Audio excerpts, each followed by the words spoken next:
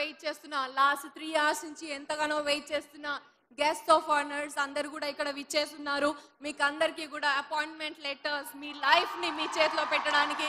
Please welcome our honourable chief minister mister Revanth Reddy అన్న to the dais with a big round of applause మనకి ఇంత గొప్ప notification ఇచ్చి ఇంత గొప్ప అవకాశం ఇచ్చిన రేవంత్ అన్న గారికి మీరు ఏ రకంగా థ్యాంక్స్ చెప్తారో అలా గట్టిగా చప్పట్లతోని వెల్కమ్ చేసి చెప్పాల్సిందిగా కోరుతున్నాము. బడుగు బలహీన వర్గాల ఆశాజ్యోతి పేదలందరి పాలిటి పెన్నిది మా అన్న రేవంత్ అన్న. ముఖ్యమంత్రి ఐదు సీట్లు కూర్చున్నప్పటి నుండి నాలుగు పథకాల్ని మీ అందరి ముందుకు తీసుకొచ్చి ఒక్కసారి విజయకేతనం ఎగిరేశాడు. ఇది మొదటిసారి కాదు రెండోసారి. రెండవసారి రెండవ విడతగా ఉద్యోగాలను అన్నింటినీ మీ ముందుకు తీసుకొచ్చిండు. ఇంకా రెండు పథకాలు ఉన్నాయి రెండు మూడు నెలలు అవి కూడా ఫినిష్ చేస్తా బిడ్డ అన్నట్టుగా. తన ఉత్సాహాన్ని తన ఆసక్తిని కూడా ప్రతి నిమిషం ప్రతి క్షణం కూడా ఆపుకోకుండా ప్రజలందరి మంచే నా మంచి ప్రజలందరూ నా వాళ్ళు నా కోసం ఇంత కష్టపడ్డ అన్నదమ్ములందరికీ కూడా పేరు పేరున కృతజ్ఞతలు తెలియజేస్తున్నాను అనుకుంటూ ఈ కార్యక్రమాన్ని మీ అందరికీ అందించడానికి సిద్ధమయ్యారు. మరి జ్యోతి ప్రజ్వలన కార్యక్రమం ముందుగా ఉంటుంది. జ్యోతి ప్రకాశనం ఈ ఉద్యోగ నియామక పత్రాలను అందించేటటువంటి కార్యక్రమంలో జ్యోతి ప్రకాశనం ముందుగా చేసుకుందాం. ఏ కార్యక్రమమైనా జ్యోతి ప్రకాశనంతో మొదలు పెడితే అది నిర్విరామంగా కొనసాగుతుందట. ఇంకా రెండు పథకాలు ఉన్నాయి అవన్నీ కంటిన్యూస్గా కొనసాగాలని గట్టిగా దేవుడికి దండం పెట్టుకొని దీపం జ్యోతి పరబ్రహ్మ దీపం సర్వదమోపహం దీపేన సాధ్యకే సర్వం సంధ్యాదీపం నమోస్తుతే సాయంకాలం అయ్యింది. దీపాన్ని వెలిగించుకుని కార్యక్రమాన్ని ప్రారంభించుకుందాం. అలాగే ఈరోజు మీ అందరి జీవితాల్లో కూడా వెలుగునిచ్చే రోజు ఈరోజు మీకు అందరికీ కూడా జాబ్స్ చేతికి వచ్చే రోజు. సో ఇటువంటి పండుగని రోజుకొక ఒక పండుగలాగా జరుపుకుంటున్నాము. కొత్త ప్రభుత్వం ఏర్పాటు అయిన రోజు నుంచి కూడా రోజు ఒక ఆపర్చునిటీ రోజు ఒక పాలసీ మన చేతుల్లోకి వస్తుంది అండ్ um, అందరు కూడా ప్రజలందరూ కూడా చాలా హ్యాపీగా ఉంటున్నారు. And I can see that మీరు ఎంత గొప్పగా రేవంత్ అన్నని వెల్కమ్ చేశారో ఈరోజు మీ మీ హర్షం వ్యక్తం చేశారో దాంట్లో కూడా తెలుస్తోంది మీరు అందరు ఎంత సంతోషంగా ఉన్నారో. ఇటువంటి మంచి రోజుని ఎంత గొప్పగా స్టార్ట్ చేసుకోవడం అనేది చాలా అద్భుతమైన విషయం. అండ్ పెద్దలందరి చేతుల మీదుగా జ్యోతి ప్రకాశనం జరుగుతుంది. ఈ జ్యోతి ఇలాగే వెలుగుతూ ఉండాలి. ఎన్నో కార్యక్రమాలు ఇంకెన్నో గెలుపులు ఇంకెన్నో విజయాలు మనందరికీ సంబంధించిన ఉద్యోగాలు మనందరి కష్టాలు సుఖాలు అన్నీ అన్నీ మీ అందరి బాధ్యత నాదే అని ముఖ్యమంత్రిగా మీ నేను మీకున్నాను అంటూ ముఖ్యమంత్రి గౌరవనీయులు యనుమల రేవంత్ రెడ్డి గారు మనందరికీ అండగా నిలబడి ఈరోజు ఈ కార్యక్రమాన్ని నిర్వహిస్తున్నారు. వారికి మరొక్కసారి కృతజ్ఞతల్ని తెలియజేసుకుంటూ కార్యక్రమాన్ని ప్రారంభించుకుందాం. కార్యక్రమానికి స్వాగత వచనాల్ని అందజేయాల్సిందిగా సిఎస్ మేడం.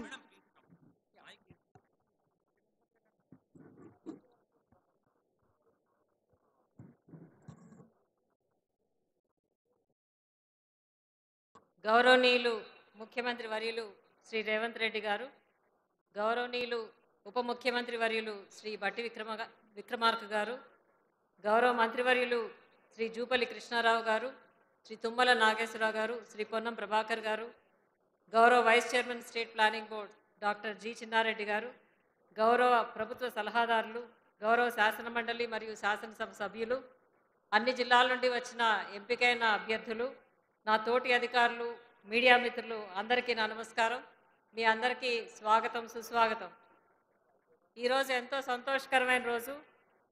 వివిధ రిక్రూట్మెంట్ బోర్డ్స్ ద్వారా ఎంపికైన ఆరు వేల ఐదు వందల నలభై ఆరు మంది అభ్యర్థులు తమ అపాయింట్మెంట్ ఆర్డర్స్ అందుకోవడం ఎంతో ఆనందంగా ఉంది. ఈరోజు నియామక పత్రాలు అందుకుంటున్న వారిలో ఐదు వేల ఎనిమిది వందల నలుగురు రెసిడెన్షియల్ స్కూల్ సొసైటీ టీచర్లు లెక్చరర్లు కాగా ఆరు వందల యాభై ఐదు మంది పోలీస్ రిక్రూట్మెంట్ ద్వారా ఎంపికైన కానిస్టేబుల్స్ మరియు టీఎస్పీఎస్సీ ద్వారా ఎంపికైన ఎనభై ఏడు మంది అభ్యర్థులు కూడా ఉన్నారు. ఈ నియామక పత్రాలు అందుకునే వారిలో ఎక్కువ మంది మహిళలు ఉండటం వారందరికీ మన ముఖ్యమంత్రి గారి పట్టుదలతో మహిళా దినోత్సవ సంబరాలు ముందే వచ్చినట్టుగా పండుగ వాతావరణం కనిపిస్తుంది. ఇక్కడ ఒక విషయం చెప్పాలి. రాష్ట్రంలో నూతన ప్రభుత్వం ఏర్పడగానే ఉద్యోగాల కల్పనకు అత్యంత ప్రాధాన్యత ఇచ్చింది. గౌరవ ముఖ్యమంత్రి గారు పెండింగ్లో పడిన నియామకాలపై అనేక సార్లు సమీక్షించి రూల్ అమెండ్మెంట్స్ కోర్టు కేసులు సత్వర పరిష్కారానికి పలు చర్యలు తీసుకోవడంతో వెంట వెంటనే అపాయింట్మెంట్ ఆర్డర్స్ ఇవ్వగలుగుతున్నాము. రాష్ట్రంలో ఇప్పటివరకు జరిగిన ఉద్యోగ జాతర వివరాలు క్లుప్తంగా. జనవరి ముప్పై ఒకటిన ఆరు వేల తొమ్మిది వందల యాభై ఆరు మంది మహిళలకు స్టాఫ్ నర్సులుగా అపాయింట్మెంట్ ఆర్డర్స్ ఇవ్వడం. ఒక వారం తర్వాత అంటే ఫిబ్రవరి ఏడున నాలుగు వందల నలభై ఒక్క మంది సింగరేణి అపాయింట్మెంట్ ఆర్డర్స్ అందుకోవడం. మళ్ళీ ఒక వారం తర్వాత అంటే ఫిబ్రవరి పద్నాలుగున పదమూడు వేల నాలుగు వందల నలభై నాలుగు మంది police excise transport prisons constables నియామకం.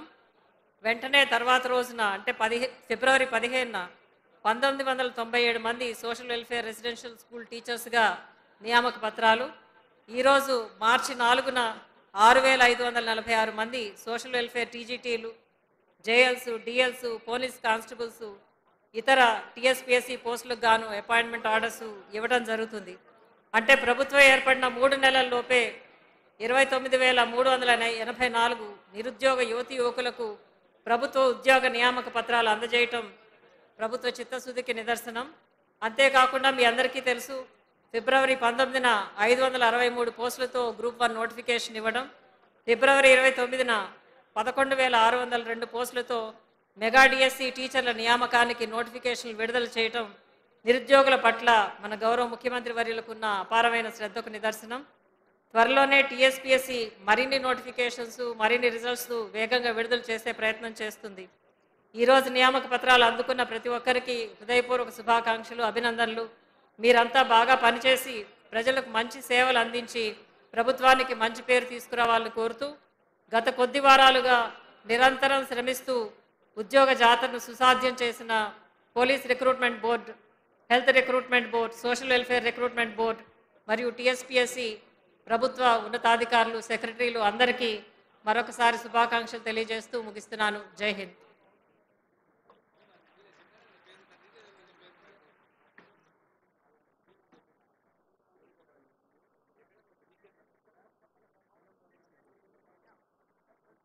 Thank you. Thank you so much for addressing the gathering today, ma'am.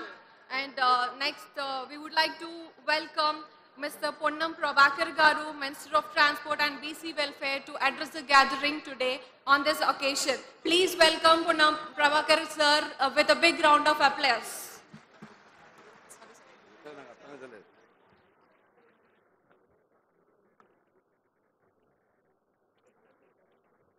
వేదిక మీద ఉన్నటువంటి పెద్దలు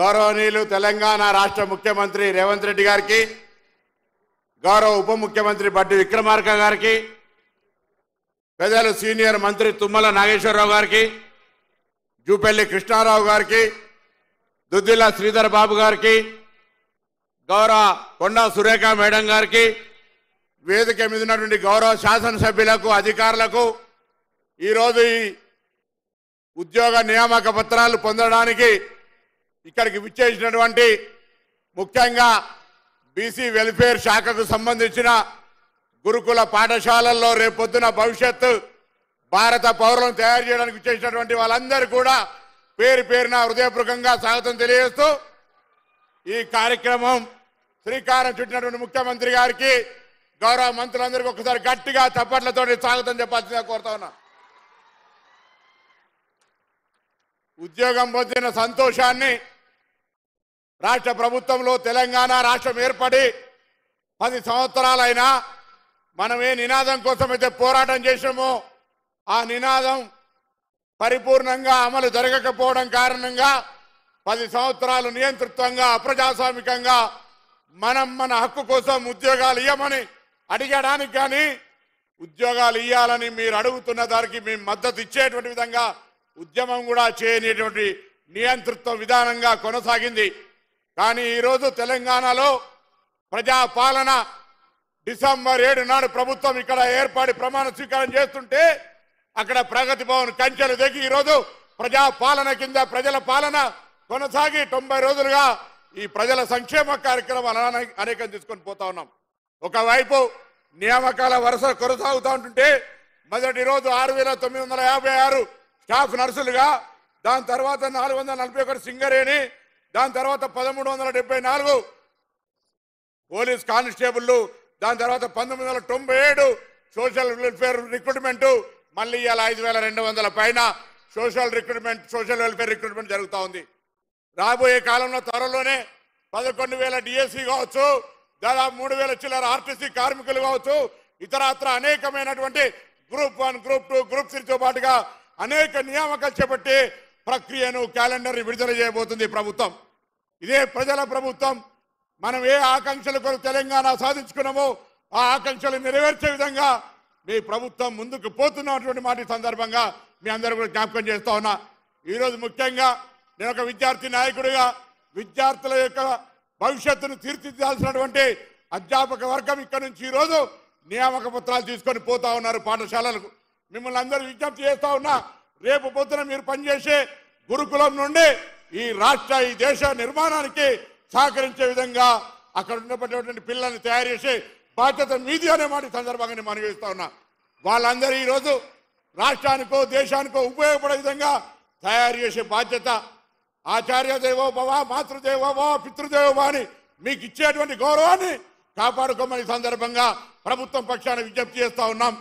ప్రభుత్వం కూడా పిల్లలకు సంబంధించి గురుకులాలు మెస్ ఛార్జీలు కావచ్చు ఇతరత్ర సౌకర్యాల కొరకు గత ప్రభుత్వం బిల్లులు రెండు రెండు సంవత్సరాలు పెండింగ్ వచ్చినటువంటి పరిస్థితుల్లో గౌరవ ముఖ్యమంత్రి గారు ఆర్థిక శాఖ మంత్రి గారు అటువంటి బిల్లులు పేమెంట్ చేయాలని చీఫ్ సెక్రటరీ గారికి సూచన చేసి రాబోయే కాలంలో గ్రీన్ ఛానల్ ద్వారా పేమెంట్స్ అని చేపించడానికి అంకురార్పణ చేయబోతున్నారనే మాట కూడా ఈ సందర్భంగా మనం చేస్తున్నాం ఇన్ని కార్యక్రమాలు జరుగుతూ ఉంటుంటే ప్రభుత్వం ఏర్పడి తొంభై రోజులు కూడా కాకముందే ఇరవై రోజుల నుంచి ప్రభుత్వం ఏర్పడి ఇరవై రోజులకే అనేక రకాలుగా మమ్మల్ని విమర్శిస్తూ ఉన్నారు.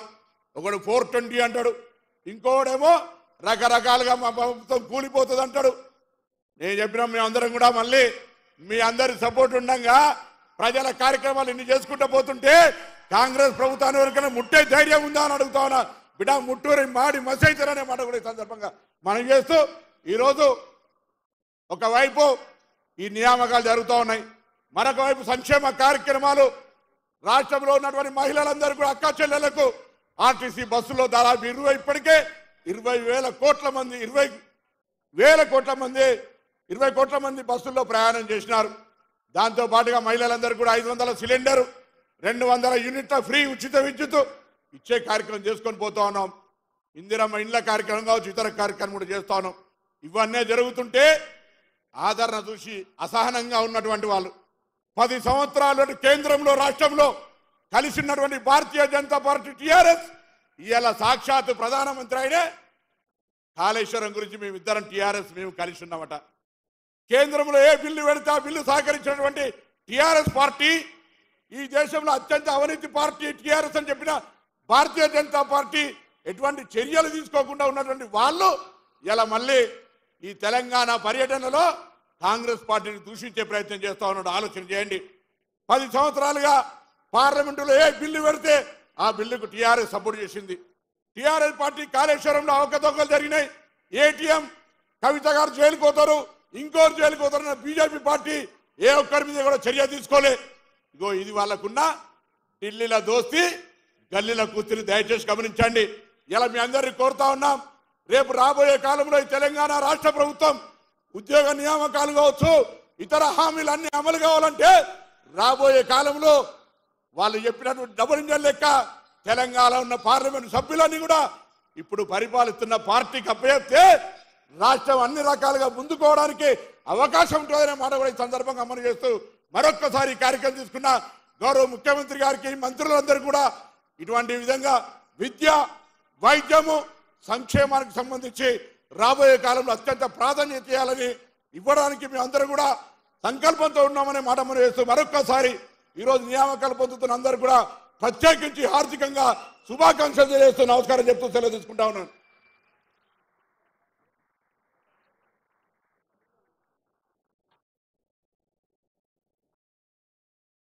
థ్యాంక్ యూ సో మచ్ అన్న. మీరు మాట్లాడిన తర్వాత ఆడియన్స్లో చాలా ఉత్తేజం వచ్చింది.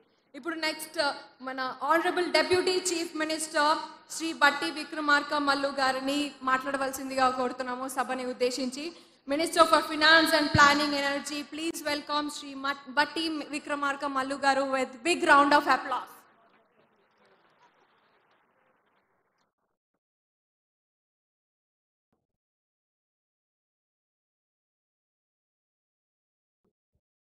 గౌరవ ముఖ్యమంత్రి వర్యులు శ్రీ రేవంత్ రెడ్డి గారికి ఆ తోటి సహచర మంత్రివర్యులు శ్రీ తుమ్మల నాగేశ్వరరావు గారికి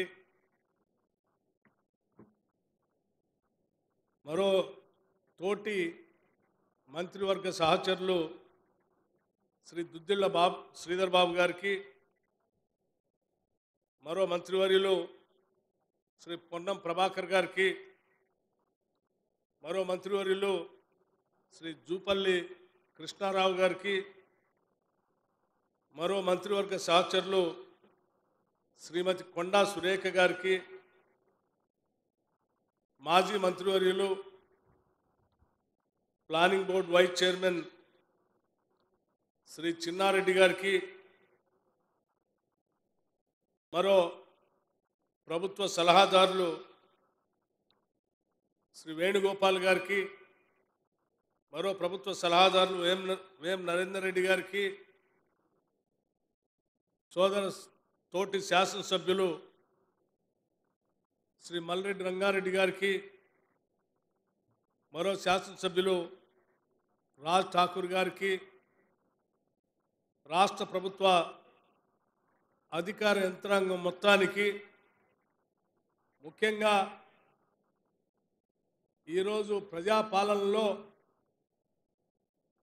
ఐదు వేల నూట తొంభై రెండు మంది ఉద్యోగ నియామక పత్రాలు పొందేటువంటి లబ్ధిదారులకి వారి కుటుంబ సభ్యులకి ఉద్యోగాలు పొందుతున్నటువంటి మీ అందరికీ అభినందనలు తెలియజేయడానికి ఇక్కడికి వచ్చేసినటువంటి శ్రేయోభిలాషులకి పాత్రికేయ మిత్రులకి అందరికి కూడా ముందుగా నా హృదయపూర్వకమైనటువంటి నమస్కారాలు తెలియజేస్తా ఉన్నాను. మిత్రులారా ఇందిరమ్మ రాజ్యం ఇదే లాల్ బహదూర్ స్టేడియంలో ఏడో తారీఖు నాడు నుంచి ప్రమాణ స్వీకారం చేసిన మొదటి రోజు నుంచే ఏ ఉద్యోగాల కోసం అయితే తెలంగాణ రాష్ట్రాన్ని తెచ్చుకున్నామో గత పదేళ్ళు ఉద్యోగాలు రాక ఇబ్బంది పడుతూ ఉన్నటువంటి పరిస్థితిని గమనించినటువంటి మీ అందరికీ మాటిచ్చినటువంటి కాంగ్రెస్ పార్టీ ప్రభుత్వం వచ్చిన దగ్గర నుంచి ఈనాటి వరకు పెద్ద ఎత్తున ఉద్యోగాల జాతర నిర్వహిస్తూ ఉంది. ఇప్పటికే కేవలం మూడు నెలలు కూడా కాలేదు. రాష్ట్రంలో దాదాపు ఇరవై ఐదు వేల మందికి ఉద్యోగ నియామక పత్రాలు అందించి పెద్ద ఎత్తున ఈ రాష్ట్రంలో నిరుద్యోగ యువతి యువకులకి ఆనందమైనటువంటి కార్యక్రమాలు చేపట్టిన విషయం కూడా మీ అందరికీ తెలిసిందే. ప్రతి వారం ఏదో రకమైనటువంటి ప్రభుత్వ ఉద్యోగాలకు సంబంధించిన నియామక పత్రాలు ఈ రాష్ట్ర ప్రభుత్వం అందిస్తూనే ఉంది. గతంలో సంవత్సరాల తరబడి నిరుద్యోగ యువతి యువకులు ఉద్యోగాల కోసం కొట్లాడుతుంటే కూడా కనీసం ఆ ఉద్యోగాల సంగతి ఏందని ఒక రిప్రజెంటేషన్ ఇవ్వడానికి కూడా సమయం ఇవ్వనటువంటి ఆనాటి ప్రభుత్వాలు.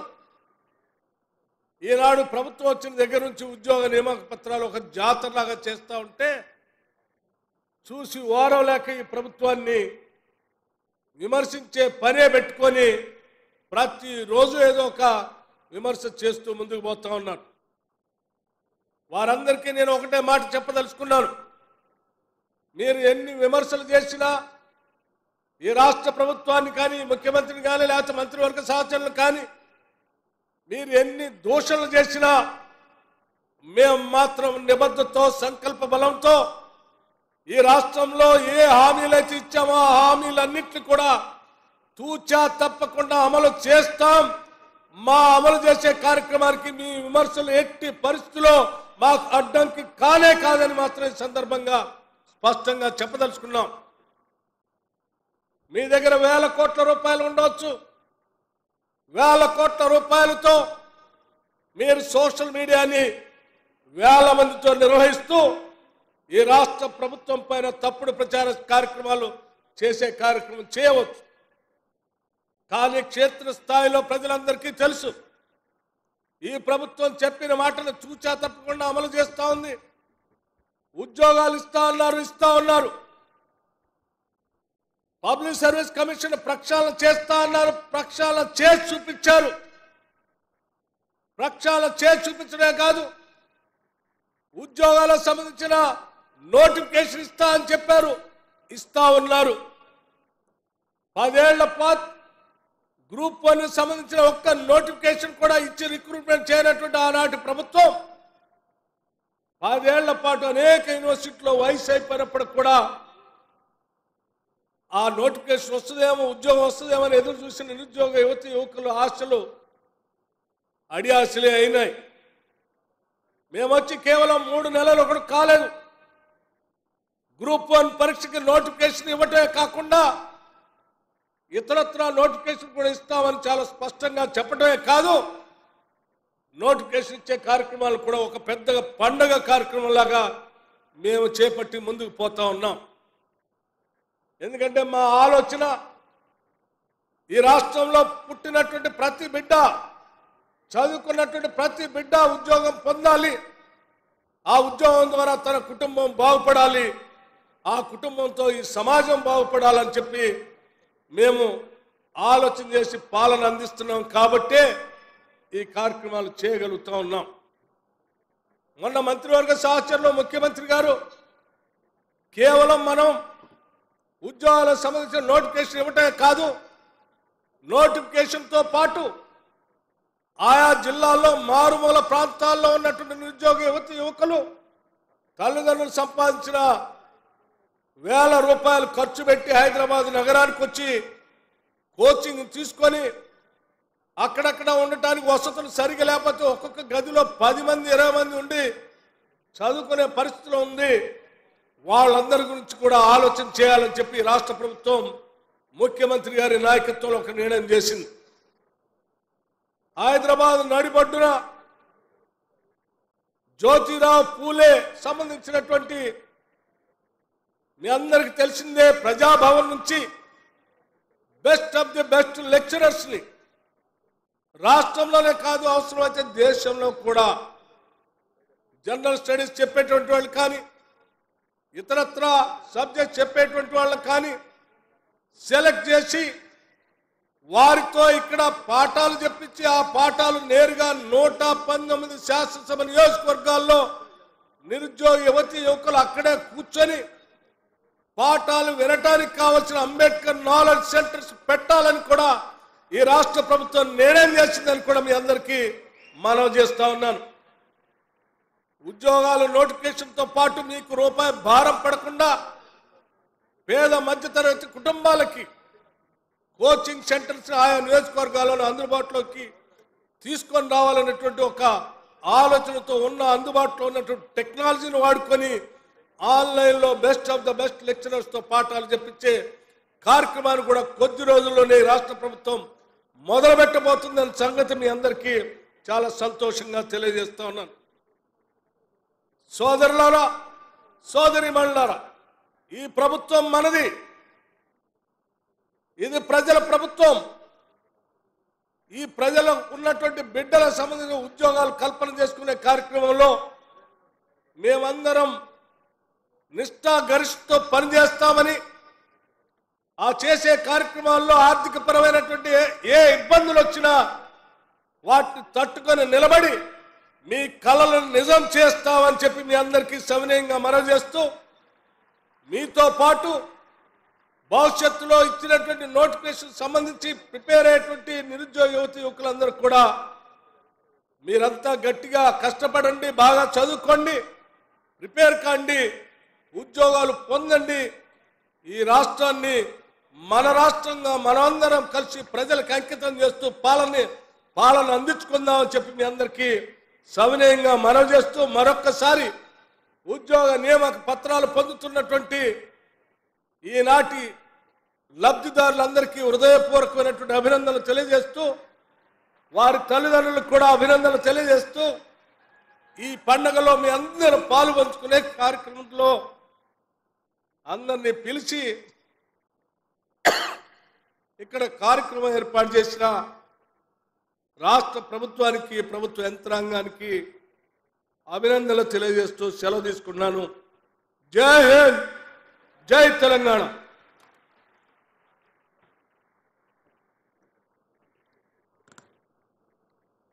గౌరవ ఉప ముఖ్యమంత్రి వర్యులు ఆర్థిక ప్రణాళిక మరియు విద్యుత్ శాఖ మంత్రులు శ్రీ మల్లు భట్టి విక్రమార్క గారికి కృతజ్ఞతల్ని తెలియజేసుకుంటూ మన తెలంగాణ రాష్ట్ర ముఖ్యమంత్రి గారి నామధేయం రేవంత్ రెడ్డి గారు.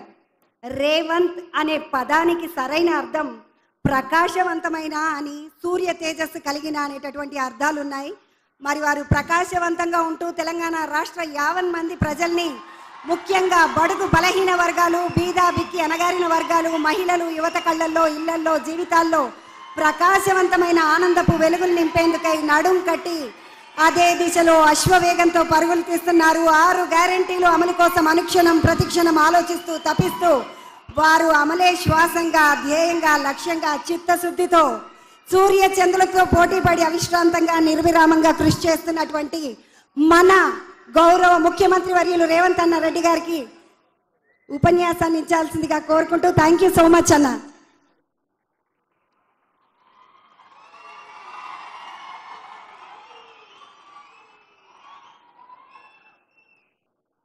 యువమిత్రులందరికీ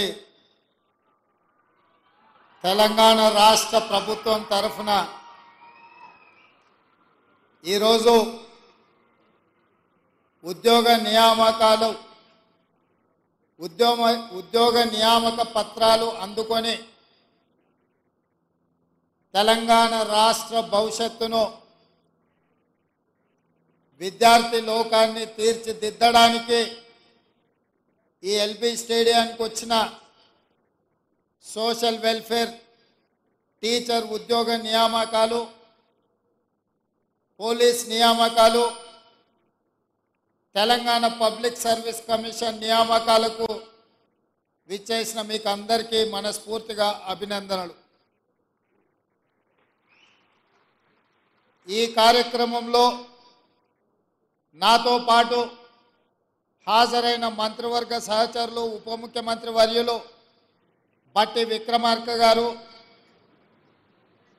సీనియర్ మంత్రివర్యులు దుద్దిల్ల శ్రీధర్ బాబు గారు తుమ్మల నాగేశ్వరరావు గారు పొన్నం ప్రభాకర్ గారు శ్రీమతి కొండ సురేఖ గారు అదేవిధంగా శాసనసభ్యులు public service commission vice chairman పెద్దలు చిన్నారెడ్డి గారు చీఫ్ సెక్రటరీ గారు డీజీపీ గారు అధికారులందరికీ కూడా హృదయపూర్వకంగా నమస్కారాలు. మిత్రులారా ఎల్బీ స్టేడియం చరిత్రలో శాశ్వతంగా మిగిలిపోతుంది.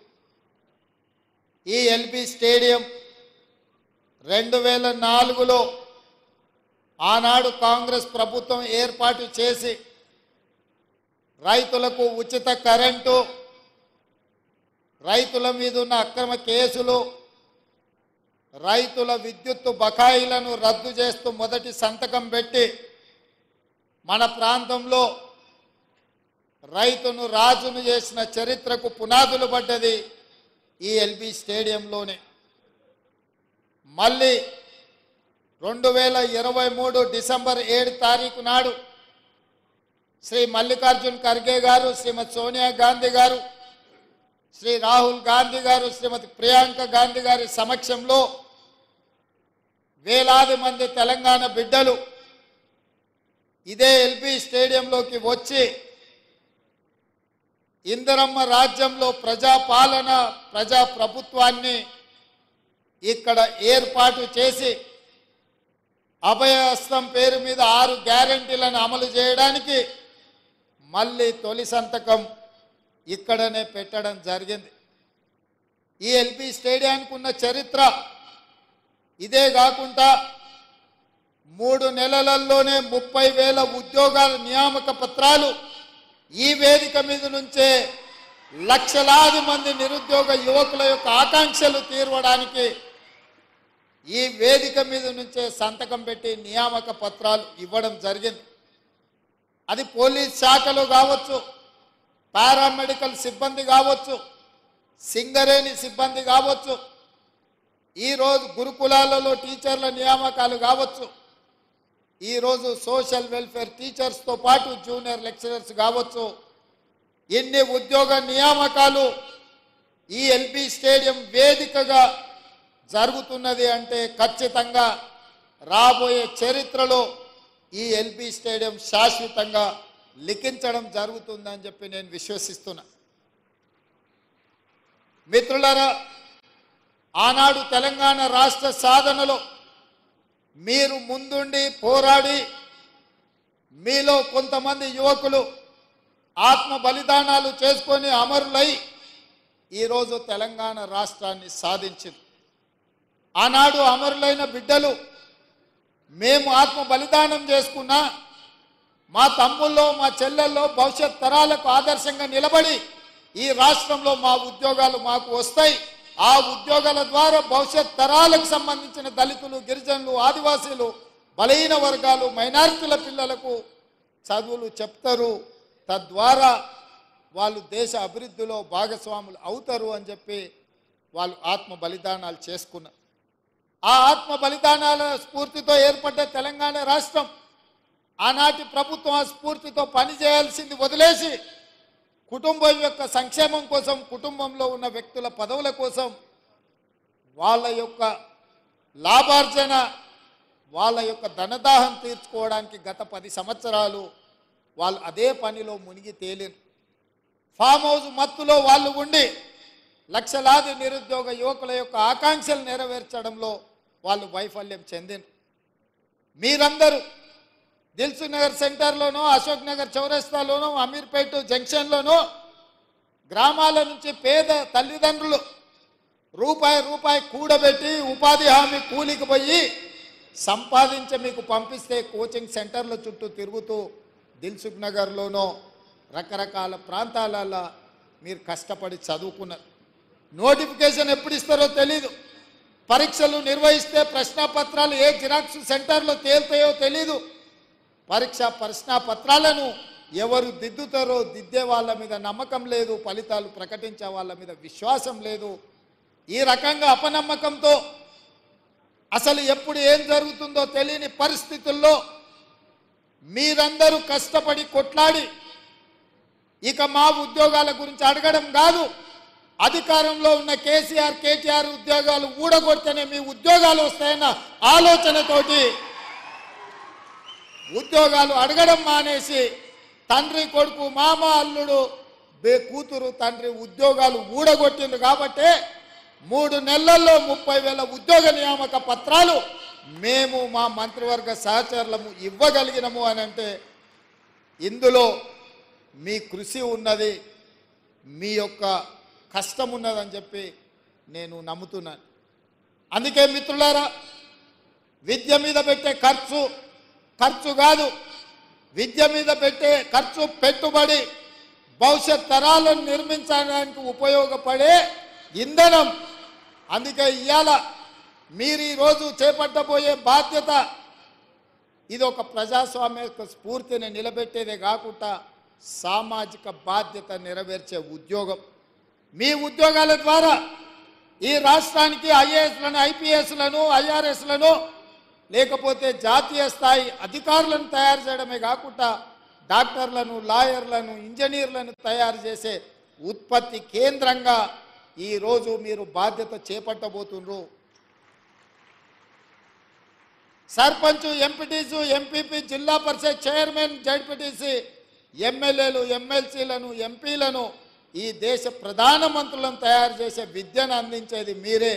నేను కూడా ప్రభుత్వ పాఠశాలలనే చదువుకొని వచ్చిన ఎక్కడ కార్పొరేట్ స్కూళ్ళల్లో చదువుకున్నాను కాదు. మీలాంటి టీచర్లు ఓనమాలు నేర్పడంతో గ్రామీణ ప్రాంతంలో మారుమూల పల్లెల్లో ప్రభుత్వ పాఠశాలలో చదువుకొని జిల్లా పరిషత్ పాఠశాలలో చదువుకున్న నేను ఈరోజు తెలంగాణ రాష్ట్రంలో ఈ బాధ్యత నెరవేరుస్తున్నా అంటే మా టీచర్లు మాకు నేర్పిన విద్య ఈరోజు పరిపాలనలో ఉపయోగపడుతుంది. నేను కార్పొరేట్ స్కూల్లో చదువుకోలే లేకపోతే గుంటూరులోనో గుడివాడలనో అసలే చదువుకోలే. కొంతమంది అప్పుడప్పుడు గుంటూరు గుడివాడలు చదువుకొచ్చిన వాళ్ళు ముఖ్యమంత్రి గారికి ఇంగ్లీష్ రాదని అవహేళన చేస్తుంటారు.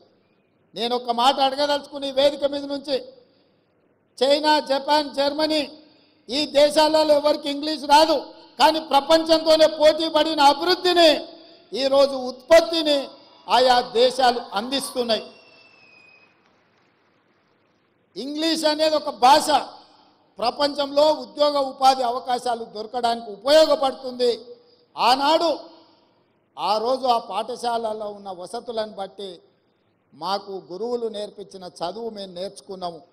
ఈరోజు మీకు నా సూచన ప్రతి విద్యార్థికి ప్రపంచంలో ఉద్యోగ ఉపాధి అవకాశాలు వచ్చే ఇంగ్లీష్ భాషను కూడా మీరు నేర్పండి.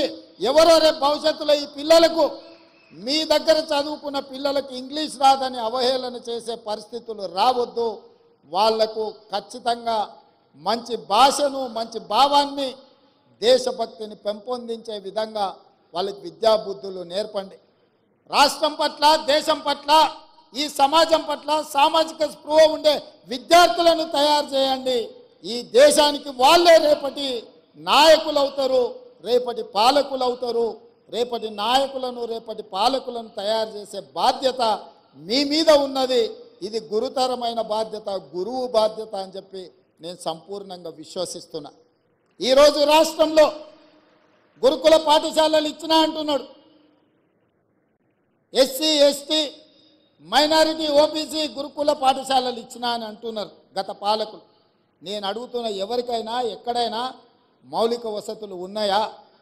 అక్కడో ఇక్కడో పిట్టగూళ్ళలోనో పోల్ట్రీ ఫాముల్లోనో ఈ పిల్లలు చదువుకునే పరిస్థితులు కల్పించారు అందుకే ఒక మోడల్ రెసిడెన్షియల్ విధానాన్ని తీసుకురావాలని మొట్టమొదటి ప్రయోగంగా కొడంగల్ శాసనసభ నియోజకవర్గంలో దాదాపుగా ఇరవై ఐదు ఎకరాలలో నూట యాభై కోట్లతోని SC ST minority and OBC residential schools అన్నిటినీ ఒకే క్యాంపస్లో ఒక యూనివర్సిటీ మోడల్లో నిర్మిస్తున్నాం. ఎకరాలలో మైదానాన్ని తయారు చేసి క్రీడా ప్రాంగణాన్ని అందించడం ద్వారా మానసికంగా శారీరకంగా ఆ విద్యార్థులు రాటుదేలాలి ఈ సమాజానికి ఉపయోగపడాలి అన్న ఆలోచన మేము చేస్తున్నాం. అందుకే ఈ రాష్ట్రంలో నూట పంతొమ్మిది శాసనసభ నియోజకవర్గాలలో ఎక్కడ అవకాశం ఉన్నా ఈ నమూనాతో ఒక క్యాంపస్ను క్రియేట్ చేయాలి. పేద విద్యార్థులకు విద్యను అందించాలన్న ఆలోచన మా రాష్ట్ర ప్రభుత్వం చేస్తున్నది. ఇదే కాదు ఆనాడు ప్రతి కిలోమీటర్కు సింగిల్ టీచర్ పాఠశాల ప్రతి మూడు కిలోమీటర్లకు ప్రాథమిక పాఠశాల ప్రతి ఐదు కిలోమీటర్లకు ప్రాథమికోన్నత పాఠశాల ప్రతి పది కిలోమీటర్లకు ఒక హై స్కూల్ ప్రతి మండలంలో జూనియర్ కాలేజు ప్రతి నియోజకవర్గంలో డిగ్రీ కాలేజు ప్రతి రెవెన్యూ డివిజన్లో ఇంజనీరింగ్ కాలేజ్ ప్రతి జిల్లాలో మెడికల్ కాలేజ్ అండ్ క్యా- యూనివర్సిటీలను ఇవ్వాలన్న విద్యా విధానంతో ఆనాడు కాంగ్రెస్ పార్టీ రెండు వేల నాలుగు నుంచి రెండు వేల పద్నాలుగు వరకు పేదలకు విద్యను అందించే ప్రయత్నం చేసింది. ఈ పది గత పది సంవత్సరాలలో గత ప్రభుత్వం ఒక్క డిఎస్సి నోటిఫికేషన్ ఇస్తే రెండు వేల నాలుగు నుంచి రెండు వేల పద్నాలుగు వరకు నాలుగు డిఎస్సి నోటిఫికేషన్లు ఇచ్చి లక్ష మంది టీచర్ల నియామకాలు చేపట్టి పేద విద్యార్థులకు విద్యను అందుబాటులోకి తీసుకొచ్చింది. మరి గత ప్రభుత్వం దాదాపుగా సింగిల్ టీచర్ పాఠశాలలు రేషనలైజేషన్ పేరు మీద ఈరోజు ఆరు వేల పైచిల్పు పాఠశాలలను మూతవేసి పేదలకు దళితులకు గిరిజనులకు వెనుకబడిన ప్రాంతాల యొక్క పేదల పిల్లలకు విద్య అందకుండా విద్యకు దూరం చేసి బర్రెలను కాసుకున్న వాళ్ళు బర్రెల్నే కాసుకోవాలి గొర్రెల్ని పెంచుకున్నవాడు గొర్రెల్నే కాసుకోవాలి చేపలు పట్టుకునేటోడు చేపలే పట్టుకోవాలి చెప్పులు కుట్టుకునేటోడు చెప్పులే కుట్టుకోవాలనే పథకాలు తీసుకొచ్చే ప్రయత్నం చేసింది. నేను అడుగుతున్నా ఇక్కడున్న ఉపాధ్యాయులను భవిష్యత్ తరాలను తీర్చిదిద్దబోయే మిమ్మల్ని నేను అడుగుతున్నా. మన తాతలు ముత్తాతలు చెప్పులు కుట్టో చేపలు పట్టో గొర్రెలు పెంచుకోనో బర్రెలను కాసుకోనో బతుకుతే మన మనమన్లు కూడా అదే వృత్తి చేపట్టాలనా? లేకపోతే వాళ్ళు చదువుకొని డాక్టర్లు లాయర్లు ఇంజనీర్లు ఐఏఎస్లు ఐపీఎస్లు కావాలన్నా మీరు ఆలోచన చేయండి. ఈ ప్రభుత్వంలో వాళ్ళు భాగస్వాములు కావద్దా? ఇంకా వాళ్ళ జీవితాలు గొర్రెల బర్రెల చుట్టూతోనే తిరగాలనా అని నేను అడుగుతున్నా. గత ముఖ్యమంత్రి గారు పెంచుకున్న వాళ్ళ మనవడ పెంచుకున్న పెంపుడు కుక్క చచ్చిపోతే డాక్టర్ మీద క్రిమినల్ కేసులు పెట్టి బంజారాయిల్స్ పోలీస్ స్టేషన్లో లోపలేపించారు వాళ్ళ పెంపుడు కుక్కకు జ్వరం వస్తే డాక్టర్ చూడలేదని ఆ వెటర్నరీ డాక్టర్ల మీద కేసులు పెట్టారు. మరి ఇలా ఉద్యోగాలు రాక వందలాది మంది విద్యార్థులు ఆత్మహత్యలు చేసుకుంటుంటే వాళ్ళను ఊరేయాలనా లేదా మీరు ఒక్కసారి ఆలోచన చేయండి. మీరు పెంచుకున్న బొచ్చు కుక్కకున్న విలువ పేదోడి బిడ్డల ప్రాణాలకు లేదా అని చెప్పి మీ సభాముఖంగా నేను మీ ద్వారా ప్రశ్నించదలుచుకున్నాను. ఆలోచన విధానం పాటిస్తున్న విధానం ఫ్యూడల్ విధానం. ఫ్యూడల్ విధానంలో మార్పు రావాలి. పేదవాడికి విద్య చేరాలి. విద్య ఒక్కటే మన జీవితాలలో వెలుగు నింపుతుంది. చదువుకోవడం ద్వారా ఈ ప్రపంచానికే మనము ఏదైనా కావచ్చు ఎక్కడికైనా చేరొచ్చు. దానికి మీరే మీరే బాధ్యత వహించాలి.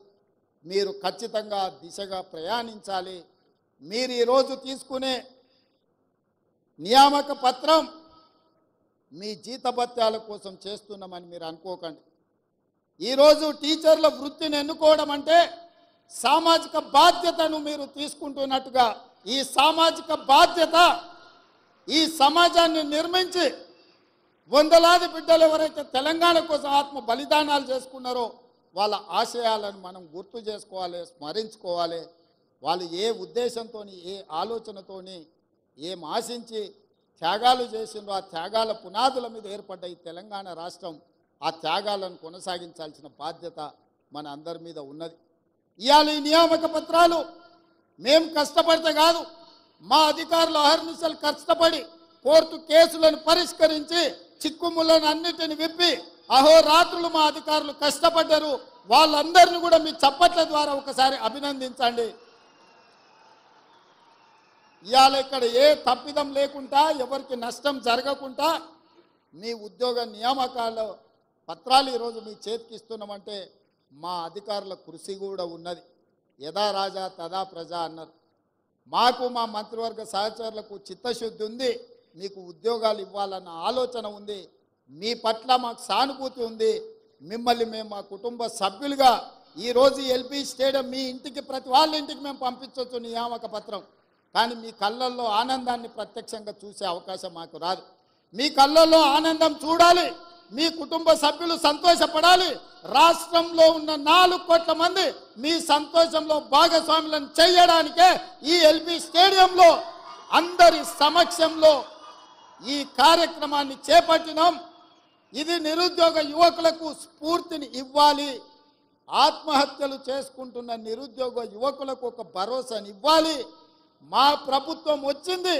మా ఉద్యోగాలు వస్తాయనే ఒక నమ్మకాన్ని కల్పించడానికి ఈ కార్యక్రమాన్ని మేము చేపట్టినాం. ఈ కార్యక్రమం ప్రచారం కోసం కాదు ఈ కార్యక్రమం లక్షలాది మంది నిరుద్యోగ యువకులకు విశ్వాసాన్ని నమ్మకాన్ని కలిగించడానికి ఈ కార్యక్రమాన్ని మేము తీసుకున్నాము.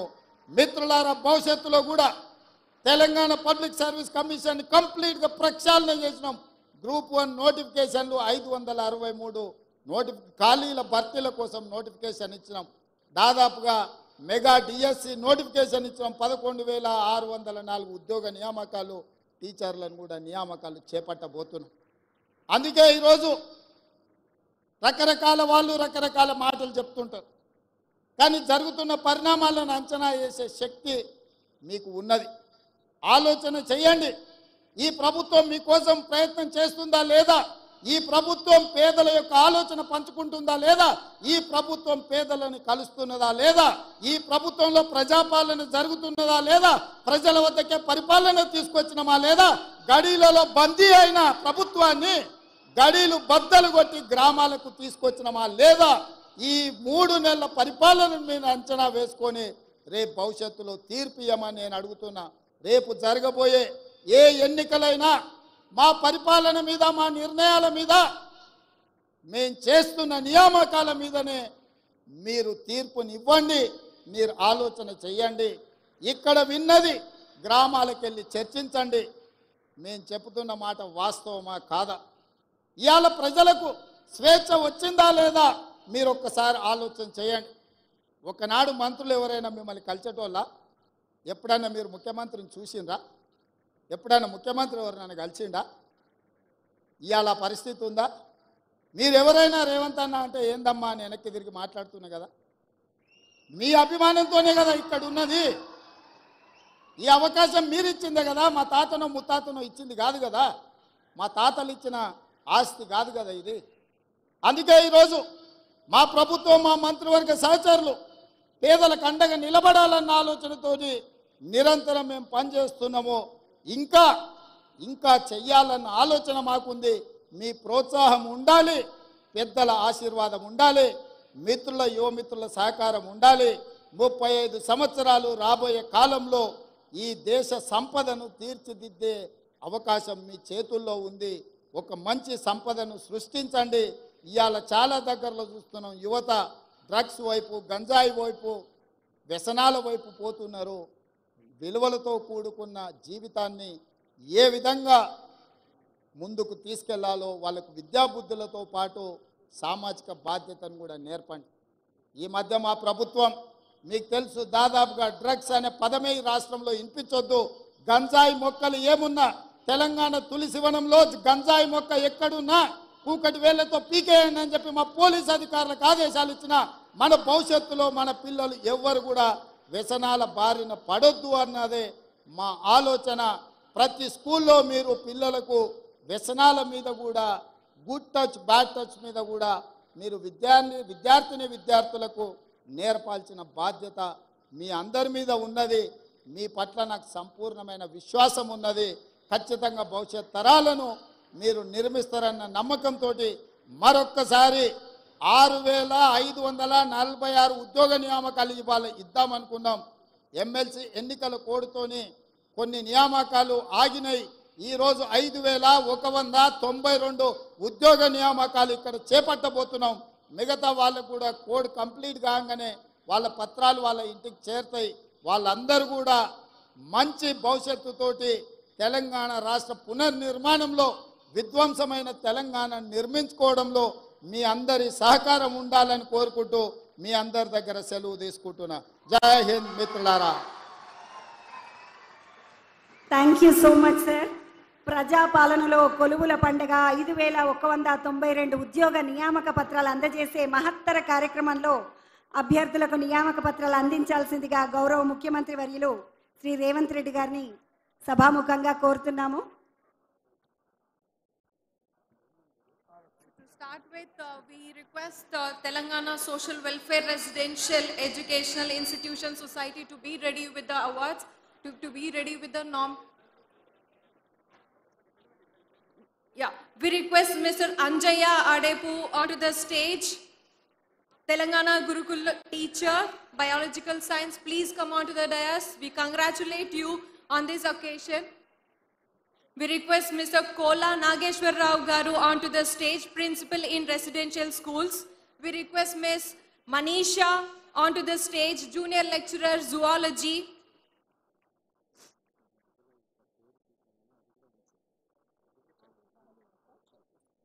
We request Ms. T. Sunita onto the stage, degree lecturer physics.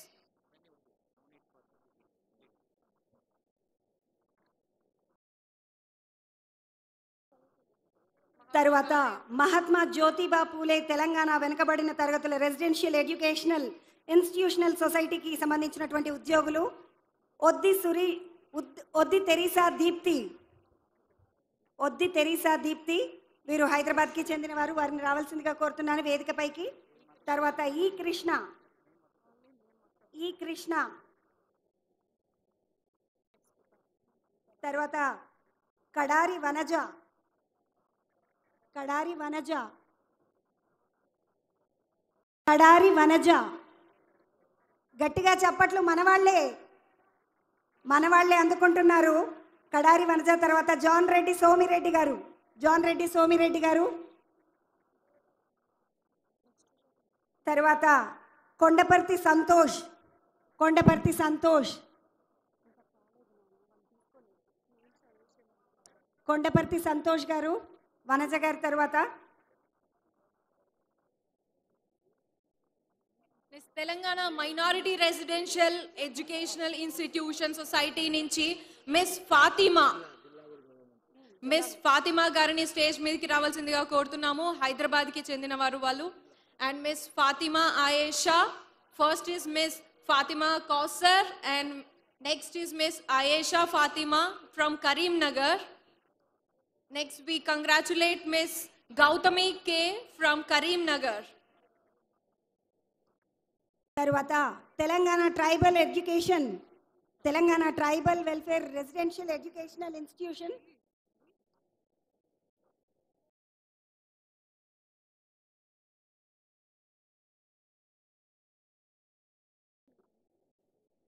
తరువాత Telangana tribal welfare residential educational institution సొసైటీకి సంబంధించినటువంటి వారు రాథోడ్ సంధ్యారాణి రాథోడ్ సంధ్యారాణి ఆదిలాబాద్ తంగెల్లపల్లి ఈశ్వరాచారి తంగెల్లపల్లి ఈశ్వరాచారి మహబూబాబాద్ తరువాత మడివి సుమలత మడివి సుమలత కొత్తగూడెం భద్రాద్రి కొత్తగూడెంకి సంబంధించిన Madivi Sumalatha. Next, Miss Ravali Gampa from Karimnagar. We request Miss Ravali Gampa onto the stage from Karimnagar. And next is Miss Ravina Dantala from Nizamabad. Ravina, Miss Ravina Dantala from Nizamabad. And మీరందరూ కూడా congratulations తెలపాలంటే చప్పట్లు కొట్టాలి కదా మరి next we we request mister Vishal Yemula, Mr. Vishal Yemula onto the stage from Nizamabad. Mr. Jitender Giri Shetty from Suryapet. Jitender, Mr. Jitender, congratulations. And these people belong to Telangana State Police Department, Andy. Mr. Kurra Ramu Garu from Nalgonda.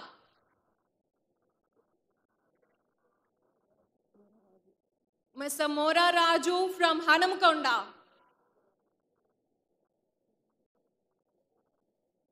Ms. Neha Kadawat from Nizamabad.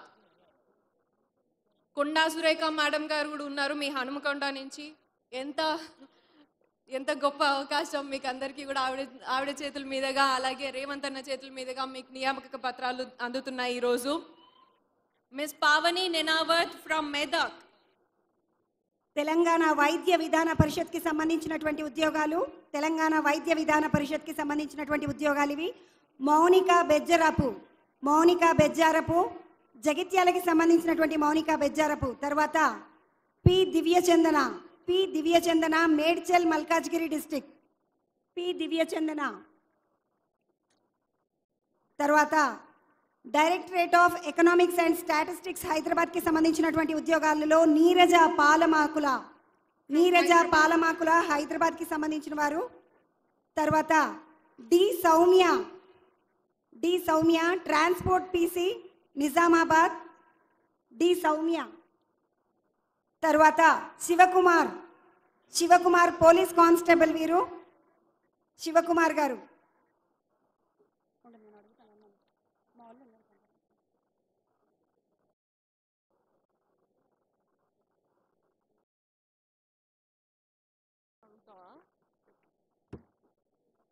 Congratulations, all of you.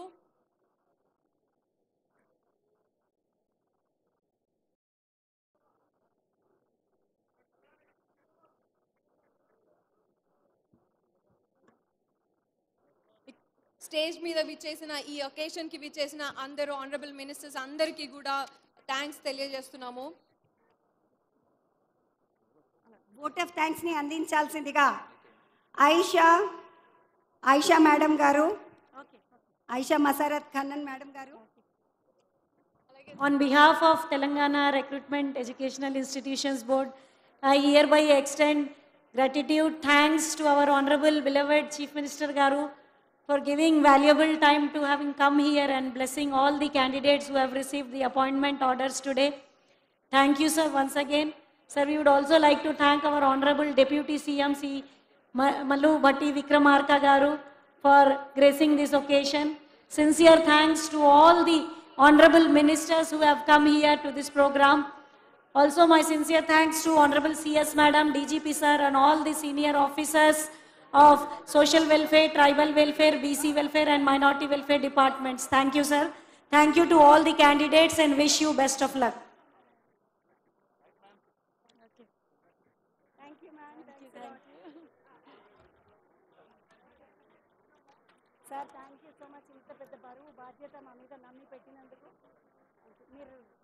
Thanks, thanks all of you for gathering here, and a very big congratulations and uh, good wishes to all of you for this good beginning and great beginning. And see you all uh, again uh, whenever the time comes. And uh, stay stay happy, be happy, stay hydrated. అందరు జాగ్రత్తగా వెళ్ళండి almost ఇరవై ఆరు districts నుంచి వచ్చున్నారు ఇక్కడ అందరు జాగ్రత్తగా ఇంటికి చేరుకోవాలి అలాగే ఈ రోజుని హ్యాపీగా సెలబ్రేట్ చేసుకున్నామని అనుకుంటున్నాను ఈ రోజు ఈ ఆపర్చునిటీ ఇచ్చిన ఆ, పెద్దలు Ronald Rose sir commissioner sir గారికి థ్యాంక్స్ తెలియజేస్తున్నా. అలాగే హనుమంతరావు గారు మమ్మల్ని సపోర్ట్ చేసి మాకు గైడ్ చేసినందుకు థ్యాంక్స్ తెలియజేస్తున్నాను. అలాగే మీడియా మిత్రులందరికీ కూడా ఇంత పేషెన్స్తోని ఇక్కడ మా ప్రోగ్రామ్ని సక్సెస్ఫుల్ చేసినందుకు థ్యాంక్ యూ అండ్ మీకు అందరికీ గట్టిగా చప్పట్లు. దయచేసి కౌంటర్స్లో క్యూని మెయింటైన్ చేసి మీ అపాయింట్మెంట్ ఆర్డర్స్ని తీసుకోవాల్సిందిగా కోరుతున్నాం. క్యూని మెయింటైన్ చేయండి లైన్ని మెయింటైన్ చేయండి. అన్నలు అక్కలు అందరూ ఇంత దూరం వచ్చిండ్రు హైదరాబాద్ దాకా వచ్చిండ్రు మీరు నియామక పత్రం తీసుకొనే పోవాలి. లైన్లో నిలబడండి తీసుకోండి వెళ్ళండి సంతోషంగా ఉండండి. దయచేసి కౌంటర్ల దగ్గర అందరూ లైన్లో నిలబడాలన్నా. అక్కలందరూ లైన్లో నిలబడాలి. అక్కలంత ఒక లైన్ అన్నలంత ఒక లైన్. లైన్ మెయింటైన్ చేయాలా? మీరే లైన్ మెయింటైన్ చేయాలి. దయచేసి దయచేసి గుంపులు గుంపులుగా ఉన్నారు అక్కడ. అది మాత్రం కాదు. లైన్ని మెయింటైన్ చేయండి. నియామక పత్రాలు అందరూ తీసుకుని వెళ్ళంగా లక్ష్యంగా చిత్తశుద్ధితో సూర్య చంద్రులతో పోటీపడి అవిశ్రాంతంగా నిర్విరామంగా కృషి చేస్తున్నటువంటి మన గౌరవ ముఖ్యమంత్రి వర్యులు రేవంత్ అన్న రెడ్డి గారికి ఉపన్యాసాన్ని ఇచ్చాల్సిందిగా కోరుకుంటూ థ్యాంక్ యూ సో మచ్ అన్న.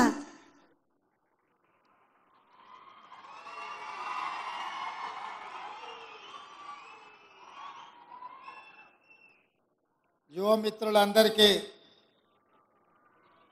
తెలంగాణ రాష్ట్ర ప్రభుత్వం తరఫున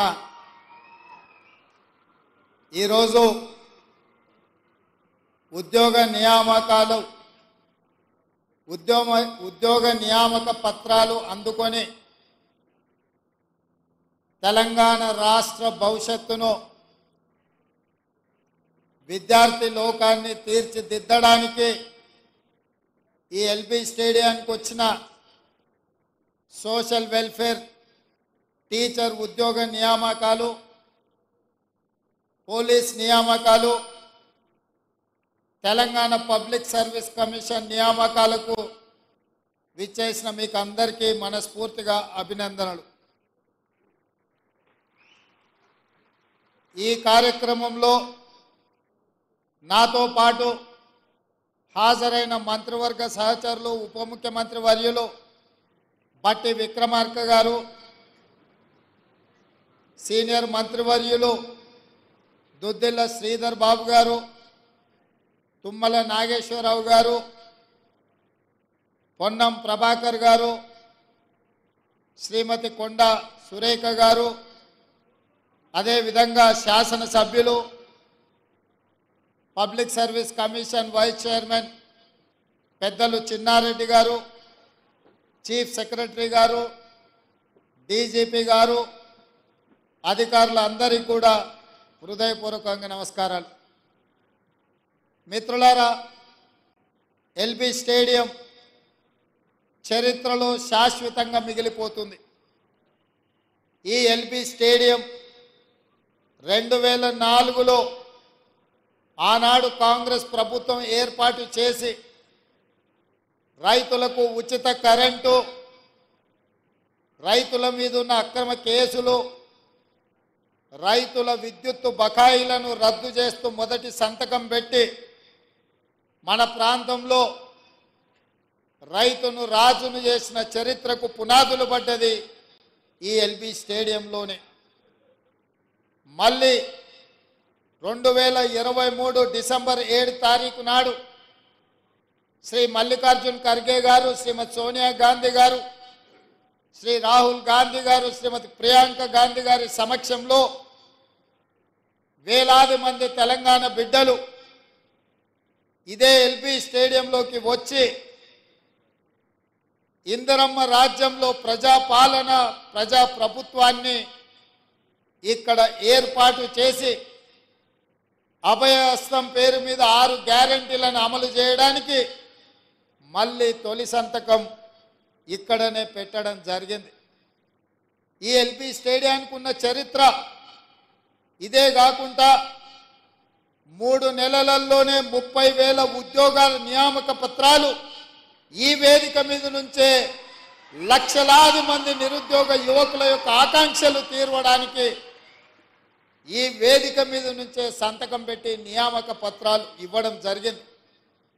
అది పోలీస్ శాఖలో కావచ్చు పారామెడికల్ సిబ్బంది కావచ్చు సింగరేణి సిబ్బంది కావచ్చు ఈరోజు గురుకులాలలో టీచర్ల నియామకాలు కావచ్చు ఈరోజు సోషల్ వెల్ఫేర్ టీచర్స్తో పాటు జూనియర్ లెక్చరర్స్ కావచ్చు ఎన్ని ఉద్యోగ నియామకాలు ఈ ఎల్బీ స్టేడియం వేదికగా జరుగుతున్నది అంటే ఖచ్చితంగా రాబోయే చరిత్రలో ఈ ఎల్బీ స్టేడియం శాశ్వతంగా లిఖించడం జరుగుతుందని చెప్పి నేను విశ్వసిస్తున్నా.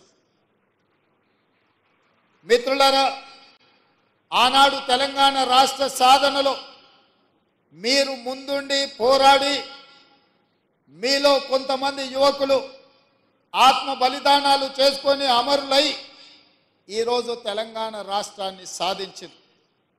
ఆనాడు అమరులైన బిడ్డలు మేము ఆత్మ బలిదానం చేసుకున్నా మా తమ్ముల్లో మా చెల్లెల్లో భవిష్యత్ తరాలకు ఆదర్శంగా నిలబడి ఈ రాష్ట్రంలో మా ఉద్యోగాలు మాకు వస్తాయి. ఆ ఉద్యోగాల ద్వారా భవిష్యత్ తరాలకు సంబంధించిన దళితులు గిరిజనులు ఆదివాసీలు బలహీన వర్గాలు మైనారిటీల పిల్లలకు చదువులు చెప్తారు. తద్వారా వాళ్ళు దేశ అభివృద్ధిలో భాగస్వాములు అవుతారు అని చెప్పి వాళ్ళు ఆత్మ బలిదానాలు చేసుకున్నారు. ఆ ఆత్మ బలిదానాల స్ఫూర్తితో ఏర్పడ్డ తెలంగాణ రాష్ట్రం ఆనాటి ప్రభుత్వం ఆ స్ఫూర్తితో పనిచేయాల్సింది వదిలేసి కుటుంబం యొక్క సంక్షేమం కోసం కుటుంబంలో ఉన్న వ్యక్తుల పదవుల కోసం వాళ్ళ యొక్క లాభార్జన వాళ్ళ యొక్క ధనదాహం తీర్చుకోవడానికి గత పది సంవత్సరాలు వాళ్ళు అదే పనిలో మునిగి తేలిన ఫామ్ హౌస్ మత్తులో వాళ్ళు ఉండి లక్షలాది నిరుద్యోగ యువకుల యొక్క ఆకాంక్షలు నెరవేర్చడంలో వాళ్ళు వైఫల్యం చెందిన మీరందరూ దిల్సు నగర్ సెంటర్లోనో అశోక్ నగర్ చౌరస్తాలోనో అమీర్పేట జంక్షన్లోనో గ్రామాల నుంచి పేద తల్లిదండ్రులు రూపాయి రూపాయి కూడబెట్టి ఉపాధి హామీ కూలికి పోయి సంపాదించి మీకు పంపిస్తే కోచింగ్ సెంటర్ల చుట్టూ తిరుగుతూ దిల్సుఖ్ నగర్లోనో రకరకాల ప్రాంతాలలో మీరు కష్టపడి చదువుకున్నారు. నోటిఫికేషన్ ఎప్పుడు ఇస్తారో తెలీదు. పరీక్షలు నిర్వహిస్తే ప్రశ్నాపత్రాలు ఏ జిరాక్స్ సెంటర్లో తేలుతాయో తెలీదు. పరీక్ష ప్రశ్నాపత్రాలను ఎవరు దిద్దుతారో దిద్దే వాళ్ళ మీద నమ్మకం లేదు ఫలితాలు ప్రకటించే వాళ్ళ మీద విశ్వాసం లేదు. ఈ రకంగా అపనమ్మకంతో అసలు ఎప్పుడు ఏం జరుగుతుందో తెలియని పరిస్థితుల్లో మీరందరూ కష్టపడి కొట్లాడి ఇక మా ఉద్యోగాల గురించి అడగడం కాదు. అధికారంలో ఉన్న కేసీఆర్ కేటీఆర్ ఉద్యోగాలు ఊడగొడితేనే మీ ఉద్యోగాలు వస్తాయన్న ఆలోచనతోటి ఉద్యోగాలు అడగడం మానేసి తండ్రి కొడుకు మామ అల్లుడు బే కూతురు తండ్రి ఉద్యోగాలు ఊడగొట్టింది కాబట్టే మూడు నెలల్లో ముప్పై వేల ఉద్యోగ నియామక పత్రాలు మేము మా మంత్రివర్గ సహచరులము ఇవ్వగలిగినము అని అంటే ఇందులో మీ కృషి ఉన్నది మీ యొక్క కష్టం ఉన్నదని చెప్పి నేను నమ్ముతున్నాను. అందుకే మిత్రులారా విద్య మీద పెట్టే ఖర్చు ఖర్చు కాదు. విద్య మీద పెట్టే ఖర్చు పెట్టుబడి భవిష్యత్ తరాలను నిర్మించడానికి ఉపయోగపడే ఇంధనం. అందుకే ఇవాళ మీరు ఈరోజు చేపట్టబోయే బాధ్యత ఇది ఒక ప్రజాస్వామ్య స్ఫూర్తిని నిలబెట్టేదే కాకుండా సామాజిక బాధ్యత నెరవేర్చే ఉద్యోగం. మీ ఉద్యోగాల ద్వారా ఈ రాష్ట్రానికి ఐఏఎస్లను ఐపీఎస్లను ఐఆర్ఎస్లను లేకపోతే జాతీయ స్థాయి అధికారులను తయారు చేయడమే కాకుండా డాక్టర్లను లాయర్లను ఇంజనీర్లను తయారు చేసే ఉత్పత్తి కేంద్రంగా ఈరోజు మీరు బాధ్యత చేపట్టబోతున్నారు సర్పంచ్ ఎంపీటీసు ఎంపీపీ జిల్లా పరిషత్ చైర్మన్ జడ్పీటీసీ ఎమ్మెల్యేలు ఎమ్మెల్సీలను ఎంపీలను ఈ దేశ ప్రధానమంత్రులను తయారు చేసే విద్యను అందించేది మీరే. నేను కూడా ప్రభుత్వ పాఠశాలలనే చదువుకొని వచ్చిన ఎక్కడ కార్పొరేట్ స్కూళ్ళల్లో చదువుకున్నాను కాదు. మీలాంటి టీచర్లు ఓనమాలు నేర్పడంతో గ్రామీణ ప్రాంతంలో మారుమూల పల్లెల్లో ప్రభుత్వ పాఠశాలలో చదువుకొని జిల్లా పరిషత్ పాఠశాలలో చదువుకున్న నేను ఈరోజు తెలంగాణ రాష్ట్రంలో ఈ బాధ్యత నెరవేరుస్తున్నా అంటే మా టీచర్లు మాకు నేర్పిన విద్య ఈరోజు పరిపాలనలో ఉపయోగపడుతుంది. నేను కార్పొరేట్ స్కూల్లో చదువుకోలే లేకపోతే గుంటూరులోనో గుడివాడలనో అసలే చదువుకోలే. కొంతమంది అప్పుడప్పుడు గుంటూరు గుడివాడలు చదువుకొచ్చిన వాళ్ళు ముఖ్యమంత్రి గారికి ఇంగ్లీష్ రాదని అవహేళన చేస్తుంటారు.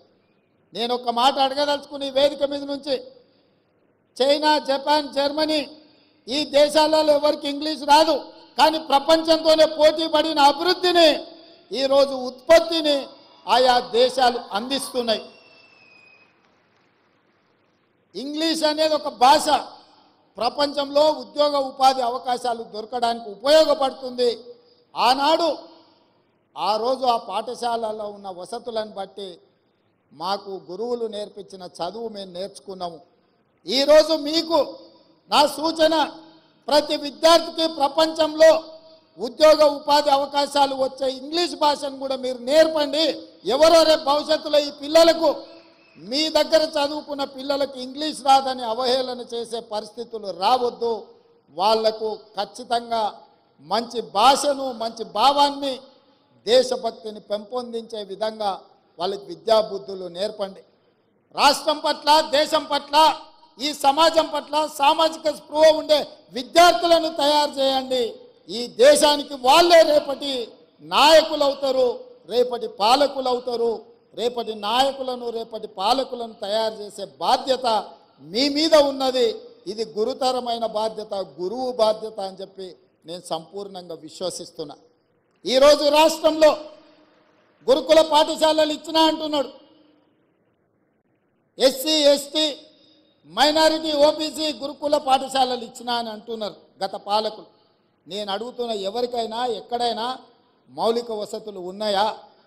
అక్కడో ఇక్కడో పిట్టగూళ్ళలోనో పోల్ట్రీ ఫాముల్లోనో ఈ పిల్లలు చదువుకునే పరిస్థితులు కల్పించారు అందుకే ఒక మోడల్ రెసిడెన్షియల్ విధానాన్ని తీసుకురావాలని మొట్టమొదటి ప్రయోగంగా కొడంగల్ శాసనసభ నియోజకవర్గంలో దాదాపుగా ఇరవై ఐదు ఎకరాలలో నూట యాభై కోట్లతోని SC ST minority and OBC residential schools అన్నిటినీ ఒకే క్యాంపస్లో ఒక యూనివర్సిటీ మోడల్లో నిర్మిస్తున్నాం.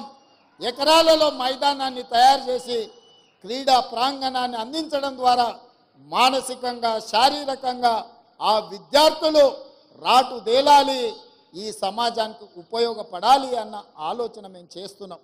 అందుకే ఈ రాష్ట్రంలో నూట పంతొమ్మిది శాసనసభ నియోజకవర్గాలలో ఎక్కడ అవకాశం ఉన్నా ఈ నమూనాతో ఒక క్యాంపస్ను క్రియేట్ చేయాలి. పేద విద్యార్థులకు విద్యను అందించాలన్న ఆలోచన మా రాష్ట్ర ప్రభుత్వం చేస్తున్నది. ఇదే కాదు ఆనాడు ప్రతి కిలోమీటర్కు సింగిల్ టీచర్ పాఠశాల ప్రతి మూడు కిలోమీటర్లకు ప్రాథమిక పాఠశాల ప్రతి ఐదు కిలోమీటర్లకు ప్రాథమికోన్నత పాఠశాల ప్రతి పది కిలోమీటర్లకు ఒక హై స్కూల్ ప్రతి మండలంలో జూనియర్ కాలేజు ప్రతి నియోజకవర్గంలో డిగ్రీ కాలేజు ప్రతి రెవెన్యూ డివిజన్లో ఇంజనీరింగ్ కాలేజ్ ప్రతి జిల్లాలో మెడికల్ కాలేజ్ అండ్ క్యా- యూనివర్సిటీలను ఇవ్వాలన్న విద్యా విధానంతో ఆనాడు కాంగ్రెస్ పార్టీ రెండు వేల నాలుగు నుంచి రెండు వేల పద్నాలుగు వరకు పేదలకు విద్యను అందించే ప్రయత్నం చేసింది. ఈ పది గత పది సంవత్సరాలలో గత ప్రభుత్వం ఒక్క డిఎస్సి నోటిఫికేషన్ ఇస్తే రెండు వేల నాలుగు నుంచి రెండు వేల పద్నాలుగు వరకు నాలుగు డిఎస్సి నోటిఫికేషన్లు ఇచ్చి లక్ష మంది టీచర్ల నియామకాలు చేపట్టి పేద విద్యార్థులకు విద్యను అందుబాటులోకి తీసుకొచ్చింది. మరి గత ప్రభుత్వం దాదాపుగా సింగిల్ టీచర్ పాఠశాలలు రేషనలైజేషన్ పేరు మీద ఈరోజు ఆరు వేల పైచిలకు పాఠశాలలను మూతవేసి పేదలకు దళితులకు గిరిజనులకు వెనుకబడిన ప్రాంతాల యొక్క పేదల పిల్లలకు విద్య అందకుండా విద్యకు దూరం చేసి బర్రెలను కాసుకున్న వాళ్ళు బర్రెల్నే కాసుకోవాలి గొర్రెల్ని పెంచుకున్నవాడు గొర్రెల్నే కాసుకోవాలి చేపలు పట్టుకునేటోడు చేపలే పట్టుకోవాలి చెప్పులు కుట్టుకునేటోడు చెప్పులే కుట్టుకోవాలనే పథకాలు తీసుకొచ్చే ప్రయత్నం చేసింది. నేను అడుగుతున్న ఇక్కడున్న ఉపాధ్యాయులను భవిష్యత్ తరాలను తీర్చిదిద్దబోయే మిమ్మల్ని నేను అడుగుతున్నా. మన తాతలు ముత్తాతలు చెప్పులు కుట్టో చేపలు పట్టో గొర్రెలు పెంచుకోనో బర్రెలను కాసుకోనో బతుకుతే మన మనమన్లు కూడా అదే వృత్తి చేపట్టాలనా? లేకపోతే వాళ్ళు చదువుకొని డాక్టర్లు లాయర్లు ఇంజనీర్లు ఐఏఎస్లు ఐపీఎస్లు కావాలన్నా మీరు ఆలోచన చేయండి. ఈ ప్రభుత్వంలో వాళ్ళు భాగస్వాములు కావద్దా? ఇంకా వాళ్ళ జీవితాలు గొర్రెల బర్రెల చుట్టూతోనే తిరగాలనా అని నేను అడుగుతున్నా. గత ముఖ్యమంత్రి గారు పెంచుకున్న వాళ్ళ మనవడు పెంచుకున్న పెంపుడు కుక్క చచ్చిపోతే డాక్టర్ మీద క్రిమినల్ కేసులు పెట్టి బంజారాయిల్స్ పోలీస్ స్టేషన్లో లోపలేపించారు వాళ్ళ పెంపుడు కుక్కకు జ్వరం వస్తే డాక్టర్ చూడలేదని ఆ వెటర్నరీ డాక్టర్ల మీద కేసులు పెట్టారు. మరి వాళ్ళ ఉద్యోగాలు రాక వందలాది మంది విద్యార్థులు ఆత్మహత్యలు చేసుకుంటుంటే వాళ్ళను ఊరేయాలనా లేదా మీరు ఒక్కసారి ఆలోచన చేయండి. మీరు పెంచుకున్న బొచ్చు కుక్కకున్న విలువ పేదోడి బిడ్డల ప్రాణాలకు లేదా అని చెప్పి మేము సభాముఖంగా నేను మీ ద్వారా ప్రశ్నించదలుచుకున్నాను. ఆలోచన విధానం పాటిస్తున్న విధానం ఫ్యూడల్ విధానం. ఫ్యూడల్ విధానంలో మార్పు రావాలి.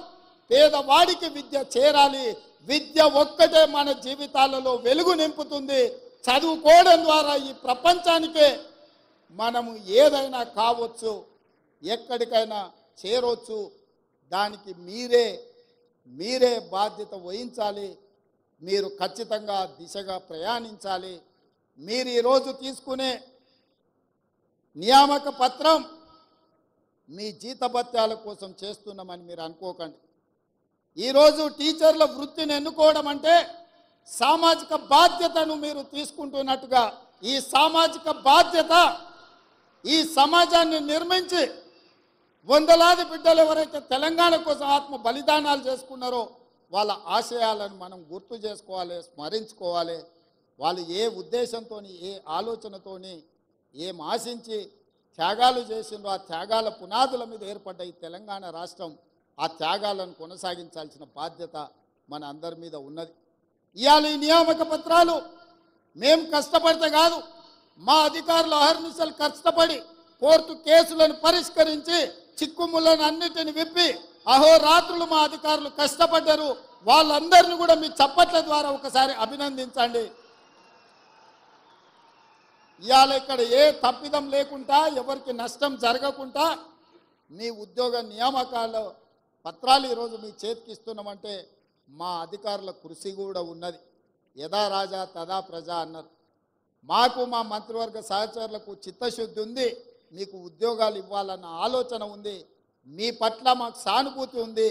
మిమ్మల్ని మేము మా కుటుంబ సభ్యులుగా ఈరోజు ఎల్పి స్టేడియం మీ ఇంటికి ప్రతి వాళ్ళ ఇంటికి మేము పంపించవచ్చు నియామక పత్రం. కానీ మీ కళ్ళల్లో ఆనందాన్ని ప్రత్యక్షంగా చూసే అవకాశం మాకు రాదు. మీ కళ్ళల్లో ఆనందం చూడాలి. మీ కుటుంబ సభ్యులు సంతోషపడాలి. రాష్ట్రంలో ఉన్న నాలుగు కోట్ల మంది మీ సంతోషంలో భాగస్వాములను చేయడానికే ఈ ఎల్పి స్టేడియంలో అందరి సమక్షంలో ఈ కార్యక్రమాన్ని చేపట్టినాం. ఇది నిరుద్యోగ యువకులకు స్ఫూర్తిని ఇవ్వాలి. ఆత్మహత్యలు చేసుకుంటున్న నిరుద్యోగ యువకులకు ఒక భరోసాని ఇవ్వాలి. మా ప్రభుత్వం వచ్చింది. మా ఉద్యోగాలు వస్తాయనే ఒక నమ్మకాన్ని కల్పించడానికి ఈ కార్యక్రమాన్ని మేము చేపట్టినాం. ఈ కార్యక్రమం ప్రచారం కోసం కాదు ఈ కార్యక్రమం లక్షలాది మంది నిరుద్యోగ యువకులకు విశ్వాసాన్ని నమ్మకాన్ని కలిగించడానికి ఈ కార్యక్రమాన్ని మేము తీసుకున్నాము. మిత్రులారా భవిష్యత్తులో కూడా తెలంగాణ పబ్లిక్ సర్వీస్ కమిషన్ కంప్లీట్గా ప్రక్షాళన చేసినాం. గ్రూప్ వన్ నోటిఫికేషన్లు ఐదు వందల అరవై మూడు నోటిఫి ఖాళీల భర్తీల కోసం నోటిఫికేషన్ ఇచ్చినాం. దాదాపుగా మెగా డిఎస్సి నోటిఫికేషన్ ఇచ్చినాం. పదకొండు వేల ఆరు వందల నాలుగు ఉద్యోగ నియామకాలు టీచర్లను కూడా నియామకాలు చేపట్టబోతున్నాం. అందుకే ఈరోజు రకరకాల వాళ్ళు రకరకాల మాటలు చెప్తుంటారు. కానీ జరుగుతున్న పరిణామాలను అంచనా వేసే శక్తి మీకు ఉన్నది. ఆలోచన చేయండి. ఈ ప్రభుత్వం మీకోసం ప్రయత్నం చేస్తుందా లేదా? ఈ ప్రభుత్వం పేదల యొక్క ఆలోచన పంచుకుంటుందా లేదా? ఈ ప్రభుత్వం పేదలను కలుస్తున్నదా లేదా? ఈ ప్రభుత్వంలో ప్రజాపాలన జరుగుతున్నదా లేదా? ప్రజల వద్దకే పరిపాలన తీసుకొచ్చినమా లేదా? గడీలలో బందీ అయిన ప్రభుత్వాన్ని గడీలు బద్దలు కొట్టి గ్రామాలకు తీసుకొచ్చినమా లేదా? ఈ మూడు నెలల పరిపాలనను మీరు అంచనా వేసుకొని రేపు భవిష్యత్తులో తీర్పు ఇవ్వమని నేను అడుగుతున్నా. రేపు జరగబోయే ఏ ఎన్నికలైనా మా పరిపాలన మీద మా నిర్ణయాల మీద మేం చేస్తున్న నియామకాల మీదనే మీరు తీర్పునివ్వండి మీరు ఆలోచన చెయ్యండి. ఇక్కడ విన్నది గ్రామాలకు వెళ్ళి చర్చించండి. మేము చెబుతున్న మాట వాస్తవమా కాదా? ఇవాళ ప్రజలకు స్వేచ్ఛ వచ్చిందా లేదా? మీరు ఒక్కసారి ఆలోచన చేయండి. ఒకనాడు మంత్రులు ఎవరైనా మిమ్మల్ని కలిసేటోళ్ళ? ఎప్పుడైనా మీరు ముఖ్యమంత్రిని చూసిండ్రా? ఎప్పుడైనా ముఖ్యమంత్రి ఎవరినైనా కలిసిండా? ఇవాళ పరిస్థితి ఉందా? మీరెవరైనా రేవంత్ అన్న అంటే ఏందమ్మా అని వెనక్కి తిరిగి మాట్లాడుతున్నా కదా? మీ అభిమానంతోనే కదా ఇక్కడ ఉన్నది ఈ అవకాశం మీరు ఇచ్చిందే కదా మా తాతనో ముత్తాతనో ఇచ్చింది కాదు కదా? మా తాతలు ఇచ్చిన ఆస్తి కాదు కదా ఇది. అందుకే ఈరోజు మా ప్రభుత్వం మా మంత్రివర్గ సహచరులు పేదలకు అండగా నిలబడాలన్న ఆలోచనతో నిరంతరం మేము పనిచేస్తున్నాము. ఇంకా ఇంకా చెయ్యాలన్న ఆలోచన మాకుంది. మీ ప్రోత్సాహం ఉండాలి పెద్దల ఆశీర్వాదం ఉండాలి మిత్రుల యువమిత్రుల సహకారం ఉండాలి. ముప్పై ఐదు సంవత్సరాలు రాబోయే కాలంలో ఈ దేశ సంపదను తీర్చిదిద్దే అవకాశం మీ చేతుల్లో ఉంది. ఒక మంచి సంపదను సృష్టించండి. ఇవాళ చాలా దగ్గరలో చూస్తున్నాం యువత డ్రగ్స్ వైపు గంజాయి వైపు వ్యసనాల వైపు పోతున్నారు. విలువలతో కూడుకున్న జీవితాన్ని ఏ విధంగా ముందుకు తీసుకెళ్ళాలో వాళ్ళకు విద్యాబుద్ధులతో పాటు సామాజిక బాధ్యతను కూడా నేర్పండి. ఈ మధ్య మా ప్రభుత్వం మీకు తెలుసు దాదాపుగా డ్రగ్స్ అనే పదమే ఈ రాష్ట్రంలో వినిపించొద్దు. గంజాయి మొక్కలు ఏమున్నా తెలంగాణ తులసివనంలో గంజాయి మొక్క ఎక్కడున్నా కూకటి వేళ్ళతో పీకేయండి అని చెప్పి మా పోలీస్ అధికారులకు ఆదేశాలు ఇచ్చిన మన భవిష్యత్తులో మన పిల్లలు ఎవ్వరు కూడా వ్యసనాల బారిన పడొద్దు అన్నదే మా ఆలోచన. ప్రతి స్కూల్లో మీరు పిల్లలకు వ్యసనాల మీద కూడా గుడ్ టచ్ బ్యాడ్ టచ్ మీద కూడా మీరు విద్యార్థి విద్యార్థిని విద్యార్థులకు నేర్పాల్సిన బాధ్యత మీ అందరి మీద ఉన్నది. మీ పట్ల నాకు సంపూర్ణమైన విశ్వాసం ఉన్నది. ఖచ్చితంగా భవిష్యత్ తరాలను మీరు నిర్మిస్తారన్న నమ్మకంతో మరొక్కసారి ఆరు వేల ఐదు వందల నలభై ఆరు ఉద్యోగ నియామకాలు ఇవ్వాలి ఇద్దామనుకున్నాం ఎమ్మెల్సీ ఎన్నికల కోడ్తోని కొన్ని నియామకాలు ఆగినాయి. ఈరోజు ఐదు వేల ఒక వంద తొంభై రెండు ఉద్యోగ నియామకాలు ఇక్కడ చేపట్టబోతున్నాం. మిగతా వాళ్ళకు కూడా కోడ్ కంప్లీట్ కాగానే వాళ్ళ పత్రాలు వాళ్ళ ఇంటికి చేరుతాయి. వాళ్ళందరూ కూడా మంచి భవిష్యత్తుతోటి తెలంగాణ రాష్ట్ర పునర్నిర్మాణంలో విధ్వంసమైన తెలంగాణ నిర్మించుకోవడంలో మీ అందరి సహకారం ఉండాలని కోరుకుంటూ మీ అందరి దగ్గర సెలవు తీసుకుంటున్నా. జై హింద్ మిత్రులారా. Thank you so much sir లక్ష్యంగా లక్ష్యంగా చిత్తశుద్ధితో సూర్య చంద్రులతో పోటీపడి అవిశ్రాంతంగా నిర్విరామంగా కృషి చేస్తున్నటువంటి మన గౌరవ ముఖ్యమంత్రి వర్యులు రేవంత్ అన్న రెడ్డి గారికి ఉపన్యాసాన్ని ఇచ్చాల్సిందిగా కోరుకుంటూ థ్యాంక్ యూ సో మచ్ అన్న.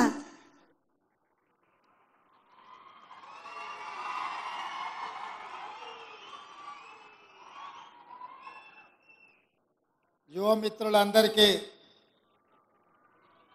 తెలంగాణ రాష్ట్ర ప్రభుత్వం తరఫున ఈరోజు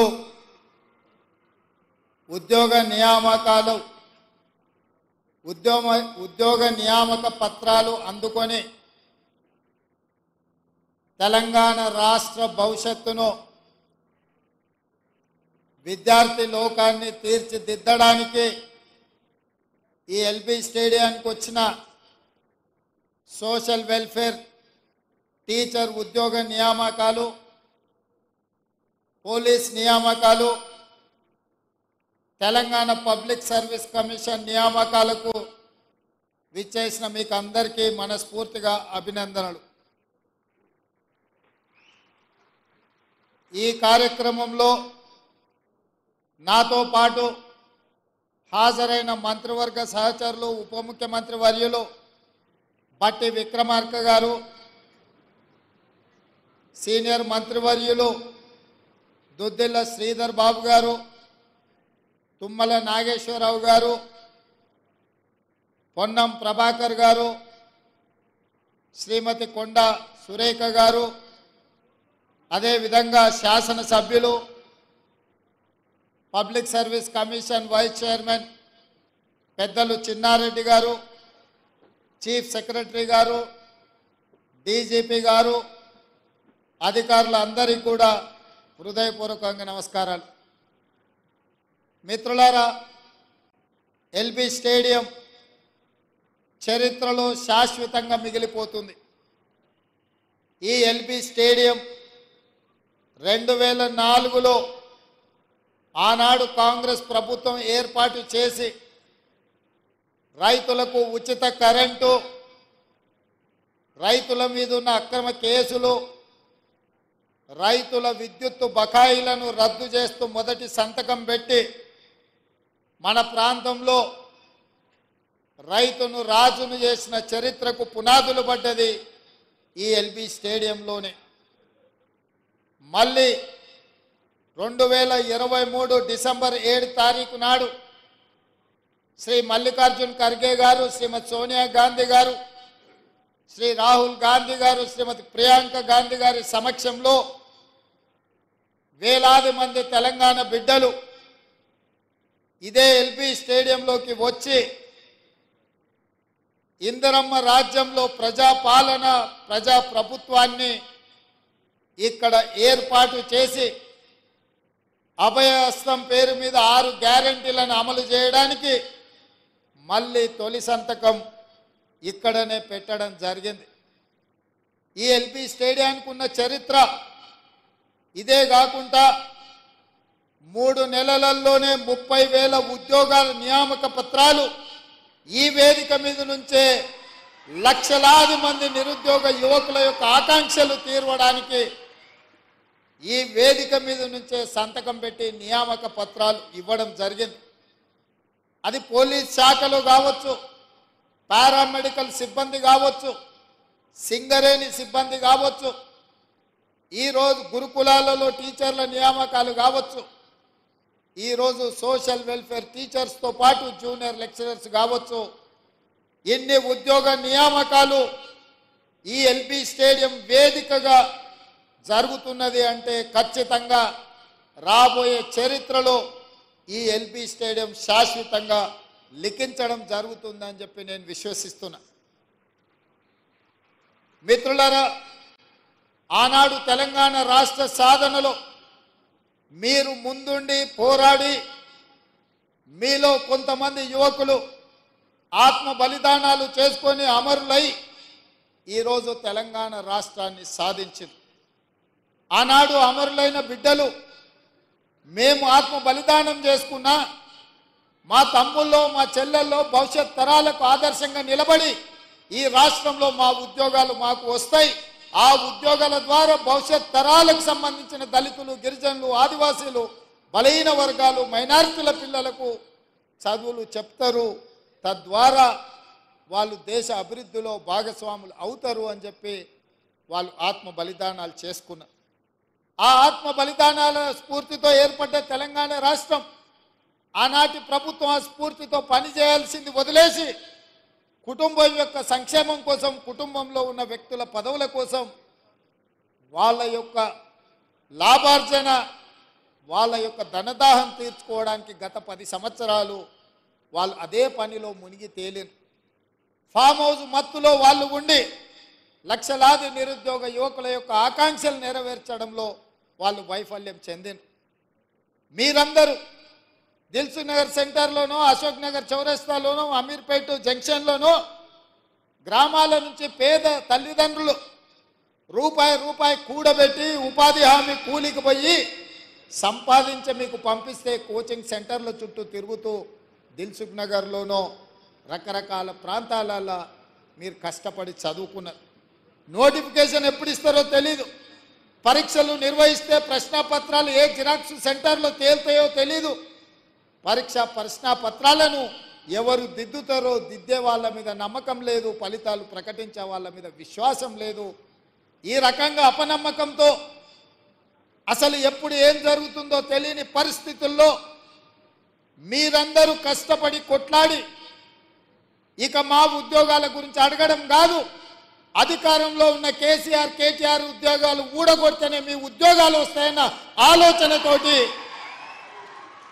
ఉద్యోగాలు అడగడం మానేసి తండ్రి కొడుకు మామ అల్లుడు బే కూతురు తండ్రి ఉద్యోగాలు ఊడగొట్టింది కాబట్టే మూడు నెలల్లో ముప్పై వేల ఉద్యోగ నియామక పత్రాలు మేము మా మంత్రివర్గ సహచరులము ఇవ్వగలిగినము అని అంటే ఇందులో మీ కృషి ఉన్నది మీ యొక్క కష్టం ఉన్నదని చెప్పి నేను నమ్ముతున్నాను.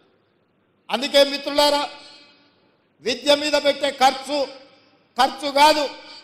విద్య మీద పెట్టే ఖర్చు పెట్టుబడి భవిష్యత్ తరాలను నిర్మించడానికి ఉపయోగపడే ఇంధనం. అందుకే ఇవాళ మీరు ఈరోజు చేపట్టబోయే బాధ్యత ఇది ఒక ప్రజాస్వామ్య స్ఫూర్తిని నిలబెట్టేదే కాకుండా సామాజిక బాధ్యత నెరవేర్చే ఉద్యోగం. మీ ఉద్యోగాల ద్వారా ఈ రాష్ట్రానికి ఐఏఎస్లను ఐపీఎస్లను ఐఆర్ఎస్లను లేకపోతే జాతీయ స్థాయి అధికారులను తయారు చేయడమే కాకుండా డాక్టర్లను లాయర్లను ఇంజనీర్లను తయారు చేసే ఉత్పత్తి కేంద్రంగా ఈరోజు మీరు బాధ్యత చేపట్టబోతున్నారు సర్పంచ్ ఎంపీటీసు ఎంపీపీ జిల్లా పరిషత్ చైర్మన్ జడ్పీటీసీ ఎమ్మెల్యేలు ఎమ్మెల్సీలను ఎంపీలను ఈ దేశ ప్రధానమంత్రులను తయారు చేసే విద్యను అందించేది మీరే. నేను కూడా ప్రభుత్వ పాఠశాలలనే చదువుకొని వచ్చిన ఎక్కడ కార్పొరేట్ స్కూళ్ళల్లో చదువుకున్నాను కాదు. మీలాంటి టీచర్లు ఓనమాలు నేర్పడంతో గ్రామీణ ప్రాంతంలో మారుమూల పల్లెల్లో ప్రభుత్వ పాఠశాలలో చదువుకొని జిల్లా పరిషత్ పాఠశాలలో చదువుకున్న నేను ఈరోజు తెలంగాణ రాష్ట్రంలో ఈ బాధ్యత నెరవేరుస్తున్నా అంటే మా టీచర్లు మాకు నేర్పిన విద్య ఈరోజు పరిపాలనలో ఉపయోగపడుతుంది. నేను కార్పొరేట్ స్కూల్లో చదువుకోలే లేకపోతే గుంటూరులోనో గుడివాడలనో అసలే చదువుకోలే. కొంతమంది అప్పుడప్పుడు గుంటూరు గుడివాడలు చదువుకొచ్చిన వాళ్ళు ముఖ్యమంత్రి గారికి ఇంగ్లీష్ రాదని అవహేళన చేస్తుంటారు. నేను ఒక మాట అడగదలుచుకుని వేదిక మీద నుంచి చైనా జపాన్ జర్మనీ ఈ దేశాలలో ఎవరికి ఇంగ్లీష్ రాదు. కానీ ప్రపంచంతోనే పోటీ పడిన అభివృద్ధిని ఈరోజు ఉత్పత్తిని ఆయా దేశాలు అందిస్తున్నాయి. ఇంగ్లీష్ అనేది ఒక భాష. ప్రపంచంలో ఉద్యోగ ఉపాధి అవకాశాలు దొరకడానికి ఉపయోగపడుతుంది. ఆనాడు ఆ రోజు ఆ పాఠశాలలో ఉన్న వసతులను బట్టి మాకు గురువులు నేర్పించిన చదువు మేము నేర్చుకున్నాము. ఈరోజు మీకు నా సూచన ప్రతి విద్యార్థికి ప్రపంచంలో ఉద్యోగ ఉపాధి అవకాశాలు వచ్చే ఇంగ్లీష్ భాషను కూడా మీరు నేర్పండి. ఎవరో రేపు భవిష్యత్తులో ఈ పిల్లలకు మీ దగ్గర చదువుకున్న పిల్లలకు ఇంగ్లీష్ రాదని అవహేళన చేసే పరిస్థితులు రావద్దు. వాళ్ళకు ఖచ్చితంగా మంచి భాషను మంచి భావాన్ని దేశభక్తిని పెంపొందించే విధంగా వాళ్ళకి విద్యాబుద్ధులు నేర్పండి. రాష్ట్రం పట్ల దేశం పట్ల ఈ సమాజం పట్ల సామాజిక స్పృహ ఉండే విద్యార్థులను తయారు చేయండి. ఈ దేశానికి వాళ్ళే రేపటి నాయకులు అవుతారు రేపటి పాలకులు అవుతారు రేపటి నాయకులను రేపటి పాలకులను తయారు చేసే బాధ్యత మీ మీద ఉన్నది. ఇది గురుతరమైన బాధ్యత గురువు బాధ్యత అని చెప్పి నేను సంపూర్ణంగా విశ్వసిస్తున్నా. ఈరోజు రాష్ట్రంలో గురుకుల పాఠశాలలు ఇచ్చినా అంటున్నాడు. ఎస్సీ ఎస్టీ మైనారిటీ ఓబీసీ గురుకుల పాఠశాలలు ఇచ్చినా అని అంటున్నారు గత పాలకులు. నేను అడుగుతున్న ఎవరికైనా ఎక్కడైనా మౌలిక వసతులు ఉన్నాయా? అక్కడో ఇక్కడో పిట్టగూళ్ళలోనో పోల్ట్రీ ఫాముల్లోనో ఈ పిల్లలు చదువుకునే పరిస్థితులు కల్పించారు అందుకే ఒక మోడల్ రెసిడెన్షియల్ విధానాన్ని తీసుకురావాలని మొట్టమొదటి ప్రయోగంగా కొడంగల్ శాసనసభ నియోజకవర్గంలో దాదాపుగా ఇరవై ఐదు ఎకరాలలో నూట యాభై కోట్లతోని SC ST minority and OBC residential schools అన్నిటినీ ఒకే క్యాంపస్లో ఒక యూనివర్సిటీ మోడల్లో నిర్మిస్తున్నాం. ఎకరాలలో మైదానాన్ని తయారు చేసి క్రీడా ప్రాంగణాన్ని అందించడం ద్వారా మానసికంగా శారీరకంగా ఆ విద్యార్థులు రాటు దేలాలి ఈ సమాజానికి ఉపయోగపడాలి అన్న ఆలోచన మేము చేస్తున్నాం. అందుకే ఈ రాష్ట్రంలో నూట పంతొమ్మిది శాసనసభ నియోజకవర్గాలలో ఎక్కడ అవకాశం ఉన్నా ఈ నమూనాతో ఒక క్యాంపస్ను క్రియేట్ చేయాలి. పేద విద్యార్థులకు విద్యను అందించాలన్న ఆలోచన మా రాష్ట్ర ప్రభుత్వం చేస్తున్నది.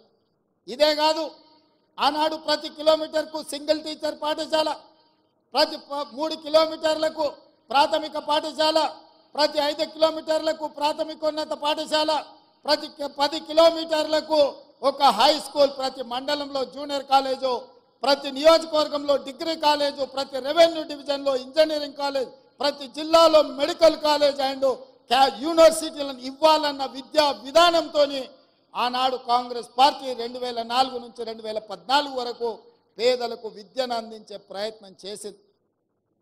ఈ పది స- గత పది సంవత్సరాలలో గత ప్రభుత్వం ఒక్క డిఎస్సి నోటిఫికేషన్ ఇస్తే రెండు వేల నాలుగు నుంచి రెండు వేల పద్నాలుగు వరకు నాలుగు డిఎస్సి నోటిఫికేషన్లు ఇచ్చి లక్ష మంది టీచర్ల నియామకాలు చేపట్టి పేద విద్యార్థులకు విద్యను అందుబాటులోకి తీసుకొచ్చింది.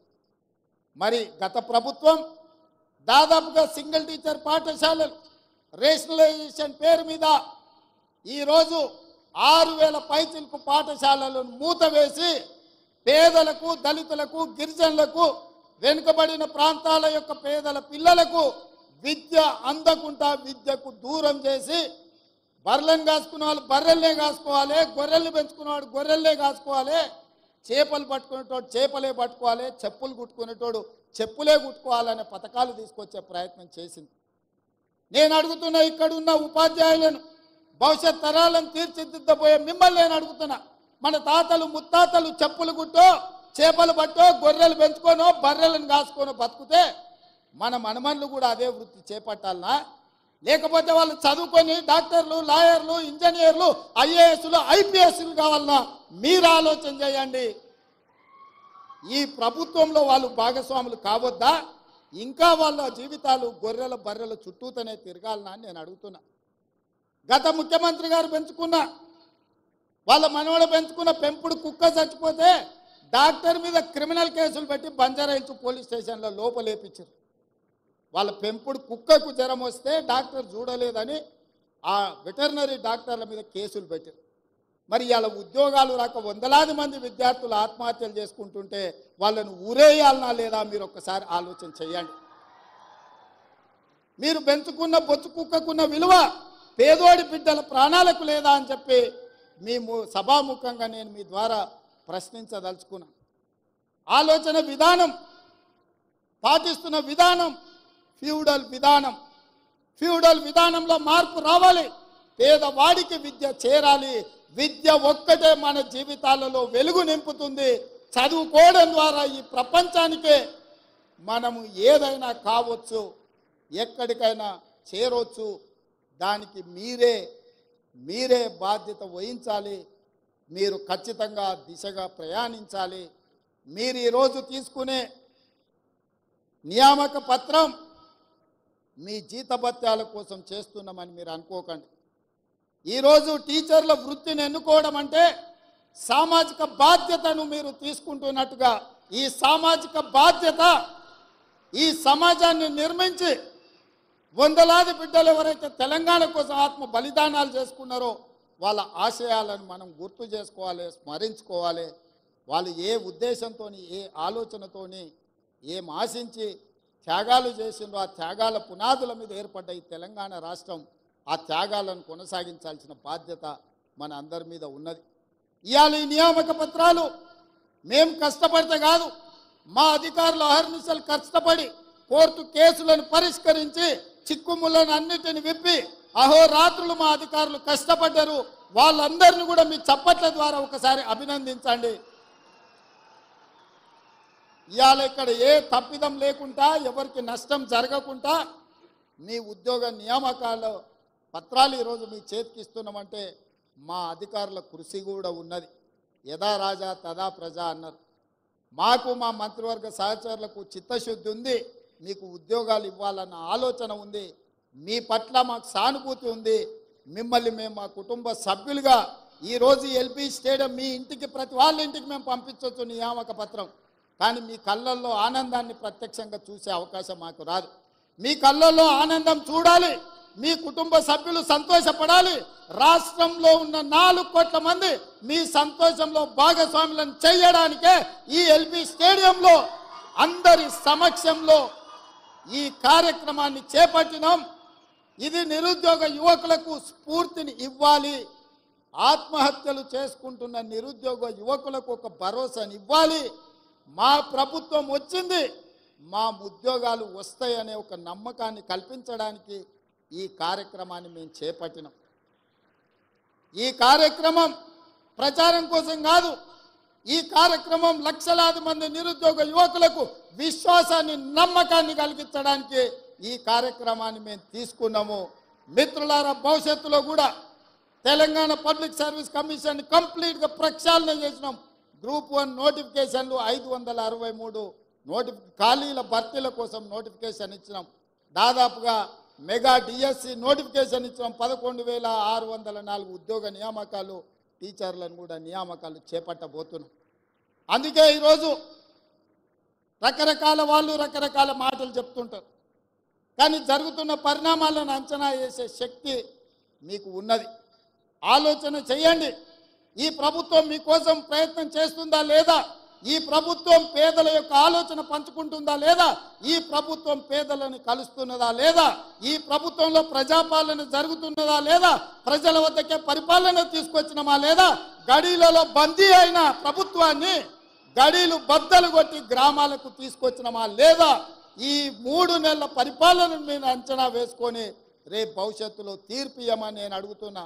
రేపు జరగబోయే ఏ ఎన్నికలైనా మా పరిపాలన మీద మా నిర్ణయాల మీద మేము చేస్తున్న నియామకాల మీదనే మీరు తీర్పునివ్వండి మీరు ఆలోచన చెయ్యండి.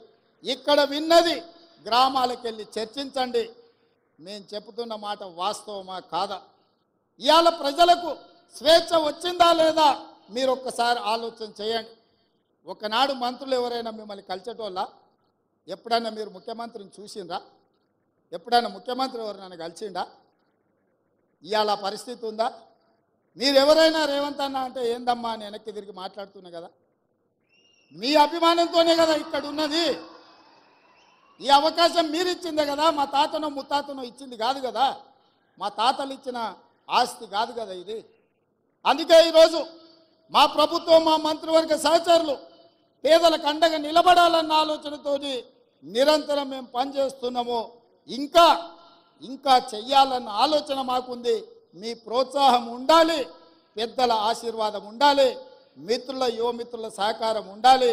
ముప్పై ఐదు సంవత్సరాలు రాబోయే కాలంలో ఈ దేశ సంపదను తీర్చిదిద్దే అవకాశం మీ చేతుల్లో ఉంది.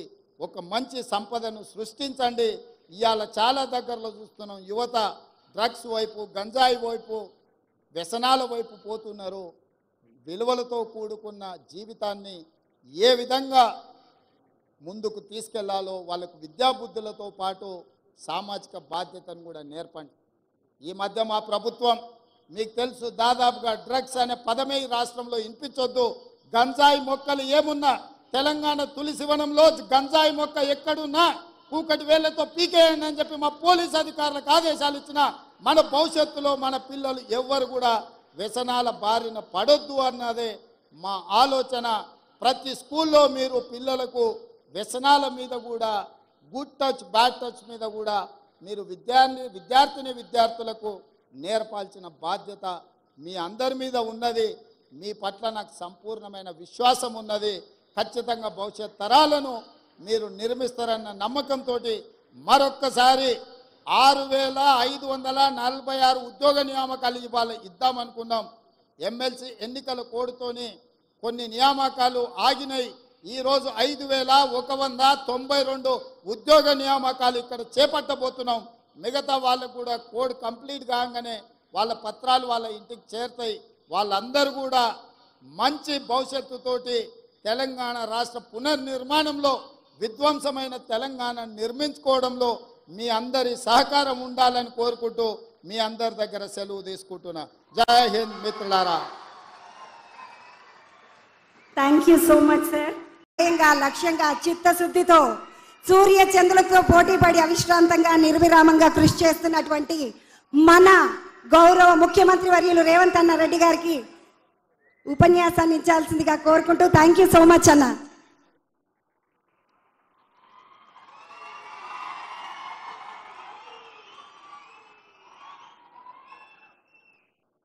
యువమిత్రులందరికీ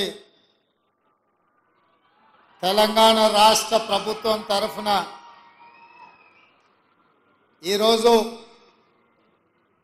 ఉద్యోగ నియామకాలు ఉద్యోగ ఉద్యోగ నియామక పత్రాలు అందుకొని తెలంగాణ రాష్ట్ర భవిష్యత్తును విద్యార్థి లోకాన్ని తీర్చిదిద్దడానికి ఈ ఎల్బీ స్టేడియానికి వచ్చిన సోషల్ వెల్ఫేర్ టీచర్ ఉద్యోగ నియామకాలు పోలీస్ నియామకాలు తెలంగాణ పబ్లిక్ సర్వీస్ కమిషన్ నియామకాలకు విచ్చేసిన మీకు అందరికీ మనస్ఫూర్తిగా అభినందనలు. ఈ కార్యక్రమంలో నాతో పాటు హాజరైన మంత్రివర్గ సహచరులు ఉప ముఖ్యమంత్రి వర్యులు బట్టి విక్రమార్క గారు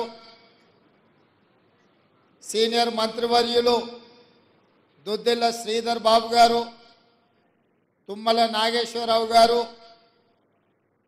పొన్నం ప్రభాకర్ గారు శ్రీమతి కొండ సురేఖ గారు అదేవిధంగా శాసనసభ్యులు public service commission vice chairman పెద్దలు చిన్నారెడ్డి గారు చీఫ్ సెక్రటరీ గారు డీజీపీ గారు అధికారులందరికీ కూడా హృదయపూర్వకంగా నమస్కారాలు. మిత్రులారా ఎల్బీ స్టేడియం చరిత్రలో శాశ్వతంగా మిగిలిపోతుంది. ఈ ఎల్బీ స్టేడియం రెండు వేల నాలుగులో ఆనాడు కాంగ్రెస్ ప్రభుత్వం ఏర్పాటు చేసి రైతులకు ఉచిత కరెంటు రైతుల మీద ఉన్న అక్రమ కేసులు రైతుల విద్యుత్తు బకాయిలను రద్దు చేస్తూ మొదటి సంతకం పెట్టి మన ప్రాంతంలో రైతును రాజును చేసిన చరిత్రకు పునాదులు పడ్డది ఈ ఎల్బీ స్టేడియంలోనే. మళ్ళీ రెండు వేల ఇరవై మూడు డిసెంబర్ ఏడు తారీఖు నాడు శ్రీ మల్లికార్జున్ ఖర్గే గారు శ్రీమతి సోనియా గాంధీ గారు శ్రీ రాహుల్ గాంధీ గారు శ్రీమతి ప్రియాంక గాంధీ గారి సమక్షంలో వేలాది మంది తెలంగాణ బిడ్డలు ఇదే ఎల్బీ స్టేడియంలోకి వచ్చి ఇందిరమ్మ రాజ్యంలో ప్రజాపాలన ప్రజా ప్రభుత్వాన్ని ఇక్కడ ఏర్పాటు చేసి అభయహస్తం పేరు మీద ఆరు గ్యారంటీలను అమలు చేయడానికి మళ్ళీ తొలి సంతకం ఇక్కడనే పెట్టడం జరిగింది. ఈ ఎల్పి స్టేడియానికి ఉన్న చరిత్ర ఇదే కాకుండా మూడు నెలలలోనే ముప్పై వేల ఉద్యోగాల నియామక పత్రాలు ఈ వేదిక మీద నుంచే లక్షలాది మంది నిరుద్యోగ యువకుల యొక్క ఆకాంక్షలు తీర్వడానికి ఈ వేదిక మీద నుంచే సంతకం పెట్టి నియామక పత్రాలు ఇవ్వడం జరిగింది. అది పోలీస్ శాఖలో కావచ్చు పారామెడికల్ సిబ్బంది కావచ్చు సింగరేణి సిబ్బంది కావచ్చు ఈరోజు గురుకులాలలో టీచర్ల నియామకాలు కావచ్చు ఈరోజు సోషల్ వెల్ఫేర్ టీచర్స్తో పాటు జూనియర్ లెక్చరర్స్ కావచ్చు ఎన్ని ఉద్యోగ నియామకాలు ఈ ఎల్బీ స్టేడియం వేదికగా జరుగుతున్నది అంటే ఖచ్చితంగా రాబోయే చరిత్రలో ఈ ఎల్బీ స్టేడియం శాశ్వతంగా లిఖించడం జరుగుతుందని చెప్పి నేను విశ్వసిస్తున్నా. మిత్రులరా ఆనాడు తెలంగాణ రాష్ట్ర సాధనలో మీరు ముందుండి పోరాడి మీలో కొంతమంది యువకులు ఆత్మ బలిదానాలు చేసుకొని అమరులై ఈరోజు తెలంగాణ రాష్ట్రాన్ని సాధించింది. ఆనాడు అమరులైన బిడ్డలు మేము ఆత్మ బలిదానం చేసుకున్నా మా తమ్ముల్లో మా చెల్లెల్లో భవిష్యత్ తరాలకు ఆదర్శంగా నిలబడి ఈ రాష్ట్రంలో మా ఉద్యోగాలు మాకు వస్తాయి. ఆ ఉద్యోగాల ద్వారా భవిష్యత్ తరాలకు సంబంధించిన దళితులు గిరిజనులు ఆదివాసీలు బలహీన వర్గాలు మైనారిటీల పిల్లలకు చదువులు చెప్తారు. తద్వారా వాళ్ళు దేశ అభివృద్ధిలో భాగస్వాములు అవుతారు అని చెప్పి వాళ్ళు ఆత్మ బలిదానాలు చేసుకున్నారు ఆ ఆత్మ బలిదానాల స్ఫూర్తితో ఏర్పడ్డ తెలంగాణ రాష్ట్రం ఆనాటి ప్రభుత్వం ఆ స్ఫూర్తితో పనిచేయాల్సింది వదిలేసి కుటుంబం యొక్క సంక్షేమం కోసం కుటుంబంలో ఉన్న వ్యక్తుల పదవుల కోసం వాళ్ళ యొక్క లాభార్జన వాళ్ళ యొక్క ధనదాహం తీర్చుకోవడానికి గత పది సంవత్సరాలు వాళ్ళు అదే పనిలో మునిగి తేలిరు. ఫామ్ హౌస్ మత్తులో వాళ్ళు ఉండి లక్షలాది నిరుద్యోగ యువకుల యొక్క ఆకాంక్షలు నెరవేర్చడంలో వాళ్ళు వైఫల్యం చెందిన. మీరందరూ దిల్సు నగర్ సెంటర్లోనో అశోక్ నగర్ చౌరస్తాలోనో అమీర్పేట జంక్షన్లోనో గ్రామాల నుంచి పేద తల్లిదండ్రులు రూపాయి రూపాయి కూడబెట్టి ఉపాధి హామీ కూలికి పోయి సంపాదించి మీకు పంపిస్తే కోచింగ్ సెంటర్ల చుట్టూ తిరుగుతూ దిల్సుఖ్ నగర్లోనో రకరకాల ప్రాంతాలలో మీరు కష్టపడి చదువుకున్నారు. నోటిఫికేషన్ ఎప్పుడు ఇస్తారో తెలీదు. పరీక్షలు నిర్వహిస్తే ప్రశ్నాపత్రాలు ఏ జిరాక్స్ సెంటర్లో తేలుతాయో తెలీదు. పరీక్ష ప్రశ్నాపత్రాలను ఎవరు దిద్దుతారో దిద్దే వాళ్ళ మీద నమ్మకం లేదు ఫలితాలు ప్రకటించే వాళ్ళ మీద విశ్వాసం లేదు. ఈ రకంగా అపనమ్మకంతో అసలు ఎప్పుడు ఏం జరుగుతుందో తెలియని పరిస్థితుల్లో మీరందరూ కష్టపడి కొట్లాడి ఇక మా ఉద్యోగాల గురించి అడగడం కాదు. అధికారంలో ఉన్న కేసీఆర్ కేటీఆర్ ఉద్యోగాలు ఊడగొడితేనే మీ ఉద్యోగాలు వస్తాయన్న ఆలోచనతోటి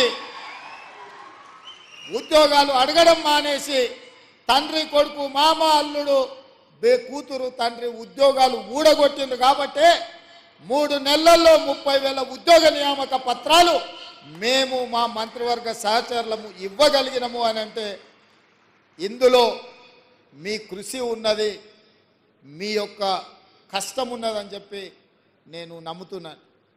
అందుకే మిత్రులారా విద్య మీద పెట్టే ఖర్చు ఖర్చు కాదు. విద్య మీద పెట్టే ఖర్చు పెట్టుబడి భవిష్యత్ తరాలను నిర్మించడానికి ఉపయోగపడే ఇంధనం. అందుకే ఇవాళ మీరు ఈరోజు చేపట్టబోయే బాధ్యత ఇది ఒక ప్రజాస్వామ్య స్ఫూర్తిని నిలబెట్టేదే కాకుండా సామాజిక బాధ్యత నెరవేర్చే ఉద్యోగం. మీ ఉద్యోగాల ద్వారా ఈ రాష్ట్రానికి ఐఏఎస్లను ఐపీఎస్లను ఐఆర్ఎస్లను లేకపోతే జాతీయ స్థాయి అధికారులను తయారు చేయడమే కాకుండా డాక్టర్లను లాయర్లను ఇంజనీర్లను తయారు చేసే ఉత్పత్తి కేంద్రంగా ఈరోజు మీరు బాధ్యత చేపట్టబోతున్నారు సర్పంచ్ ఎంపీటీసు ఎంపీపీ జిల్లా పరిషత్ చైర్మన్ జడ్పీటీసీ ఎమ్మెల్యేలు ఎమ్మెల్సీలను ఎంపీలను ఈ దేశ ప్రధానమంత్రులను తయారు చేసే విద్యను అందించేది మీరే. నేను కూడా ప్రభుత్వ పాఠశాలలనే చదువుకొని వచ్చిన ఎక్కడ కార్పొరేట్ స్కూళ్ళల్లో చదువుకున్నాను కాదు. మీలాంటి టీచర్లు ఓనమాలు నేర్పడంతో గ్రామీణ ప్రాంతంలో మారుమూల పల్లెల్లో ప్రభుత్వ పాఠశాలలో చదువుకొని జిల్లా పరిషత్ పాఠశాలలో చదువుకున్న నేను ఈరోజు తెలంగాణ రాష్ట్రంలో ఈ బాధ్యత నెరవేరుస్తున్నా అంటే మా టీచర్లు మాకు నేర్పిన విద్య ఈరోజు పరిపాలనలో ఉపయోగపడుతుంది. నేను కార్పొరేట్ స్కూల్లో చదువుకోలే లేకపోతే గుంటూరులోనో గుడివాడలనో అసలే చదువుకోలే. కొంతమంది అప్పుడప్పుడు గుంటూరు గుడివాడలు చదువుకొచ్చిన వాళ్ళు ముఖ్యమంత్రి గారికి ఇంగ్లీష్ రాదని అవహేళన చేస్తుంటారు. నేను ఒక మాట అడగదలుచుకుని వేదిక మీద నుంచి చైనా జపాన్ జర్మనీ ఈ దేశాలలో ఎవరికి ఇంగ్లీష్ రాదు. కానీ ప్రపంచంతోనే పోటీ పడిన అభివృద్ధిని ఈరోజు ఉత్పత్తిని ఆయా దేశాలు అందిస్తున్నాయి. ఇంగ్లీష్ అనేది ఒక భాష. ప్రపంచంలో ఉద్యోగ ఉపాధి అవకాశాలు దొరకడానికి ఉపయోగపడుతుంది. ఆనాడు ఆ రోజు ఆ పాఠశాలలో ఉన్న వసతులను బట్టి మాకు గురువులు నేర్పించిన చదువు మేము నేర్చుకున్నాము. ఈరోజు మీకు నా సూచన ప్రతి విద్యార్థికి ప్రపంచంలో ఉద్యోగ ఉపాధి అవకాశాలు వచ్చే ఇంగ్లీష్ భాషను కూడా మీరు నేర్పండి. ఎవరో రేపు భవిష్యత్తులో ఈ పిల్లలకు మీ దగ్గర చదువుకున్న పిల్లలకు ఇంగ్లీష్ రాదని అవహేళన చేసే పరిస్థితులు రావద్దు. వాళ్ళకు ఖచ్చితంగా మంచి భాషను మంచి భావాన్ని దేశభక్తిని పెంపొందించే విధంగా వాళ్ళకి విద్యాబుద్ధులు నేర్పండి. రాష్ట్రం పట్ల దేశం పట్ల ఈ సమాజం పట్ల సామాజిక స్పృహ ఉండే విద్యార్థులను తయారు చేయండి. ఈ దేశానికి వాళ్ళే రేపటి నాయకులు అవుతారు రేపటి పాలకులు అవుతారు రేపటి నాయకులను రేపటి పాలకులను తయారు చేసే బాధ్యత మీ మీద ఉన్నది. ఇది గురుతరమైన బాధ్యత గురువు బాధ్యత అని చెప్పి నేను సంపూర్ణంగా విశ్వసిస్తున్నా. ఈరోజు రాష్ట్రంలో గురుకుల పాఠశాలలు ఇచ్చినా అంటున్నాడు. ఎస్సీ ఎస్టీ మైనారిటీ ఓబీసీ గురుకుల పాఠశాలలు ఇచ్చినా అని అంటున్నారు గత పాలకులు. నేను అడుగుతున్న ఎవరికైనా ఎక్కడైనా మౌలిక వసతులు ఉన్నాయా? అక్కడో ఇక్కడో పిట్టగూళ్ళలోనో పోల్ట్రీ ఫాముల్లోనో ఈ పిల్లలు చదువుకునే పరిస్థితులు కల్పించారు అందుకే ఒక మోడల్ రెసిడెన్షియల్ విధానాన్ని తీసుకురావాలని మొట్టమొదటి ప్రయోగంగా కొడంగల్ శాసనసభ నియోజకవర్గంలో దాదాపుగా ఇరవై ఐదు ఎకరాలలో నూట యాభై కోట్లతోని SC ST minority and OBC residential schools అన్నిటినీ ఒకే క్యాంపస్లో ఒక యూనివర్సిటీ మోడల్లో నిర్మిస్తున్నాం. ఎకరాలలో మైదానాన్ని తయారు చేసి క్రీడా ప్రాంగణాన్ని అందించడం ద్వారా మానసికంగా శారీరకంగా ఆ విద్యార్థులు రాటు దేలాలి ఈ సమాజానికి ఉపయోగపడాలి అన్న ఆలోచన మేము చేస్తున్నాం. అందుకే ఈ రాష్ట్రంలో నూట పంతొమ్మిది శాసనసభ నియోజకవర్గాలలో ఎక్కడ అవకాశం ఉన్నా ఈ నమూనాతో ఒక క్యాంపస్ను క్రియేట్ చేయాలి. పేద విద్యార్థులకు విద్యను అందించాలన్న ఆలోచన మా రాష్ట్ర ప్రభుత్వం చేస్తున్నది. ఇదే కాదు ఆనాడు ప్రతి కిలోమీటర్కు సింగిల్ టీచర్ పాఠశాల ప్రతి మూడు కిలోమీటర్లకు ప్రాథమిక పాఠశాల ప్రతి ఐదు కిలోమీటర్లకు ప్రాథమికోన్నత పాఠశాల ప్రతి పది కిలోమీటర్లకు ఒక హై స్కూల్ ప్రతి మండలంలో జూనియర్ కాలేజు ప్రతి నియోజకవర్గంలో డిగ్రీ కాలేజు ప్రతి రెవెన్యూ డివిజన్లో ఇంజనీరింగ్ కాలేజ్ ప్రతి జిల్లాలో మెడికల్ కాలేజ్ అండ్ క్యా- యూనివర్సిటీలను ఇవ్వాలన్న విద్యా విధానంతో ఆనాడు కాంగ్రెస్ పార్టీ రెండు వేల నాలుగు నుంచి రెండు వేల పద్నాలుగు వరకు పేదలకు విద్యను అందించే ప్రయత్నం చేసింది. ఈ పది గత పది సంవత్సరాలలో గత ప్రభుత్వం ఒక్క డిఎస్సి నోటిఫికేషన్ ఇస్తే రెండు వేల నాలుగు నుంచి రెండు వేల పద్నాలుగు వరకు నాలుగు డిఎస్సి నోటిఫికేషన్లు ఇచ్చి లక్ష మంది టీచర్ల నియామకాలు చేపట్టి పేద విద్యార్థులకు విద్యను అందుబాటులోకి తీసుకొచ్చింది.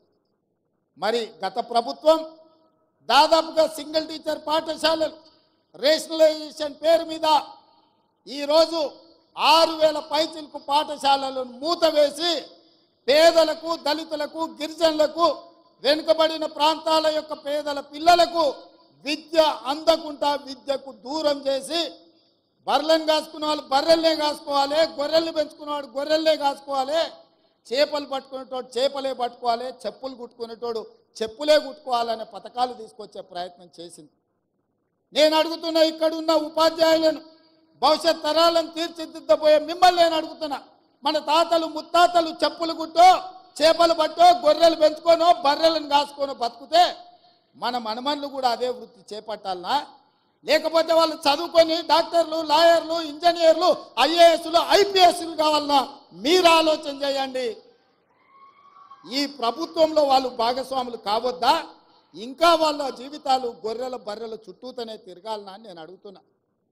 గత ముఖ్యమంత్రి గారు పెంచుకున్న వాళ్ళ మనవడు పెంచుకున్న పెంపుడు కుక్క చచ్చిపోతే డాక్టర్ మీద క్రిమినల్ కేసులు పెట్టి బంజారాయిల్స్ పోలీస్ స్టేషన్లో లోపలేపించారు వాళ్ళ పెంపుడు కుక్కకు జ్వరం వస్తే డాక్టర్ చూడలేదని ఆ వెటర్నరీ డాక్టర్ల మీద కేసులు పెట్టారు.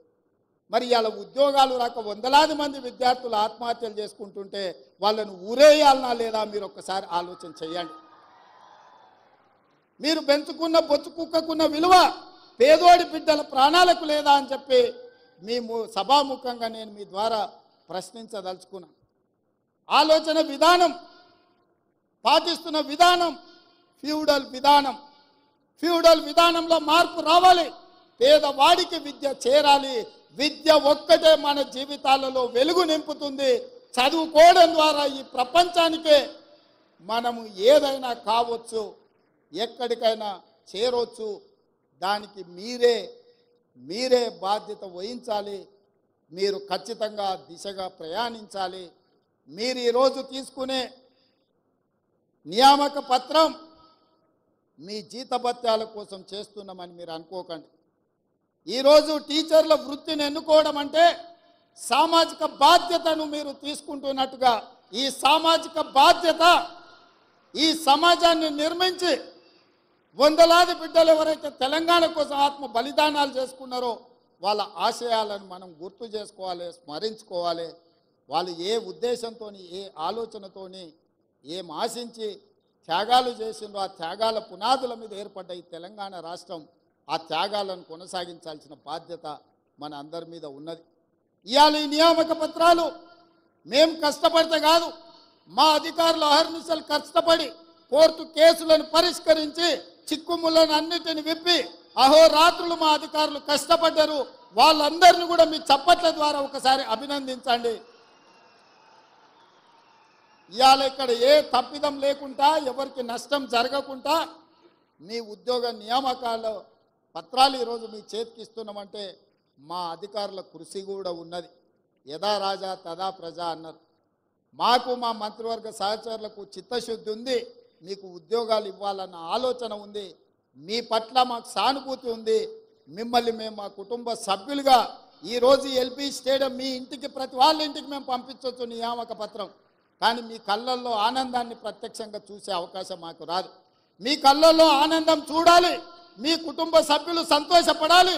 రాష్ట్రంలో ఉన్న నాలుగు కోట్ల మంది మీ సంతోషంలో భాగస్వాములను చేయడానికే ఈ ఎల్పి స్టేడియంలో అందరి సమక్షంలో ఈ కార్యక్రమాన్ని చేపట్టినాం. ఇది నిరుద్యోగ యువకులకు స్ఫూర్తిని ఇవ్వాలి. ఆత్మహత్యలు చేసుకుంటున్న నిరుద్యోగ యువకులకు ఒక భరోసాని ఇవ్వాలి. మా ప్రభుత్వం వచ్చింది. మా ఉద్యోగాలు వస్తాయనే ఒక నమ్మకాన్ని కల్పించడానికి ఈ కార్యక్రమాన్ని మేము చేపట్టినాం. ఈ కార్యక్రమం ప్రచారం కోసం కాదు ఈ కార్యక్రమం లక్షలాది మంది నిరుద్యోగ యువకులకు విశ్వాసాన్ని నమ్మకాన్ని కలిగించడానికి ఈ కార్యక్రమాన్ని మేము తీసుకున్నాము.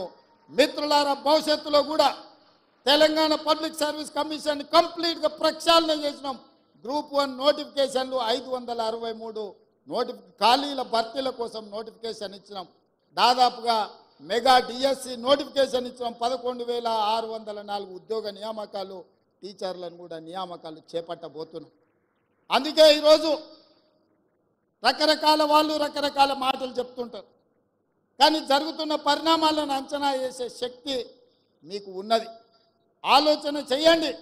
ఈ ప్రభుత్వం మీకోసం ప్రయత్నం చేస్తుందా లేదా?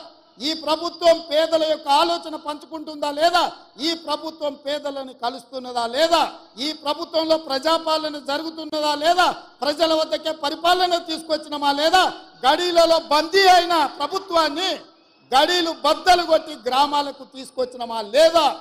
ఈ మూడు నెలల పరిపాలనను మీరు అంచనా వేసుకొని రేపు భవిష్యత్తులో తీర్పు ఇవ్వమని నేను అడుగుతున్నా. రేపు జరగబోయే ఏ ఎన్నికలైనా మా పరిపాలన మీద మా నిర్ణయాల మీద మేం చేస్తున్న నియామకాల మీదనే మీరు తీర్పునివ్వండి మీరు ఆలోచన చెయ్యండి. ఇక్కడ విన్నది గ్రామాలకు వెళ్ళి చర్చించండి. మేము చెబుతున్న మాట వాస్తవమా కాదా? ఇవాళ ప్రజలకు స్వేచ్ఛ వచ్చిందా లేదా? మీరు ఒక్కసారి ఆలోచన చేయండి. ఒకనాడు మంత్రులు ఎవరైనా మిమ్మల్ని కలిసేటోళ్ళ? ఎప్పుడైనా మీరు ముఖ్యమంత్రిని చూసిండ్రా? ఎప్పుడైనా ముఖ్యమంత్రి ఎవరినైనా కలిసిండా? ఇవాళ పరిస్థితి ఉందా? మీరు ఎవరైనా రేవంత్ అన్న అంటే ఏందమ్మా అని వెనక్కి తిరిగి మాట్లాడుతున్నా కదా? మీ అభిమానంతోనే కదా ఇక్కడ ఉన్నది ఈ అవకాశం మీరు ఇచ్చిందే కదా మా తాతనో ముత్తాతనో ఇచ్చింది కాదు కదా? మా తాతలు ఇచ్చిన ఆస్తి కాదు కదా ఇది.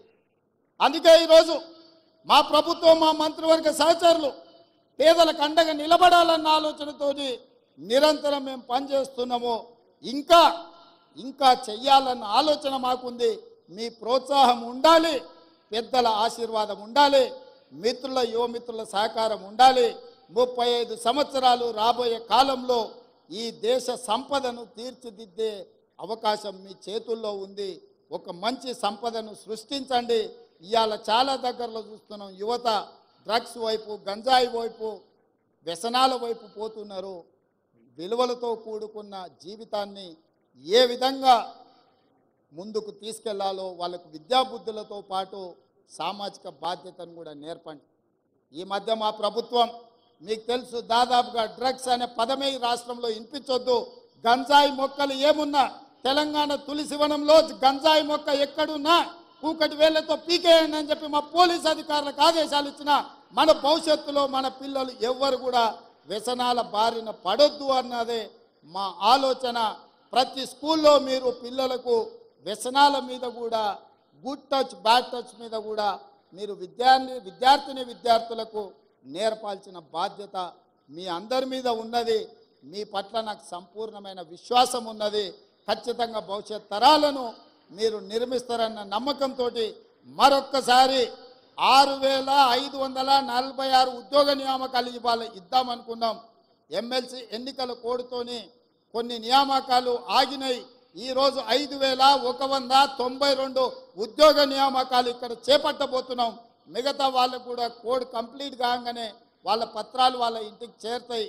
వాళ్ళందరూ కూడా మంచి భవిష్యత్తుతోటి తెలంగాణ రాష్ట్ర పునర్నిర్మాణంలో విధ్వంసమైన తెలంగాణ నిర్మించుకోవడంలో మీ అందరి సహకారం ఉండాలని కోరుకుంటూ మీ అందరి దగ్గర సెలవు తీసుకుంటున్నా. జై హింద్ మిత్రులారా. Thank you so much sir లక్ష్యంగా చిత్తశుద్ధితో సూర్య చంద్రులతో పోటీపడి అవిశ్రాంతంగా నిర్విరామంగా కృషి చేస్తున్నటువంటి మన గౌరవ ముఖ్యమంత్రి వర్యులు రేవంత్ అన్న రెడ్డి గారికి ఉపన్యాసాన్ని ఇచ్చాల్సిందిగా కోరుకుంటూ థ్యాంక్ యూ సో మచ్ అన్న.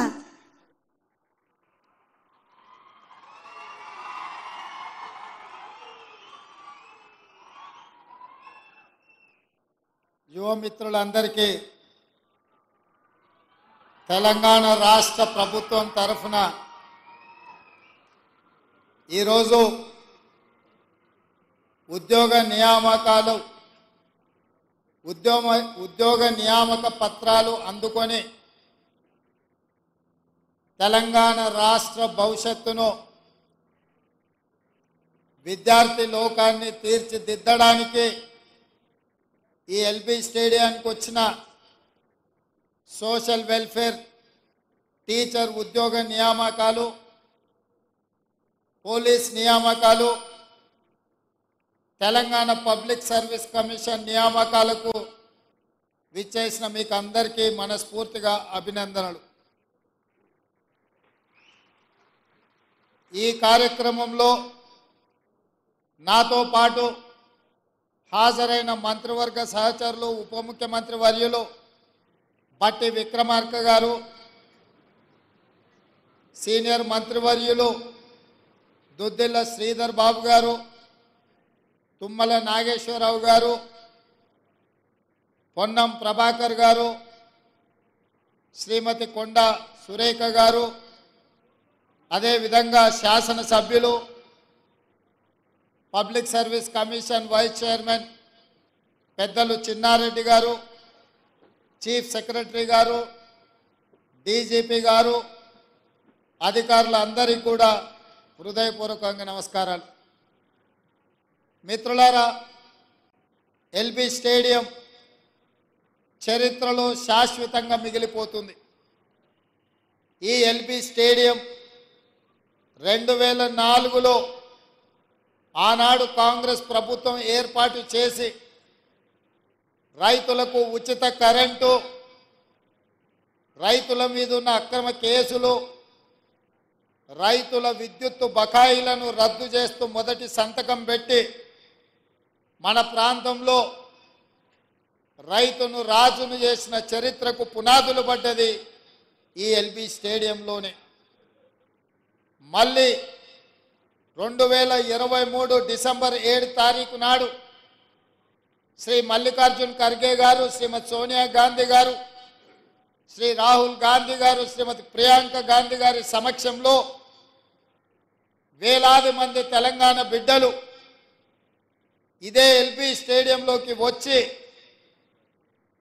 ఇందరమ్మ రాజ్యంలో ప్రజాపాలన ప్రజా ప్రభుత్వాన్ని ఇక్కడ ఏర్పాటు చేసి అభయహస్తం పేరు మీద ఆరు గ్యారంటీలను అమలు చేయడానికి మళ్ళీ తొలి సంతకం ఇక్కడనే పెట్టడం జరిగింది.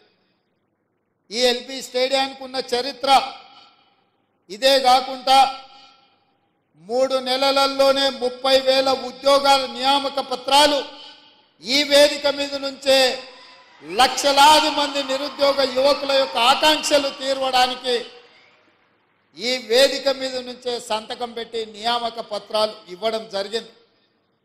అది పోలీస్ శాఖలో కావచ్చు పారామెడికల్ సిబ్బంది కావచ్చు సింగరేణి సిబ్బంది కావచ్చు ఈరోజు గురుకులాలలో టీచర్ల నియామకాలు కావచ్చు ఈరోజు సోషల్ వెల్ఫేర్ టీచర్స్తో పాటు జూనియర్ లెక్చరర్స్ కావచ్చు ఎన్ని ఉద్యోగ నియామకాలు ఈ ఎల్బీ స్టేడియం వేదికగా జరుగుతున్నది అంటే ఖచ్చితంగా రాబోయే చరిత్రలో ఈ ఎల్బీ స్టేడియం శాశ్వతంగా లిఖించడం జరుగుతుందని చెప్పి నేను విశ్వసిస్తున్నా. మిత్రులరా ఆనాడు తెలంగాణ రాష్ట్ర సాధనలో మీరు ముందుండి పోరాడి మీలో కొంతమంది యువకులు ఆత్మ బలిదానాలు చేసుకొని అమరులై ఈరోజు తెలంగాణ రాష్ట్రాన్ని సాధించింది ఆనాడు అమరులైన బిడ్డలు మేము ఆత్మ బలిదానం చేసుకున్నా మా తమ్ముల్లో మా చెల్లెల్లో భవిష్యత్ తరాలకు ఆదర్శంగా నిలబడి ఈ రాష్ట్రంలో మా ఉద్యోగాలు మాకు వస్తాయి. ఆ ఉద్యోగాల ద్వారా భవిష్యత్ తరాలకు సంబంధించిన దళితులు గిరిజనులు ఆదివాసీలు బలహీన వర్గాలు మైనారిటీల పిల్లలకు చదువులు చెప్తారు. తద్వారా వాళ్ళు దేశ అభివృద్ధిలో భాగస్వాములు అవుతారు అని చెప్పి వాళ్ళు ఆత్మ బలిదానాలు చేసుకున్నారు ఆ ఆత్మ బలిదానాల స్ఫూర్తితో ఏర్పడ్డ తెలంగాణ రాష్ట్రం ఆనాటి ప్రభుత్వం ఆ స్ఫూర్తితో పనిచేయాల్సింది వదిలేసి కుటుంబం యొక్క సంక్షేమం కోసం కుటుంబంలో ఉన్న వ్యక్తుల పదవుల కోసం వాళ్ళ యొక్క లాభార్జన వాళ్ళ యొక్క ధనదాహం తీర్చుకోవడానికి గత పది సంవత్సరాలు వాళ్ళు అదే పనిలో మునిగి తేలిరు. ఫామ్ హౌస్ మత్తులో వాళ్ళు ఉండి లక్షలాది నిరుద్యోగ యువకుల యొక్క ఆకాంక్షలు నెరవేర్చడంలో వాళ్ళు వైఫల్యం చెందిన. మీరందరూ దిల్సు నగర్ సెంటర్లోనో అశోక్ నగర్ చౌరస్తాలోనో అమీర్పేట జంక్షన్లోనో గ్రామాల నుంచి పేద తల్లిదండ్రులు రూపాయి రూపాయి కూడబెట్టి ఉపాధి హామీ కూలికి పోయి సంపాదించి మీకు పంపిస్తే కోచింగ్ సెంటర్ల చుట్టూ తిరుగుతూ దిల్సుఖ్ నగర్లోనో రకరకాల ప్రాంతాలలో మీరు కష్టపడి చదువుకున్నారు. నోటిఫికేషన్ ఎప్పుడు ఇస్తారో తెలీదు. పరీక్షలు నిర్వహిస్తే ప్రశ్నాపత్రాలు ఏ జిరాక్స్ సెంటర్లో తేలుతాయో తెలీదు. పరీక్ష ప్రశ్నాపత్రాలను ఎవరు దిద్దుతారో దిద్దే వాళ్ళ మీద నమ్మకం లేదు ఫలితాలు ప్రకటించే వాళ్ళ మీద విశ్వాసం లేదు. ఈ రకంగా అపనమ్మకంతో అసలు ఎప్పుడు ఏం జరుగుతుందో తెలియని పరిస్థితుల్లో మీరందరూ కష్టపడి కొట్లాడి ఇక మా ఉద్యోగాల గురించి అడగడం కాదు. అధికారంలో ఉన్న కేసీఆర్ కేటీఆర్ ఉద్యోగాలు ఊడగొడితేనే మీ ఉద్యోగాలు వస్తాయన్న ఆలోచనతోటి ఉద్యోగాలు అడగడం మానేసి తండ్రి కొడుకు మామ అల్లుడు బే కూతురు తండ్రి ఉద్యోగాలు ఊడగొట్టింది కాబట్టే మూడు నెలల్లో ముప్పై వేల ఉద్యోగ నియామక పత్రాలు మేము మా మంత్రివర్గ సహచరులము ఇవ్వగలిగినము అని అంటే ఇందులో మీ కృషి ఉన్నది మీ యొక్క కష్టం ఉన్నదని చెప్పి నేను నమ్ముతున్నాను. అందుకే మిత్రులారా విద్య మీద పెట్టే ఖర్చు ఖర్చు కాదు. విద్య మీద పెట్టే ఖర్చు పెట్టుబడి భవిష్యత్ తరాలను నిర్మించడానికి ఉపయోగపడే ఇంధనం. అందుకే ఇవాళ మీరు ఈరోజు చేపట్టబోయే బాధ్యత ఇది ఒక ప్రజాస్వామ్య స్ఫూర్తిని నిలబెట్టేదే కాకుండా సామాజిక బాధ్యత నెరవేర్చే ఉద్యోగం. మీ ఉద్యోగాల ద్వారా ఈ రాష్ట్రానికి ఐఏఎస్లను ఐపీఎస్లను ఐఆర్ఎస్లను లేకపోతే జాతీయ స్థాయి అధికారులను తయారు చేయడమే కాకుండా డాక్టర్లను లాయర్లను ఇంజనీర్లను తయారు చేసే ఉత్పత్తి కేంద్రంగా ఈరోజు మీరు బాధ్యత చేపట్టబోతున్నారు సర్పంచ్ ఎంపీటీసు ఎంపీపీ జిల్లా పరిషత్ చైర్మన్ జడ్పీటీసీ ఎమ్మెల్యేలు ఎమ్మెల్సీలను ఎంపీలను ఈ దేశ ప్రధానమంత్రులను తయారు చేసే విద్యను అందించేది మీరే. నేను కూడా ప్రభుత్వ పాఠశాలలనే చదువుకొని వచ్చిన ఎక్కడ కార్పొరేట్ స్కూళ్ళల్లో చదువుకున్నాను కాదు. మీలాంటి టీచర్లు ఓనమాలు నేర్పడంతో గ్రామీణ ప్రాంతంలో మారుమూల పల్లెల్లో ప్రభుత్వ పాఠశాలలో చదువుకొని జిల్లా పరిషత్ పాఠశాలలో చదువుకున్న నేను ఈరోజు తెలంగాణ రాష్ట్రంలో ఈ బాధ్యత నెరవేరుస్తున్నా అంటే మా టీచర్లు మాకు నేర్పిన విద్య ఈరోజు పరిపాలనలో ఉపయోగపడుతుంది. నేను కార్పొరేట్ స్కూల్లో చదువుకోలే లేకపోతే గుంటూరులోనో గుడివాడలనో అసలే చదువుకోలే. కొంతమంది అప్పుడప్పుడు గుంటూరు గుడివాడలు చదువుకొచ్చిన వాళ్ళు ముఖ్యమంత్రి గారికి ఇంగ్లీష్ రాదని అవహేళన చేస్తుంటారు. నేను ఒక మాట అడగదలుచుకుని వేదిక మీద నుంచి చైనా జపాన్ జర్మనీ ఈ దేశాలలో ఎవరికి ఇంగ్లీష్ రాదు. కానీ ప్రపంచంతోనే పోటీ పడిన అభివృద్ధిని ఈరోజు ఉత్పత్తిని ఆయా దేశాలు అందిస్తున్నాయి. ఇంగ్లీష్ అనేది ఒక భాష. ప్రపంచంలో ఉద్యోగ ఉపాధి అవకాశాలు దొరకడానికి ఉపయోగపడుతుంది. ఆనాడు ఆ రోజు ఆ పాఠశాలలో ఉన్న వసతులను బట్టి మాకు గురువులు నేర్పించిన చదువు మేము నేర్చుకున్నాము. ఈరోజు మీకు నా సూచన ప్రతి విద్యార్థికి ప్రపంచంలో ఉద్యోగ ఉపాధి అవకాశాలు వచ్చే ఇంగ్లీష్ భాషను కూడా మీరు నేర్పండి. ఎవరో రేపు భవిష్యత్తులో ఈ పిల్లలకు మీ దగ్గర చదువుకున్న పిల్లలకు ఇంగ్లీష్ రాదని అవహేళన చేసే పరిస్థితులు రావద్దు. వాళ్ళకు ఖచ్చితంగా మంచి భాషను మంచి భావాన్ని దేశభక్తిని పెంపొందించే విధంగా వాళ్ళకి విద్యాబుద్ధులు నేర్పండి. రాష్ట్రం పట్ల దేశం పట్ల ఈ సమాజం పట్ల సామాజిక స్పృహ ఉండే విద్యార్థులను తయారు చేయండి. ఈ దేశానికి వాళ్ళే రేపటి నాయకులు అవుతారు రేపటి పాలకులు అవుతారు రేపటి నాయకులను రేపటి పాలకులను తయారు చేసే బాధ్యత మీ మీద ఉన్నది. ఇది గురుతరమైన బాధ్యత గురువు బాధ్యత అని చెప్పి నేను సంపూర్ణంగా విశ్వసిస్తున్నా. ఈరోజు రాష్ట్రంలో గురుకుల పాఠశాలలు ఇచ్చినా అంటున్నాడు. ఎస్సీ ఎస్టీ మైనారిటీ ఓబీసీ గురుకుల పాఠశాలలు ఇచ్చినా అని అంటున్నారు గత పాలకులు. నేను అడుగుతున్న ఎవరికైనా ఎక్కడైనా మౌలిక వసతులు ఉన్నాయా?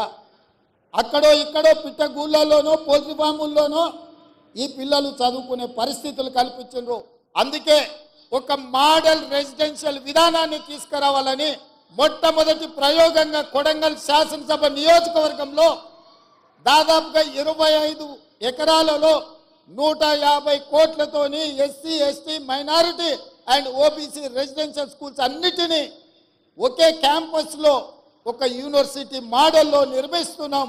ఎకరాలలో మైదానాన్ని తయారు చేసి క్రీడా ప్రాంగణాన్ని అందించడం ద్వారా మానసికంగా శారీరకంగా ఆ విద్యార్థులు రాటుదేలాలి ఈ సమాజానికి ఉపయోగపడాలి అన్న ఆలోచన మేము చేస్తున్నాం.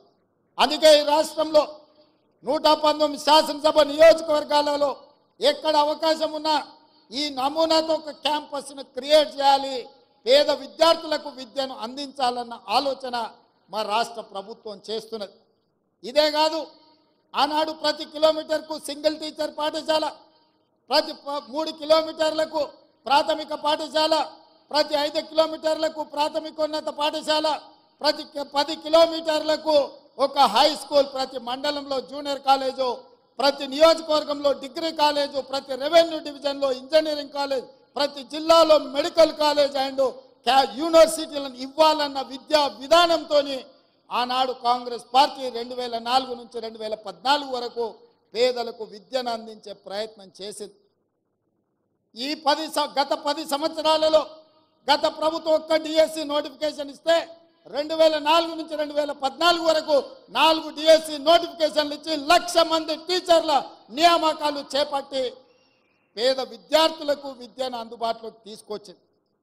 మరి గత ప్రభుత్వం దాదాపుగా సింగిల్ టీచర్ పాఠశాలలు రేషనలైజేషన్ పేరు మీద ఈరోజు ఆరు వేల పైచిల్పు పాఠశాలలను మూతవేసి పేదలకు దళితులకు గిరిజనులకు వెనుకబడిన ప్రాంతాల యొక్క పేదల పిల్లలకు విద్య అందకుండా విద్యకు దూరం చేసి బర్రెలను కాసుకునేవాళ్ళు బర్రెల్నే కాసుకోవాలి గొర్రెల్ని పెంచుకున్నవాడు గొర్రెల్నే కాసుకోవాలి చేపలు పట్టుకునేటోడు చేపలే పట్టుకోవాలి చెప్పులు కుట్టుకునేటోడు చెప్పులే కుట్టుకోవాలనే పథకాలు తీసుకొచ్చే ప్రయత్నం చేసింది. నేను అడుగుతున్న ఇక్కడ ఉన్న ఉపాధ్యాయులను భవిష్యత్ తరాలను తీర్చిదిద్దబోయే మిమ్మల్ని నేను అడుగుతున్నా. మన తాతలు ముత్తాతలు చెప్పులు కుట్టో చేపలు పట్టో గొర్రెలు పెంచుకోనో బర్రెలను కాసుకోనో బతుకుతే మన మనమన్లు కూడా అదే వృత్తి చేపట్టాలనా? లేకపోతే వాళ్ళు చదువుకొని డాక్టర్లు లాయర్లు ఇంజనీర్లు ఐఏఎస్లు ఐపీఎస్లు కావాలన్నా మీరు ఆలోచన చేయండి. ఈ ప్రభుత్వంలో వాళ్ళు భాగస్వాములు కావద్దా? ఇంకా వాళ్ళ జీవితాలు గొర్రెల బర్రెల చుట్టూతోనే తిరగాలనా అని నేను అడుగుతున్నా. గత ముఖ్యమంత్రి గారు పెంచుకున్న వాళ్ళ మనవడు పెంచుకున్న పెంపుడు కుక్క చచ్చిపోతే డాక్టర్ మీద క్రిమినల్ కేసులు పెట్టి బంజారాయిల్స్ పోలీస్ స్టేషన్లో లోపలేపించారు వాళ్ళ పెంపుడు కుక్కకు జ్వరం వస్తే డాక్టర్ చూడలేదని ఆ వెటర్నరీ డాక్టర్ల మీద కేసులు పెట్టారు. మరి ఇలా ఉద్యోగాలు రాక వందలాది మంది విద్యార్థులు ఆత్మహత్యలు చేసుకుంటుంటే వాళ్ళను ఊరేయాలనా లేదా మీరు ఒక్కసారి ఆలోచన చేయండి. మీరు పెంచుకున్న బొచ్చు కుక్కకున్న విలువ పేదోడి బిడ్డల ప్రాణాలకు లేదా అని చెప్పి మేము సభాముఖంగా నేను మీ ద్వారా ప్రశ్నించదలుచుకున్నాను. ఆలోచన విధానం పాటిస్తున్న విధానం ఫ్యూడల్ విధానం. ఫ్యూడల్ విధానంలో మార్పు రావాలి. పేదవాడికి విద్య చేరాలి. విద్య ఒక్కటే మన జీవితాలలో వెలుగు నింపుతుంది. చదువుకోవడం ద్వారా ఈ ప్రపంచానికే మనము ఏదైనా కావచ్చు ఎక్కడికైనా చేరొచ్చు. దానికి మీరే మీరే బాధ్యత వహించాలి. మీరు ఖచ్చితంగా దిశగా ప్రయాణించాలి. మీరు ఈరోజు తీసుకునే నియామక పత్రం మీ జీతభత్యాల కోసం చేస్తున్నామని మీరు అనుకోకండి. ఈరోజు టీచర్ల వృత్తిని ఎన్నుకోవడం అంటే సామాజిక బాధ్యతను మీరు తీసుకుంటున్నట్టుగా ఈ సామాజిక బాధ్యత ఈ సమాజాన్ని నిర్మించి వందలాది బిడ్డలు ఎవరైతే తెలంగాణ కోసం ఆత్మ బలిదానాలు చేసుకున్నారో వాళ్ళ ఆశయాలను మనం గుర్తు చేసుకోవాలి స్మరించుకోవాలి. వాళ్ళు ఏ ఉద్దేశంతో ఏ ఆలోచనతోని ఏం ఆశించి త్యాగాలు చేసిండ్రో ఆ త్యాగాల పునాదుల మీద ఏర్పడ్డ ఈ తెలంగాణ రాష్ట్రం ఆ త్యాగాలను కొనసాగించాల్సిన బాధ్యత మన అందరి మీద ఉన్నది.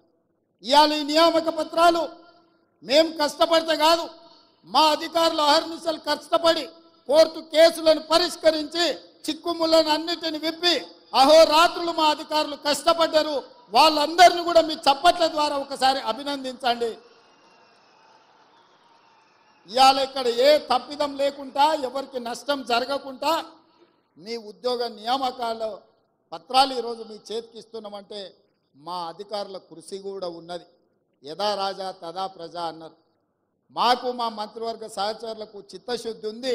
మీకు ఉద్యోగాలు ఇవ్వాలన్న ఆలోచన ఉంది. మీ పట్ల మాకు సానుభూతి ఉంది. మిమ్మల్ని మేము మా కుటుంబ సభ్యులుగా ఈరోజు ఎల్పి స్టేడియం మీ ఇంటికి ప్రతి వాళ్ళ ఇంటికి మేము పంపించవచ్చు నియామక పత్రం. కానీ మీ కళ్ళల్లో ఆనందాన్ని ప్రత్యక్షంగా చూసే అవకాశం మాకు రాదు. మీ కళ్ళల్లో ఆనందం చూడాలి. మీ కుటుంబ సభ్యులు సంతోషపడాలి. రాష్ట్రంలో ఉన్న నాలుగు కోట్ల మంది మీ సంతోషంలో భాగస్వాములను చేయడానికే ఈ ఎల్బి స్టేడియంలో అందరి సమక్షంలో ఈ కార్యక్రమాన్ని చేపట్టినాం. ఇది నిరుద్యోగ యువకులకు స్ఫూర్తిని ఇవ్వాలి. ఆత్మహత్యలు చేసుకుంటున్న నిరుద్యోగ యువకులకు ఒక భరోసాని ఇవ్వాలి. మా ప్రభుత్వం వచ్చింది. మా ఉద్యోగాలు వస్తాయనే ఒక నమ్మకాన్ని కల్పించడానికి ఈ కార్యక్రమాన్ని మేము చేపట్టినాం. ఈ కార్యక్రమం ప్రచారం కోసం కాదు ఈ కార్యక్రమం లక్షలాది మంది నిరుద్యోగ యువకులకు విశ్వాసాన్ని నమ్మకాన్ని కలిగించడానికి ఈ కార్యక్రమాన్ని మేము తీసుకున్నాము. మిత్రులారా భవిష్యత్తులో కూడా తెలంగాణ పబ్లిక్ సర్వీస్ కమిషన్ కంప్లీట్గా ప్రక్షాళన చేసినాం. గ్రూప్ వన్ నోటిఫికేషన్లు ఐదు వందల అరవై మూడు నోటిఫి ఖాళీల భర్తీల కోసం నోటిఫికేషన్ ఇచ్చినాం. దాదాపుగా మెగా డిఎస్సి నోటిఫికేషన్ ఇచ్చినాం. పదకొండు వేల ఆరు వందల నాలుగు ఉద్యోగ నియామకాలు టీచర్లను కూడా నియామకాలు చేపట్టబోతున్నాం. అందుకే ఈరోజు రకరకాల వాళ్ళు రకరకాల మాటలు చెప్తుంటారు. కానీ జరుగుతున్న పరిణామాలను అంచనా వేసే శక్తి మీకు ఉన్నది. ఆలోచన చేయండి. ఈ ప్రభుత్వం మీకోసం ప్రయత్నం చేస్తుందా లేదా? ఈ ప్రభుత్వం పేదల యొక్క ఆలోచన పంచుకుంటుందా లేదా? ఈ ప్రభుత్వం పేదలను కలుస్తున్నదా లేదా? ఈ ప్రభుత్వంలో ప్రజాపాలన జరుగుతున్నదా లేదా? ప్రజల వద్దకే పరిపాలన తీసుకొచ్చినమా లేదా? గడీలలో బందీ అయిన ప్రభుత్వాన్ని గడీలు బద్దలు కొట్టి గ్రామాలకు తీసుకొచ్చినమా లేదా? ఈ మూడు నెలల పరిపాలన నేను అంచనా వేసుకొని రేపు భవిష్యత్తులో తీర్పు ఇవ్వమని నేను అడుగుతున్నా. రేపు జరగబోయే ఏ ఎన్నికలైనా మా పరిపాలన మీద మా నిర్ణయాల మీద మేము చేస్తున్న నియామకాల మీదనే మీరు తీర్పునివ్వండి మీరు ఆలోచన చెయ్యండి. ఇక్కడ విన్నది గ్రామాలకు వెళ్ళి చర్చించండి. మేము చెబుతున్న మాట వాస్తవమా కాదా? ఇవాళ ప్రజలకు స్వేచ్ఛ వచ్చిందా లేదా? మీరు ఒక్కసారి ఆలోచన చేయండి. ఒకనాడు మంత్రులు ఎవరైనా మిమ్మల్ని కలిసేటోళ్ళ? ఎప్పుడైనా మీరు ముఖ్యమంత్రిని చూసిండ్రా? ఎప్పుడైనా ముఖ్యమంత్రి ఎవరైనా కలిసిండా ఇవాళ పరిస్థితి ఉందా? మీరు ఎవరైనా రేవంత్ అన్న అంటే ఏందమ్మా అని వెనక్కి తిరిగి మాట్లాడుతున్నా కదా? మీ అభిమానంతోనే కదా ఇక్కడ ఉన్నది. ఈ అవకాశం మీరు ఇచ్చిందే కదా? మా తాతనో ముత్తాతనో ఇచ్చింది కాదు కదా? మా తాతలు ఇచ్చిన ఆస్తి కాదు కదా ఇది. అందుకే ఈరోజు మా ప్రభుత్వం మా మంత్రివర్గ సహచరులు పేదలకు అండగా నిలబడాలన్న ఆలోచనతో నిరంతరం మేము పనిచేస్తున్నాము. ఇంకా ఇంకా చెయ్యాలన్న ఆలోచన మాకుంది. మీ ప్రోత్సాహం ఉండాలి పెద్దల ఆశీర్వాదం ఉండాలి మిత్రుల యువమిత్రుల సహకారం ఉండాలి. ముప్పై ఐదు సంవత్సరాలు రాబోయే కాలంలో ఈ దేశ సంపదను తీర్చిదిద్దే అవకాశం మీ చేతుల్లో ఉంది. ఒక మంచి సంపదను సృష్టించండి. ఇవాళ చాలా దగ్గరలో చూస్తున్నాం యువత డ్రగ్స్ వైపు గంజాయి వైపు వ్యసనాల వైపు పోతున్నారు. విలువలతో కూడుకున్న జీవితాన్ని ఏ విధంగా ముందుకు తీసుకెళ్ళాలో వాళ్ళకు విద్యాబుద్ధులతో పాటు సామాజిక బాధ్యతను కూడా నేర్పండి. ఈ మధ్య మా ప్రభుత్వం మీకు తెలుసు దాదాపుగా డ్రగ్స్ అనే పదమే ఈ రాష్ట్రంలో వినిపించొద్దు. గంజాయి మొక్కలు ఏమున్నా తెలంగాణ తులసివనంలో గంజాయి మొక్క ఎక్కడున్నా కూకటి వేళ్ళతో పీకేయండి అని చెప్పి మా పోలీస్ అధికారులకు ఆదేశాలు ఇచ్చిన మన భవిష్యత్తులో మన పిల్లలు ఎవ్వరు కూడా వ్యసనాల బారిన పడొద్దు అన్నదే మా ఆలోచన. ప్రతి స్కూల్లో మీరు పిల్లలకు వ్యసనాల మీద కూడా గుడ్ టచ్ బ్యాడ్ టచ్ మీద కూడా మీరు విద్యార్థి విద్యార్థిని విద్యార్థులకు నేర్పాల్సిన బాధ్యత మీ అందరి మీద ఉన్నది. మీ పట్ల నాకు సంపూర్ణమైన విశ్వాసం ఉన్నది. ఖచ్చితంగా భవిష్యత్ తరాలను మీరు నిర్మిస్తారన్న నమ్మకంతో మరొక్కసారి ఆరు వేల ఐదు వందల నలభై ఆరు ఉద్యోగ నియామకాలు ఇవ్వాలి ఇద్దామనుకున్నాం. ఎమ్మెల్సీ ఎన్నికల కోడ్తోని కొన్ని నియామకాలు ఆగినాయి. ఈరోజు ఐదు వేల ఒక వంద తొంభై రెండు ఉద్యోగ నియామకాలు ఇక్కడ చేపట్టబోతున్నాం. మిగతా వాళ్ళకు కూడా కోడ్ కంప్లీట్ కాగానే వాళ్ళ పత్రాలు వాళ్ళ ఇంటికి చేరుతాయి. వాళ్ళందరూ కూడా మంచి భవిష్యత్తుతోటి తెలంగాణ రాష్ట్ర పునర్నిర్మాణంలో విధ్వంసమైన తెలంగాణ నిర్మించుకోవడంలో మీ అందరి సహకారం ఉండాలని కోరుకుంటూ మీ అందరి దగ్గర సెలవు తీసుకుంటున్నా. జై హింద్ మిత్రులారా.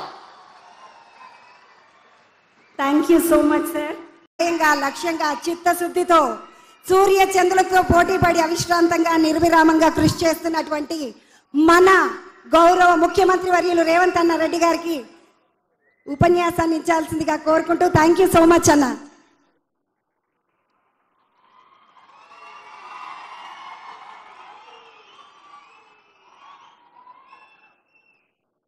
యువమిత్రులందరికీ తెలంగాణ రాష్ట్ర ప్రభుత్వం తరఫున ఈరోజు ఉద్యోగ నియామకాలు ఉద్యోగ ఉద్యోగ నియామక పత్రాలు అందుకొని తెలంగాణ రాష్ట్ర భవిష్యత్తును విద్యార్థి లోకాన్ని తీర్చిదిద్దడానికి ఈ ఎల్బీ స్టేడియానికి వచ్చిన సోషల్ వెల్ఫేర్ టీచర్ ఉద్యోగ నియామకాలు పోలీస్ నియామకాలు తెలంగాణ పబ్లిక్ సర్వీస్ కమిషన్ నియామకాలకు విచ్చేసిన మీకు అందరికీ మనస్ఫూర్తిగా అభినందనలు. ఈ కార్యక్రమంలో నాతో పాటు హాజరైన మంత్రివర్గ సహచరులు ఉప ముఖ్యమంత్రి వర్యులు బట్టి విక్రమార్క గారు సీనియర్ మంత్రివర్యులు దుద్దిల్ల శ్రీధర్ బాబు గారు తుమ్మల నాగేశ్వరరావు గారు పొన్నం ప్రభాకర్ గారు శ్రీమతి కొండ సురేఖ గారు అదేవిధంగా శాసనసభ్యులు public service commission vice chairman పెద్దలు చిన్నారెడ్డి గారు చీఫ్ సెక్రటరీ గారు డీజీపీ గారు అధికారులందరికీ కూడా హృదయపూర్వకంగా నమస్కారాలు. మిత్రులారా ఎల్బీ స్టేడియం చరిత్రలో శాశ్వతంగా మిగిలిపోతుంది.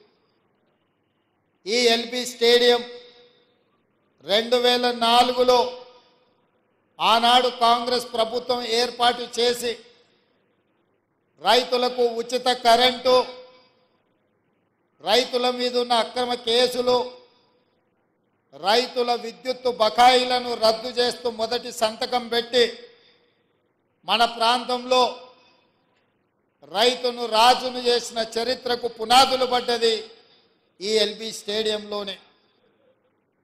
మళ్ళీ రెండు వేల ఇరవై మూడు డిసెంబర్ ఏడు తారీఖు నాడు శ్రీ మల్లికార్జున్ ఖర్గే గారు శ్రీమతి సోనియా గాంధీ గారు శ్రీ రాహుల్ గాంధీ గారు శ్రీమతి ప్రియాంక గాంధీ గారి సమక్షంలో వేలాది మంది తెలంగాణ బిడ్డలు ఇదే ఎల్బి స్టేడియంలోకి వచ్చి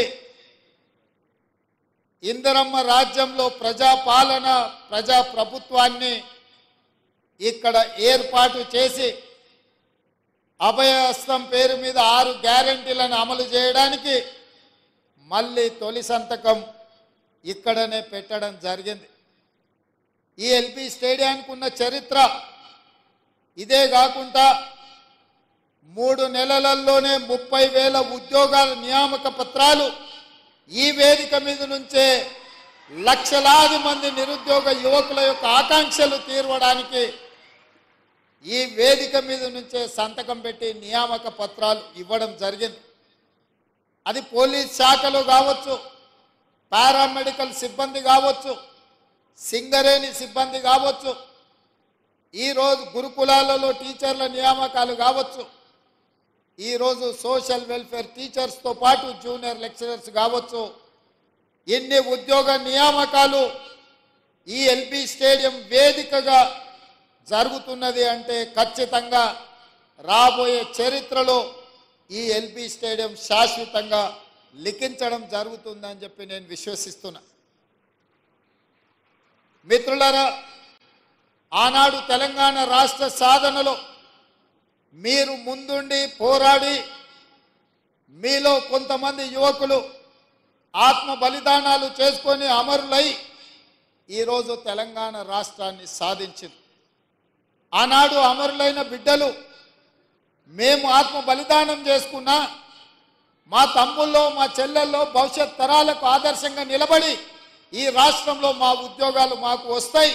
ఆ ఉద్యోగాల ద్వారా భవిష్యత్ తరాలకు సంబంధించిన దళితులు గిరిజనులు ఆదివాసీలు బలహీన వర్గాలు మైనారిటీల పిల్లలకు చదువులు చెప్తారు.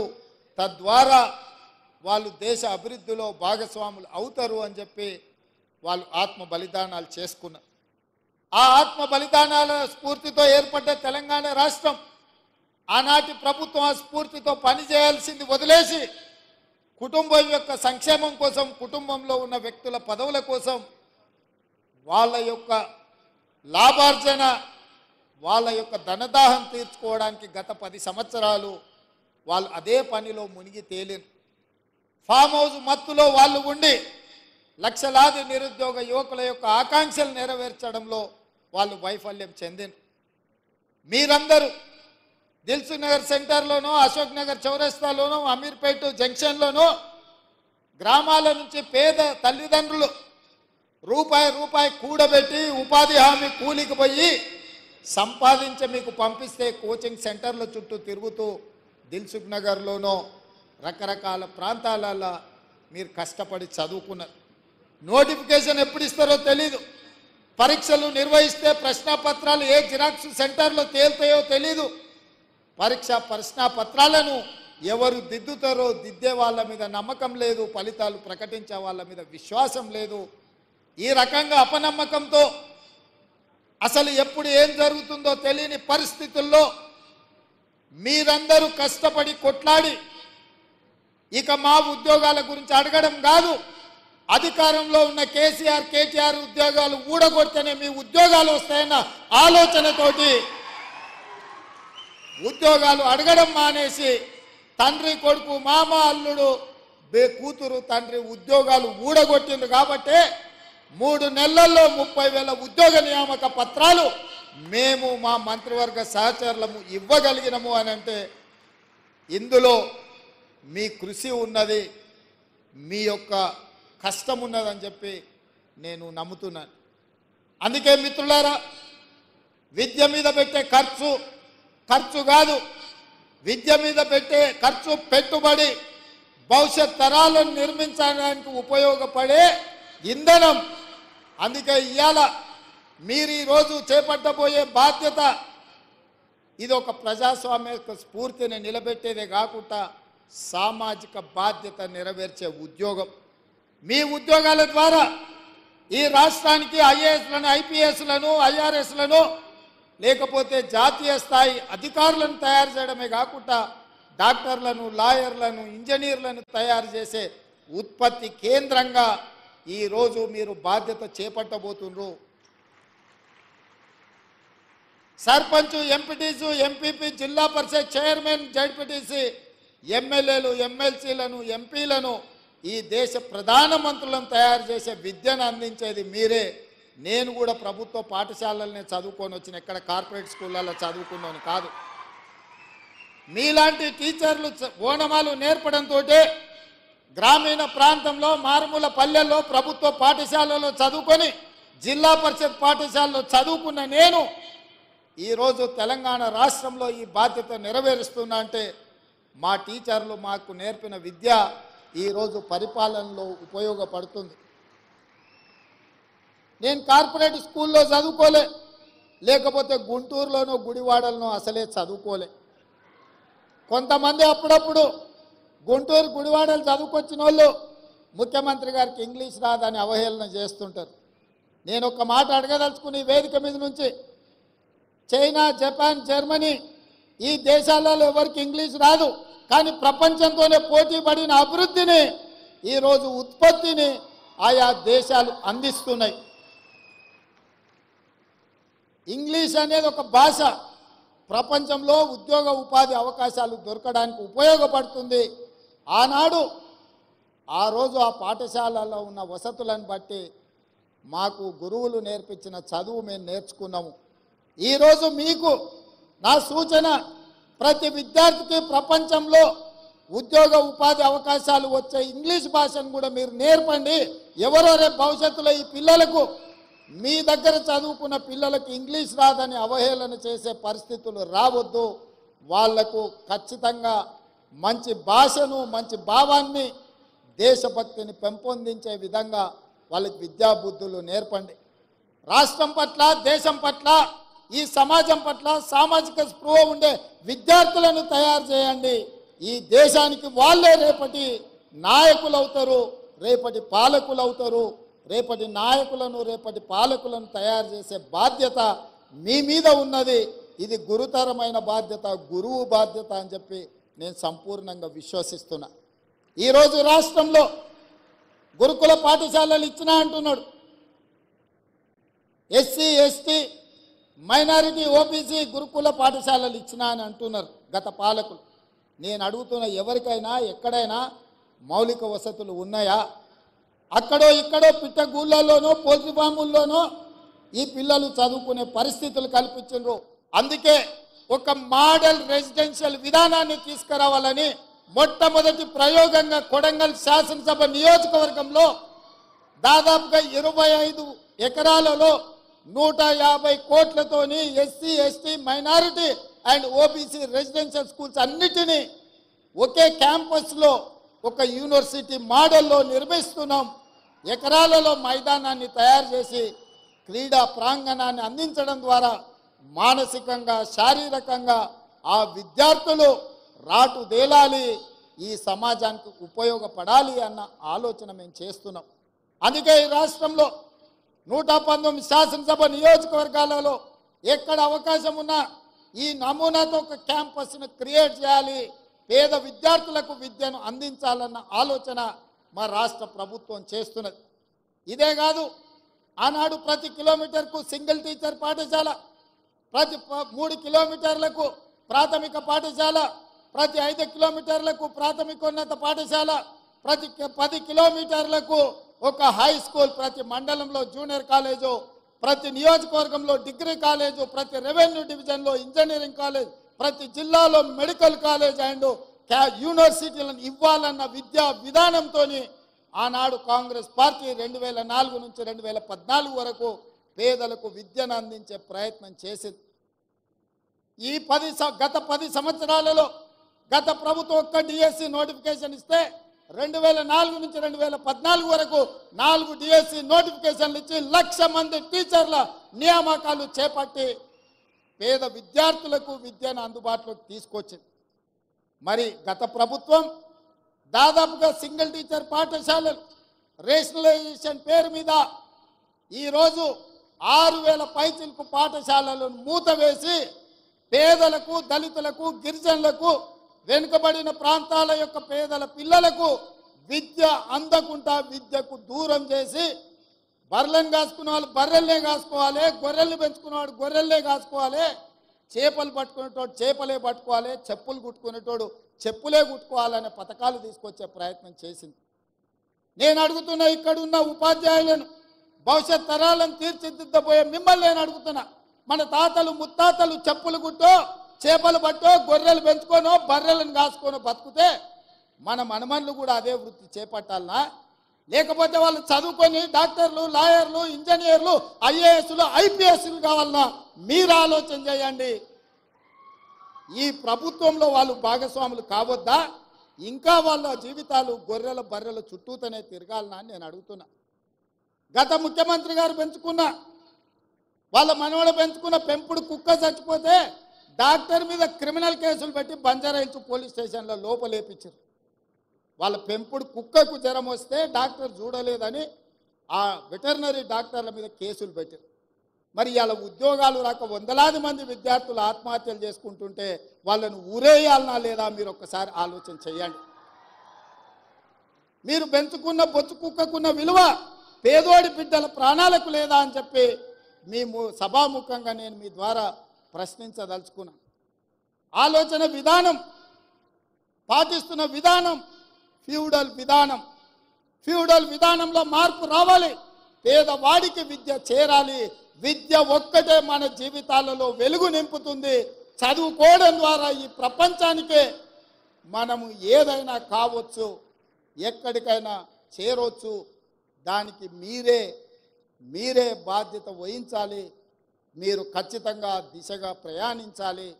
మీరు ఈరోజు తీసుకునే నియామక పత్రం మీ జీతభత్యాల కోసం చేస్తున్నామని మీరు అనుకోకండి. ఈరోజు టీచర్ల వృత్తిని ఎన్నుకోవడం అంటే సామాజిక బాధ్యతను మీరు తీసుకుంటున్నట్టుగా ఈ సామాజిక బాధ్యత ఈ సమాజాన్ని నిర్మించి వందలాది బిడ్డలు ఎవరైతే తెలంగాణ కోసం ఆత్మ బలిదానాలు చేసుకున్నారో వాళ్ళ ఆశయాలను మనం గుర్తు చేసుకోవాలి స్మరించుకోవాలి. వాళ్ళు ఏ ఉద్దేశంతో ఏ ఆలోచనతోని ఏం ఆశించి త్యాగాలు చేసిండ్రో ఆ త్యాగాల పునాదుల మీద ఏర్పడ్డ ఈ తెలంగాణ రాష్ట్రం ఆ త్యాగాలను కొనసాగించాల్సిన బాధ్యత మన అందరి మీద ఉన్నది. ఇవాళ ఈ నియామక పత్రాలు మేం కష్టపడితే కాదు మా అధికారులు అహర్నిశలు కష్టపడి కోర్టు కేసులను పరిష్కరించి చిక్కుములను అన్నిటిని విప్పి అహోరాత్రులు మా అధికారులు కష్టపడ్డారు. వాళ్ళందరిని కూడా మీ చప్పట్ల ద్వారా ఒకసారి అభినందించండి. ఇవాళ ఇక్కడ ఏ తప్పిదం లేకుండా ఎవరికి నష్టం జరగకుండా మీ ఉద్యోగ నియామకాల పత్రాలు ఈరోజు మీ చేతికి ఇస్తున్నామంటే మా అధికారుల కృషి కూడా ఉన్నది. యథా రాజా తదా ప్రజ అన్నారు. మాకు మా మంత్రివర్గ సహచరులకు చిత్తశుద్ధి ఉంది. మీకు ఉద్యోగాలు ఇవ్వాలన్న ఆలోచన ఉంది. మీ పట్ల మాకు సానుభూతి ఉంది. మిమ్మల్ని మేము మా కుటుంబ సభ్యులుగా ఈరోజు ఎల్పి స్టేడియం మీ ఇంటికి ప్రతి వాళ్ళ ఇంటికి మేము పంపించవచ్చు నియామక పత్రం. కానీ మీ కళ్ళల్లో ఆనందాన్ని ప్రత్యక్షంగా చూసే అవకాశం మాకు రాదు. మీ కళ్ళల్లో ఆనందం చూడాలి. మీ కుటుంబ సభ్యులు సంతోషపడాలి. రాష్ట్రంలో ఉన్న నాలుగు కోట్ల మంది మీ సంతోషంలో భాగస్వాములను చేయడానికే ఈ ఎల్బి స్టేడియంలో అందరి సమక్షంలో ఈ కార్యక్రమాన్ని చేపట్టినాం. ఇది నిరుద్యోగ యువకులకు స్ఫూర్తిని ఇవ్వాలి. ఆత్మహత్యలు చేసుకుంటున్న నిరుద్యోగ యువకులకు ఒక భరోసాని ఇవ్వాలి. మా ప్రభుత్వం వచ్చింది. మా ఉద్యోగాలు వస్తాయనే ఒక నమ్మకాన్ని కల్పించడానికి ఈ కార్యక్రమాన్ని మేము చేపట్టినాం. ఈ కార్యక్రమం ప్రచారం కోసం కాదు ఈ కార్యక్రమం లక్షలాది మంది నిరుద్యోగ యువకులకు విశ్వాసాన్ని నమ్మకాన్ని కలిగించడానికి ఈ కార్యక్రమాన్ని మేము తీసుకున్నాము. మిత్రులారా భవిష్యత్తులో కూడా తెలంగాణ పబ్లిక్ సర్వీస్ కమిషన్ కంప్లీట్గా ప్రక్షాళన చేసినాం. గ్రూప్ వన్ నోటిఫికేషన్లు ఐదు వందల అరవై మూడు నోటిఫి ఖాళీల భర్తీల కోసం నోటిఫికేషన్ ఇచ్చినాం. దాదాపుగా మెగా డిఎస్సి నోటిఫికేషన్ ఇచ్చినాం. పదకొండు వేల ఆరు వందల నాలుగు ఉద్యోగ నియామకాలు టీచర్లను కూడా నియామకాలు చేపట్టబోతున్నాం. అందుకే ఈరోజు రకరకాల వాళ్ళు రకరకాల మాటలు చెప్తుంటారు. కానీ జరుగుతున్న పరిణామాలను అంచనా వేసే శక్తి మీకు ఉన్నది. ఆలోచన చేయండి. ఈ ప్రభుత్వం మీకోసం ప్రయత్నం చేస్తుందా లేదా? ఈ ప్రభుత్వం పేదల యొక్క ఆలోచన పంచుకుంటుందా లేదా? ఈ ప్రభుత్వం పేదలను కలుస్తున్నదా లేదా? ఈ ప్రభుత్వంలో ప్రజాపాలన జరుగుతున్నదా లేదా? ప్రజల వద్దకే పరిపాలన తీసుకొచ్చినమా లేదా? గడీలలో బందీ అయిన ప్రభుత్వాన్ని గడీలు బద్దలు కొట్టి గ్రామాలకు తీసుకొచ్చినమా లేదా? ఈ మూడు నెలల పరిపాలన నేను అంచనా వేసుకొని రేపు భవిష్యత్తులో తీర్పు ఇవ్వమని నేను అడుగుతున్నా. రేపు జరగబోయే ఏ ఎన్నికలైనా మా పరిపాలన మీద మా నిర్ణయాల మీద మేం చేస్తున్న నియామకాల మీదనే మీరు తీర్పునివ్వండి మీరు ఆలోచన చెయ్యండి. ఇక్కడ విన్నది గ్రామాలకు వెళ్ళి చర్చించండి. మేము చెబుతున్న మాట వాస్తవమా కాదా? ఇవాళ ప్రజలకు స్వేచ్ఛ వచ్చిందా లేదా? మీరు ఒక్కసారి ఆలోచన చేయండి. ఒకనాడు మంత్రులు ఎవరైనా మిమ్మల్ని కలిసేటోళ్ళ? ఎప్పుడైనా మీరు ముఖ్యమంత్రిని చూసిండ్రా? ఎప్పుడైనా ముఖ్యమంత్రి ఎవరైనా కలిసిండా ఇవాళ పరిస్థితి ఉందా? మీరెవరైనా రేవంత్ అన్న అంటే ఏందమ్మా అని వెనక్కి తిరిగి మాట్లాడుతున్నా కదా? మీ అభిమానంతోనే కదా ఇక్కడ ఉన్నది. ఈ అవకాశం మీరు ఇచ్చిందే కదా మా తాతనో ముత్తాతనో ఇచ్చింది కాదు కదా? మా తాతలు ఇచ్చిన ఆస్తి కాదు కదా ఇది. అందుకే ఈరోజు మా ప్రభుత్వం మా మంత్రివర్గ సహచరులు పేదలకు అండగా నిలబడాలన్న ఆలోచనతో నిరంతరం మేము పనిచేస్తున్నాము. ఇంకా ఇంకా చెయ్యాలన్న ఆలోచన మాకుంది. మీ ప్రోత్సాహం ఉండాలి పెద్దల ఆశీర్వాదం ఉండాలి మిత్రుల యువమిత్రుల సహకారం ఉండాలి. ముప్పై ఐదు సంవత్సరాలు రాబోయే కాలంలో ఈ దేశ సంపదను తీర్చిదిద్దే అవకాశం మీ చేతుల్లో ఉంది. ఒక మంచి సంపదను సృష్టించండి. ఇవాళ చాలా దగ్గరలో చూస్తున్నాం యువత డ్రగ్స్ వైపు గంజాయి వైపు వ్యసనాల వైపు పోతున్నారు. విలువలతో కూడుకున్న జీవితాన్ని ఏ విధంగా ముందుకు తీసుకెళ్ళాలో వాళ్ళకు విద్యాబుద్ధులతో పాటు సామాజిక బాధ్యతను కూడా నేర్పండి. ఈ మధ్య మా ప్రభుత్వం మీకు తెలుసు దాదాపుగా డ్రగ్స్ అనే పదమే ఈ రాష్ట్రంలో వినిపించొద్దు. గంజాయి మొక్కలు ఏమున్నా? తెలంగాణ తులసివనంలో గంజాయి మొక్క ఎక్కడున్నా?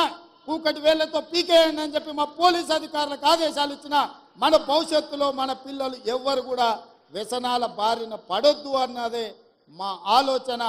ప్రతి స్కూల్లో మీరు పిల్లలకు వ్యసనాల మీద కూడా గుడ్ టచ్ బ్యాడ్ టచ్ మీద కూడా మీరు విద్యార్థి విద్యార్థిని విద్యార్థులకు నేర్పాల్సిన బాధ్యత మీ అందరి మీద ఉన్నది.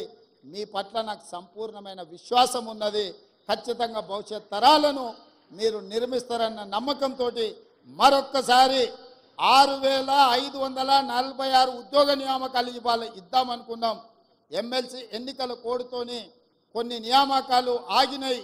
ఈరోజు ఐదు వేల ఒక వంద తొంభై రెండు ఉద్యోగ నియామకాలు ఇక్కడ చేపట్టబోతున్నాం. మిగతా వాళ్ళకు కూడా కోడ్ కంప్లీట్ కాగానే వాళ్ళ పత్రాలు వాళ్ళ ఇంటికి చేరుతాయి.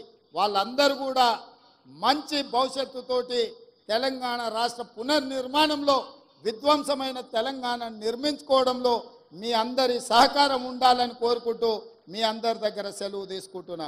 జై హింద్ మిత్రులారా.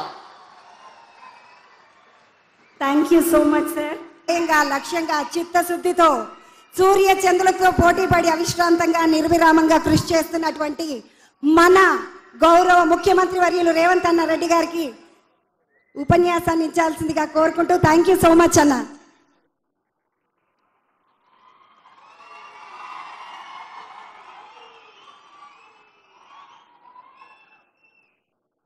యువమిత్రులందరికీ తెలంగాణ రాష్ట్ర ప్రభుత్వం తరఫున ఈరోజు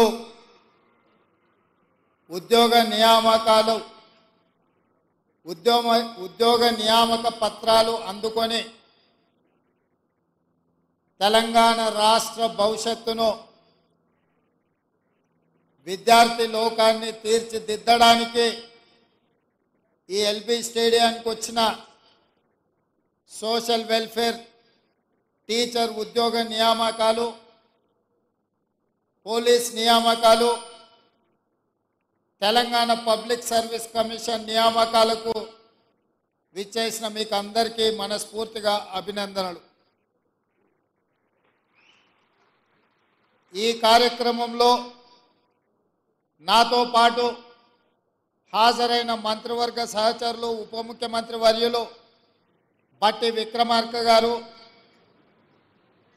సీనియర్ మంత్రివర్యులు దుద్దిల్ల శ్రీధర్ బాబు గారు తుమ్మల నాగేశ్వరరావు గారు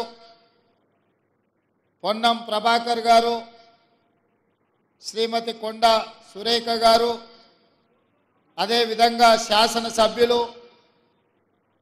public service commission vice chairman పెద్దలు చిన్నారెడ్డి గారు చీఫ్ సెక్రటరీ గారు డీజీపీ గారు అధికారులందరికీ కూడా హృదయపూర్వకంగా నమస్కారాలు. మిత్రులారా ఎల్బీ స్టేడియం చరిత్రలో శాశ్వతంగా మిగిలిపోతుంది.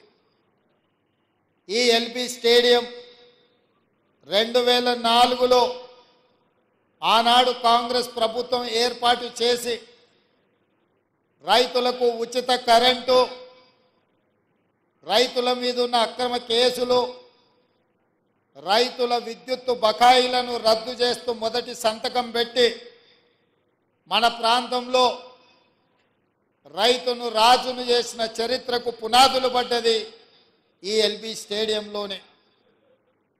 మళ్ళీ రెండు వేల ఇరవై మూడు డిసెంబర్ ఏడు తారీఖు నాడు శ్రీ మల్లికార్జున్ ఖర్గే గారు శ్రీమతి సోనియా గాంధీ గారు శ్రీ రాహుల్ గాంధీ గారు శ్రీమతి ప్రియాంక గాంధీ గారి సమక్షంలో వేలాది మంది తెలంగాణ బిడ్డలు ఇదే ఎల్బీ స్టేడియంలోకి వచ్చి ఇందిరమ్మ రాజ్యంలో ప్రజాపాలన ప్రజా ప్రభుత్వాన్ని ఇక్కడ ఏర్పాటు చేసి అభయహస్తం పేరు మీద ఆరు గ్యారంటీలను అమలు చేయడానికి మళ్ళీ తొలి సంతకం ఇక్కడనే పెట్టడం జరిగింది. ఈ ఎల్పి స్టేడియానికి ఉన్న చరిత్ర ఇదే కాకుండా మూడు నెలలలోనే ముప్పై వేల ఉద్యోగాల నియామక పత్రాలు ఈ వేదిక మీద నుంచే లక్షలాది మంది నిరుద్యోగ యువకుల యొక్క ఆకాంక్షలు తీర్వడానికి ఈ వేదిక మీద నుంచే సంతకం పెట్టి నియామక పత్రాలు ఇవ్వడం జరిగింది.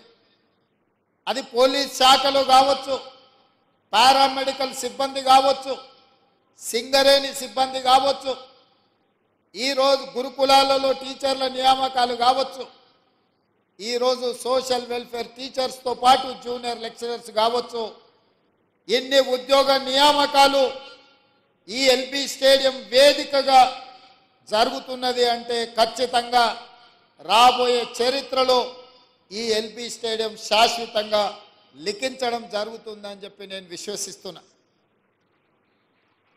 మిత్రులరా ఆనాడు తెలంగాణ రాష్ట్ర సాధనలో మీరు ముందుండి పోరాడి మీలో కొంతమంది యువకులు ఆత్మ బలిదానాలు చేసుకొని అమరులై ఈరోజు తెలంగాణ రాష్ట్రాన్ని సాధించింది. ఆనాడు అమరులైన బిడ్డలు మేము ఆత్మ బలిదానం చేసుకున్నా మా తమ్ముల్లో మా చెల్లెల్లో భవిష్యత్ తరాలకు ఆదర్శంగా నిలబడి ఈ రాష్ట్రంలో మా ఉద్యోగాలు మాకు వస్తాయి. ఆ ఉద్యోగాల ద్వారా భవిష్యత్ తరాలకు సంబంధించిన దళితులు గిరిజనులు ఆదివాసీలు బలహీన వర్గాలు మైనారిటీల పిల్లలకు చదువులు చెప్తారు. తద్వారా వాళ్ళు దేశ అభివృద్ధిలో భాగస్వాములు అవుతారు అని చెప్పి వాళ్ళు ఆత్మ బలిదానాలు చేసుకున్నారు.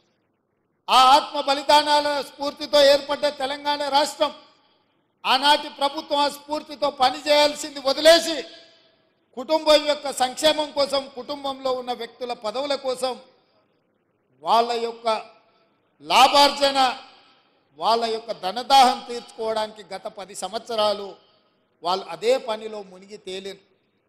ఫామ్ హౌస్ మత్తులో వాళ్ళు ఉండి లక్షలాది నిరుద్యోగ యువకుల యొక్క ఆకాంక్షలు నెరవేర్చడంలో వాళ్ళు వైఫల్యం చెందిన మీరందరూ దిల్సు నగర్ సెంటర్లోనో అశోక్ నగర్ చౌరస్తాలోనో అమీర్పేట జంక్షన్లోనో గ్రామాల నుంచి పేద తల్లిదండ్రులు రూపాయి రూపాయి కూడబెట్టి ఉపాధి హామీ కూలికి పోయి సంపాదించి మీకు పంపిస్తే కోచింగ్ సెంటర్ల చుట్టూ తిరుగుతూ దిల్సుఖ్ నగర్లోనో రకరకాల ప్రాంతాలలో మీరు కష్టపడి చదువుకున్నారు.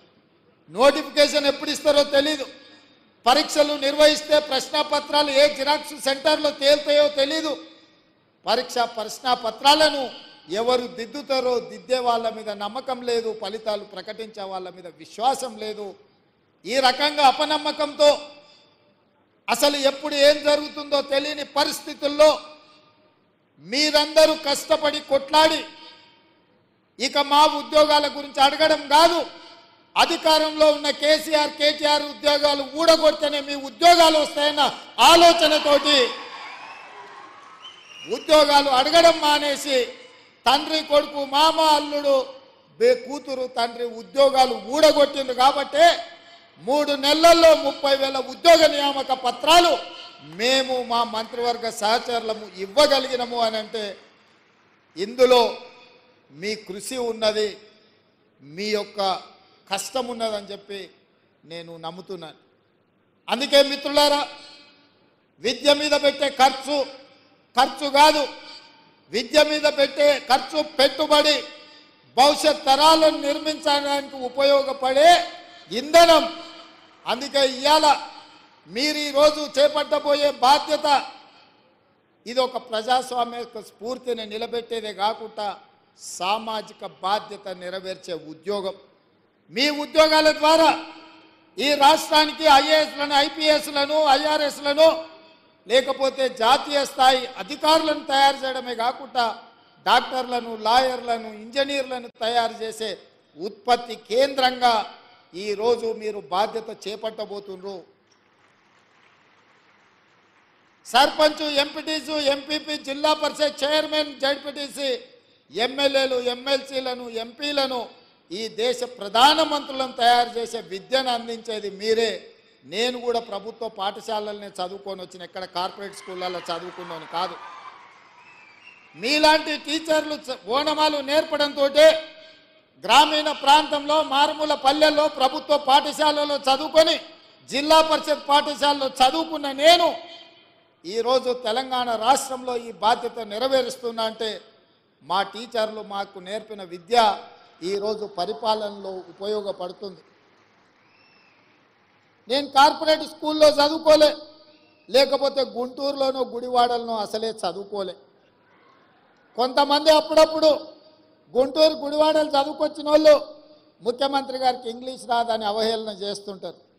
నేను ఒక మాట అడగదలుచుకుని వేదిక మీద నుంచి చైనా జపాన్ జర్మనీ ఈ దేశాలలో ఎవరికి ఇంగ్లీష్ రాదు. కానీ ప్రపంచంతోనే పోటీ పడిన అభివృద్ధిని ఈరోజు ఉత్పత్తిని ఆయా దేశాలు అందిస్తున్నాయి. ఇంగ్లీష్ అనేది ఒక భాష. ప్రపంచంలో ఉద్యోగ ఉపాధి అవకాశాలు దొరకడానికి ఉపయోగపడుతుంది. ఆనాడు ఆ రోజు ఆ పాఠశాలలో ఉన్న వసతులను బట్టి మాకు గురువులు నేర్పించిన చదువు మేము నేర్చుకున్నాము. ఈరోజు మీకు నా సూచన ప్రతి విద్యార్థికి ప్రపంచంలో ఉద్యోగ ఉపాధి అవకాశాలు వచ్చే ఇంగ్లీష్ భాషను కూడా మీరు నేర్పండి.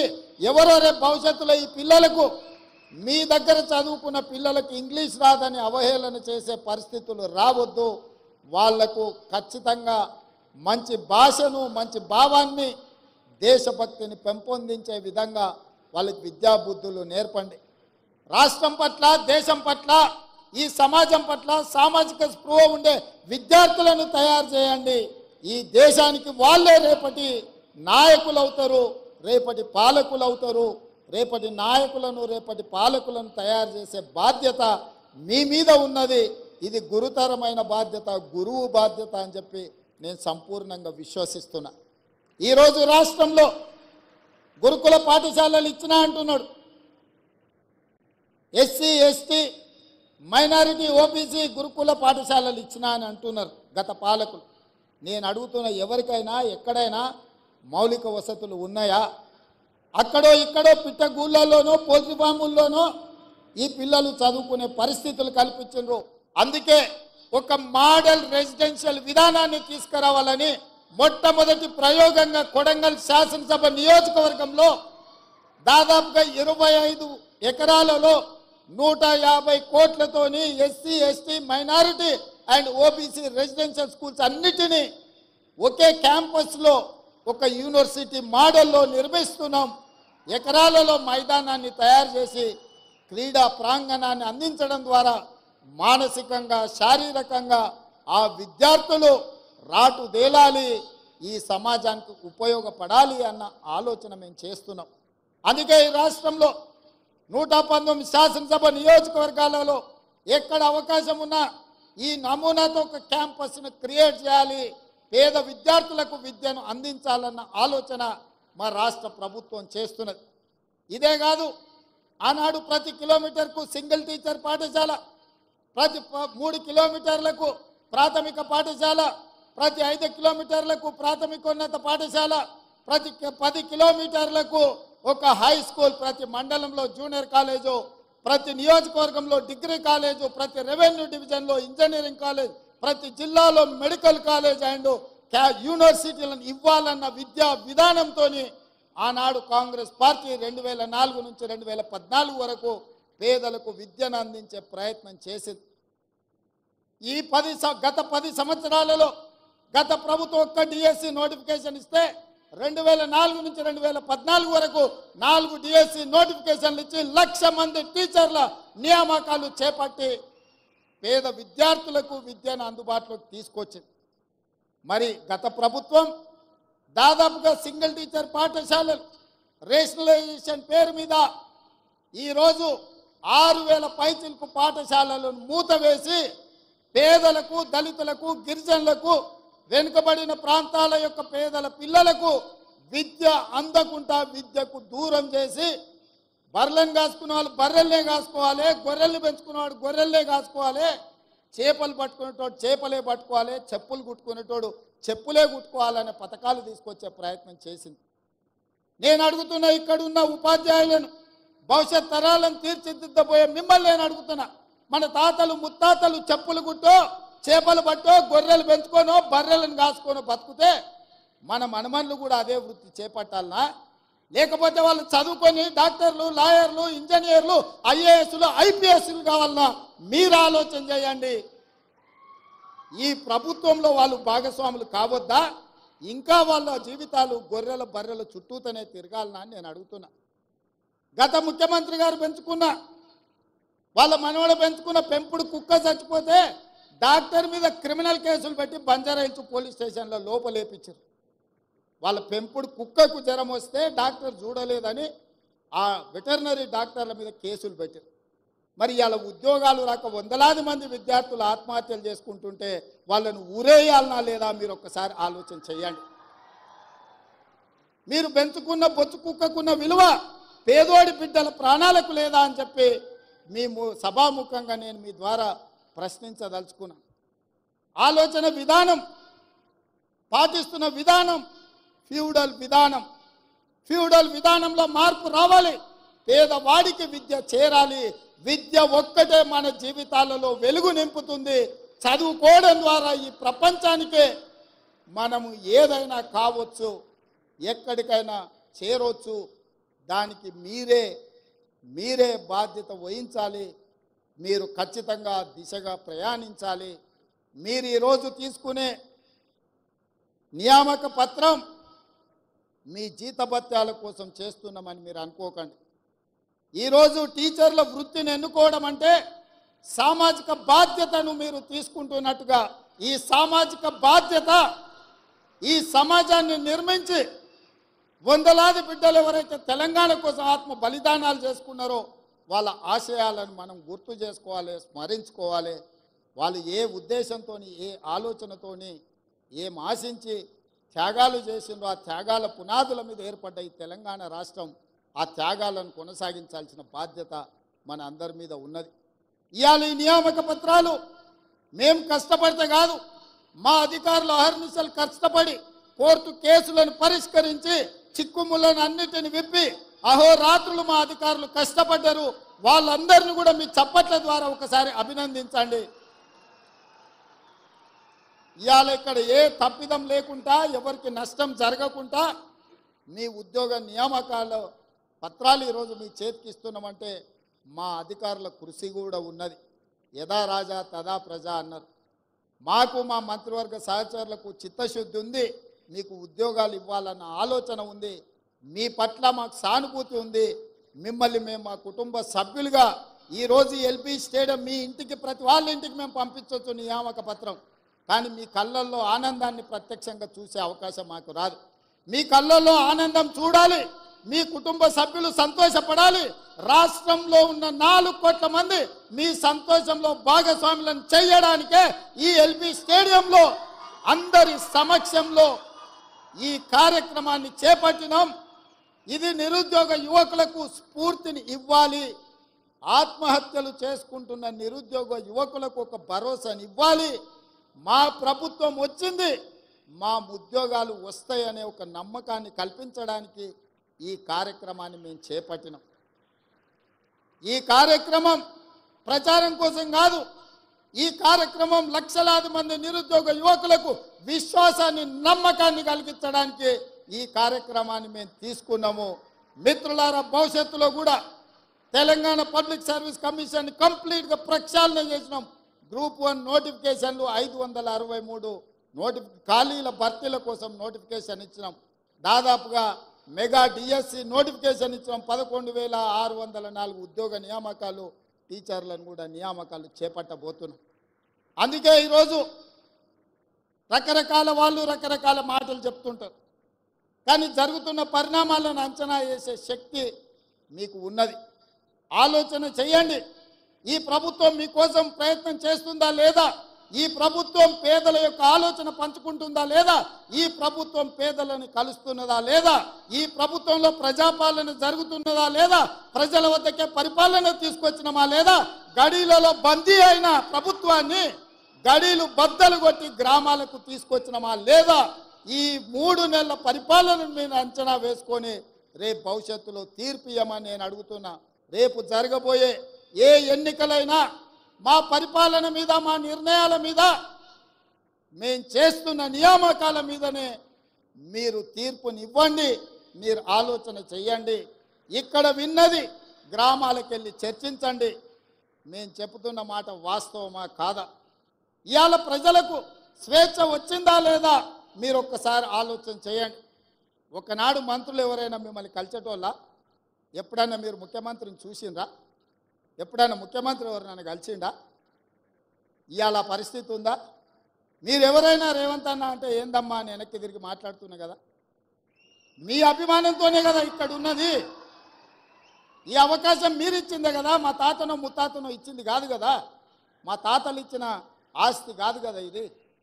అందుకే ఈరోజు మా ప్రభుత్వం మా మంత్రివర్గ సహచరులు పేదలకు అండగా నిలబడాలన్న ఆలోచనతో నిరంతరం మేము పనిచేస్తున్నాము. ఇంకా ఇంకా చెయ్యాలన్న ఆలోచన మాకుంది. మీ ప్రోత్సాహం ఉండాలి పెద్దల ఆశీర్వాదం ఉండాలి మిత్రుల యువమిత్రుల సహకారం ఉండాలి. ముప్పై ఐదు సంవత్సరాలు రాబోయే కాలంలో ఈ దేశ సంపదను తీర్చిదిద్దే అవకాశం మీ చేతుల్లో ఉంది. ఒక మంచి సంపదను సృష్టించండి. ఇవాళ చాలా దగ్గరలో చూస్తున్నాం యువత డ్రగ్స్ వైపు గంజాయి వైపు వ్యసనాల వైపు పోతున్నారు. విలువలతో కూడుకున్న జీవితాన్ని ఏ విధంగా ముందుకు తీసుకెళ్ళాలో వాళ్ళకు విద్యాబుద్ధులతో పాటు సామాజిక బాధ్యతను కూడా నేర్పండి. ఈ మధ్య మా ప్రభుత్వం మీకు తెలుసు దాదాపుగా డ్రగ్స్ అనే పదమే ఈ రాష్ట్రంలో వినిపించొద్దు. గంజాయి మొక్కలు ఏమున్నా? తెలంగాణ తులసివనంలో గంజాయి మొక్క ఎక్కడున్నా? కూకటి వేళ్ళతో పీకేయండి అని చెప్పి మా పోలీస్ అధికారులకు ఆదేశాలు ఇచ్చిన మన భవిష్యత్తులో మన పిల్లలు ఎవ్వరు కూడా వ్యసనాల బారిన పడొద్దు అన్నదే మా ఆలోచన. ప్రతి స్కూల్లో మీరు పిల్లలకు వ్యసనాల మీద కూడా గుడ్ టచ్ బ్యాడ్ టచ్ మీద కూడా మీరు విద్యార్థి విద్యార్థిని విద్యార్థులకు నేర్పాల్సిన బాధ్యత మీ అందరి మీద ఉన్నది. మీ పట్ల నాకు సంపూర్ణమైన విశ్వాసం ఉన్నది. ఖచ్చితంగా భవిష్యత్ తరాలను మీరు నిర్మిస్తారన్న నమ్మకంతో మరొక్కసారి ఆరు వేల ఐదు వందల నలభై ఆరు ఉద్యోగ నియామకాలు ఇవ్వాలి ఇద్దామనుకున్నాం. ఎమ్మెల్సీ ఎన్నికల కోడ్తోని కొన్ని నియామకాలు ఆగినాయి. ఈరోజు ఐదు వేల ఒక వంద తొంభై రెండు ఉద్యోగ నియామకాలు ఇక్కడ చేపట్టబోతున్నాం. మిగతా వాళ్ళకు కూడా కోడ్ కంప్లీట్ కాగానే వాళ్ళ పత్రాలు వాళ్ళ ఇంటికి చేరుతాయి. వాళ్ళందరూ కూడా మంచి భవిష్యత్తుతోటి తెలంగాణ రాష్ట్ర పునర్నిర్మాణంలో విధ్వంసమైన తెలంగాణ నిర్మించుకోవడంలో మీ అందరి సహకారం ఉండాలని కోరుకుంటూ మీ అందరి దగ్గర సెలవు తీసుకుంటున్నా. జై హింద్ మిత్రులారా. Thank you so much sir లక్ష్యంగా చిత్తశుద్ధితో సూర్య చంద్రులతో పోటీపడి అవిశ్రాంతంగా నిర్విరామంగా కృషి చేస్తున్నటువంటి మన గౌరవ ముఖ్యమంత్రి వర్యులు రేవంత్ అన్న రెడ్డి గారికి ఉపన్యాసాన్ని ఇచ్చాల్సిందిగా కోరుకుంటూ థ్యాంక్ యూ సో మచ్ అన్న.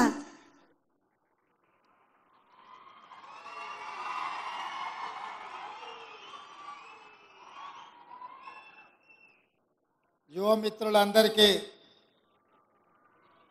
తెలంగాణ రాష్ట్ర ప్రభుత్వం తరఫున ఈరోజు ఉద్యోగ నియామకాలు ఉద్యోగ ఉద్యోగ నియామక పత్రాలు అందుకొని తెలంగాణ రాష్ట్ర భవిష్యత్తును విద్యార్థి లోకాన్ని తీర్చిదిద్దడానికి ఈ ఎల్బీ స్టేడియానికి వచ్చిన సోషల్ వెల్ఫేర్ టీచర్ ఉద్యోగ నియామకాలు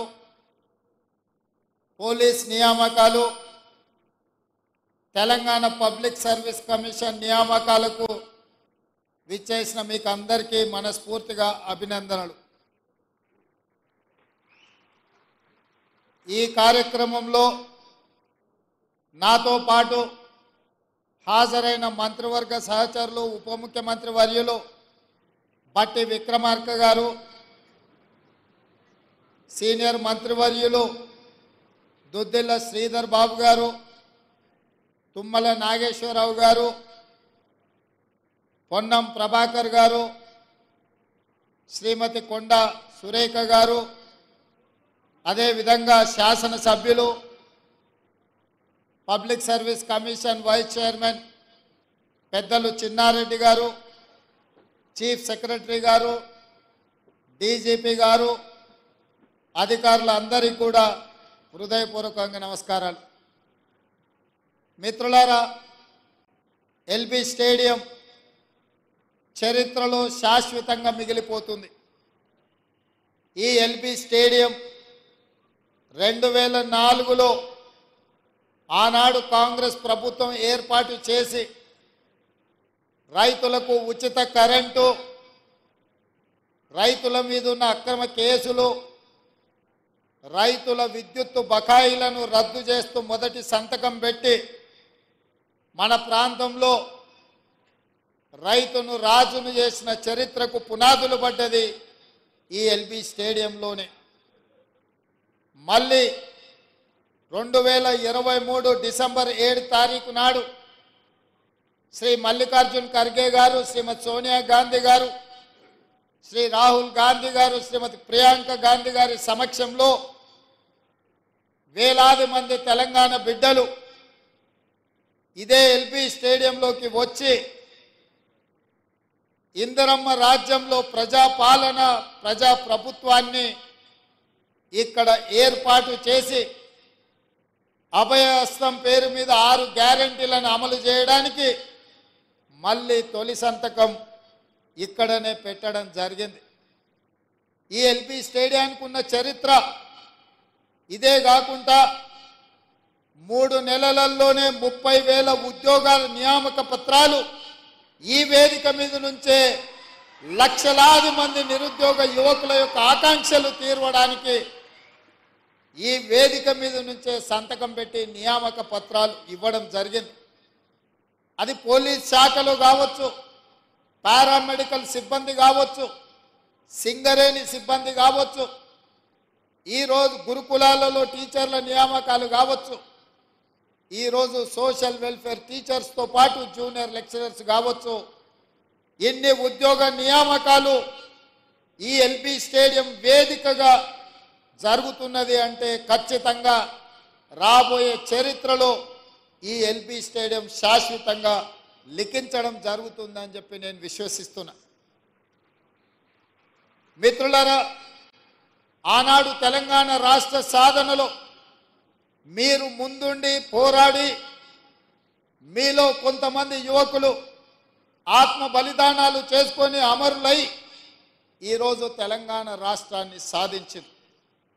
ఆనాడు అమరులైన బిడ్డలు మేము ఆత్మ బలిదానం చేసుకున్నా మా తమ్ముల్లో మా చెల్లెల్లో భవిష్యత్ తరాలకు ఆదర్శంగా నిలబడి ఈ రాష్ట్రంలో మా ఉద్యోగాలు మాకు వస్తాయి. ఆ ఉద్యోగాల ద్వారా భవిష్యత్ తరాలకు సంబంధించిన దళితులు గిరిజనులు ఆదివాసీలు బలహీన వర్గాలు మైనారిటీల పిల్లలకు చదువులు చెప్తారు. తద్వారా వాళ్ళు దేశ అభివృద్ధిలో భాగస్వాములు అవుతారు అని చెప్పి వాళ్ళు ఆత్మ బలిదానాలు చేసుకున్నారు. ఆ ఆత్మ బలిదానాల స్ఫూర్తితో ఏర్పడ్డ తెలంగాణ రాష్ట్రం ఆనాటి ప్రభుత్వం ఆ స్ఫూర్తితో పనిచేయాల్సింది వదిలేసి కుటుంబం యొక్క సంక్షేమం కోసం కుటుంబంలో ఉన్న వ్యక్తుల పదవుల కోసం వాళ్ళ యొక్క లాభార్జన వాళ్ళ యొక్క ధనదాహం తీర్చుకోవడానికి గత పది సంవత్సరాలు వాళ్ళు అదే పనిలో మునిగి తేలిను ఫామ్ హౌస్ మత్తులో వాళ్ళు ఉండి లక్షలాది నిరుద్యోగ యువకుల యొక్క ఆకాంక్షలు నెరవేర్చడంలో వాళ్ళు వైఫల్యం చెందిన మీరందరూ దిల్సు నగర్ సెంటర్లోనో అశోక్ నగర్ చౌరస్తాలోనో అమీర్పేట జంక్షన్లోనో గ్రామాల నుంచి పేద తల్లిదండ్రులు రూపాయి రూపాయి కూడబెట్టి ఉపాధి హామీ కూలికి పోయి సంపాదించి మీకు పంపిస్తే కోచింగ్ సెంటర్ల చుట్టూ తిరుగుతూ దిల్సుఖ్ నగర్లోనో రకరకాల ప్రాంతాలలో మీరు కష్టపడి చదువుకున్నారు. నోటిఫికేషన్ ఎప్పుడు ఇస్తారో తెలీదు.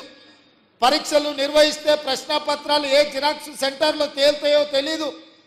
పరీక్ష ప్రశ్నాపత్రాలను ఎవరు దిద్దుతారో దిద్దే వాళ్ళ మీద నమ్మకం లేదు ఫలితాలు ప్రకటించే వాళ్ళ మీద విశ్వాసం లేదు. ఈ రకంగా అపనమ్మకంతో అసలు ఎప్పుడు ఏం జరుగుతుందో తెలియని పరిస్థితుల్లో మీరందరూ కష్టపడి కొట్లాడి ఇక మా ఉద్యోగాల గురించి అడగడం కాదు. అధికారంలో ఉన్న కేసీఆర్ కేటీఆర్ ఉద్యోగాలు ఊడగొడితేనే మీ ఉద్యోగాలు వస్తాయన్న ఆలోచనతోటి ఉద్యోగాలు అడగడం మానేసి తండ్రి కొడుకు మామ అల్లుడు బే కూతురు తండ్రి ఉద్యోగాలు ఊడగొట్టింది కాబట్టే మూడు నెలల్లో ముప్పై వేల ఉద్యోగ నియామక పత్రాలు మేము మా మంత్రివర్గ సహచరులము ఇవ్వగలిగినము అని అంటే ఇందులో మీ కృషి ఉన్నది మీ యొక్క కష్టం ఉన్నదని చెప్పి నేను నమ్ముతున్నాను. అందుకే మిత్రులారా విద్య మీద పెట్టే ఖర్చు ఖర్చు కాదు.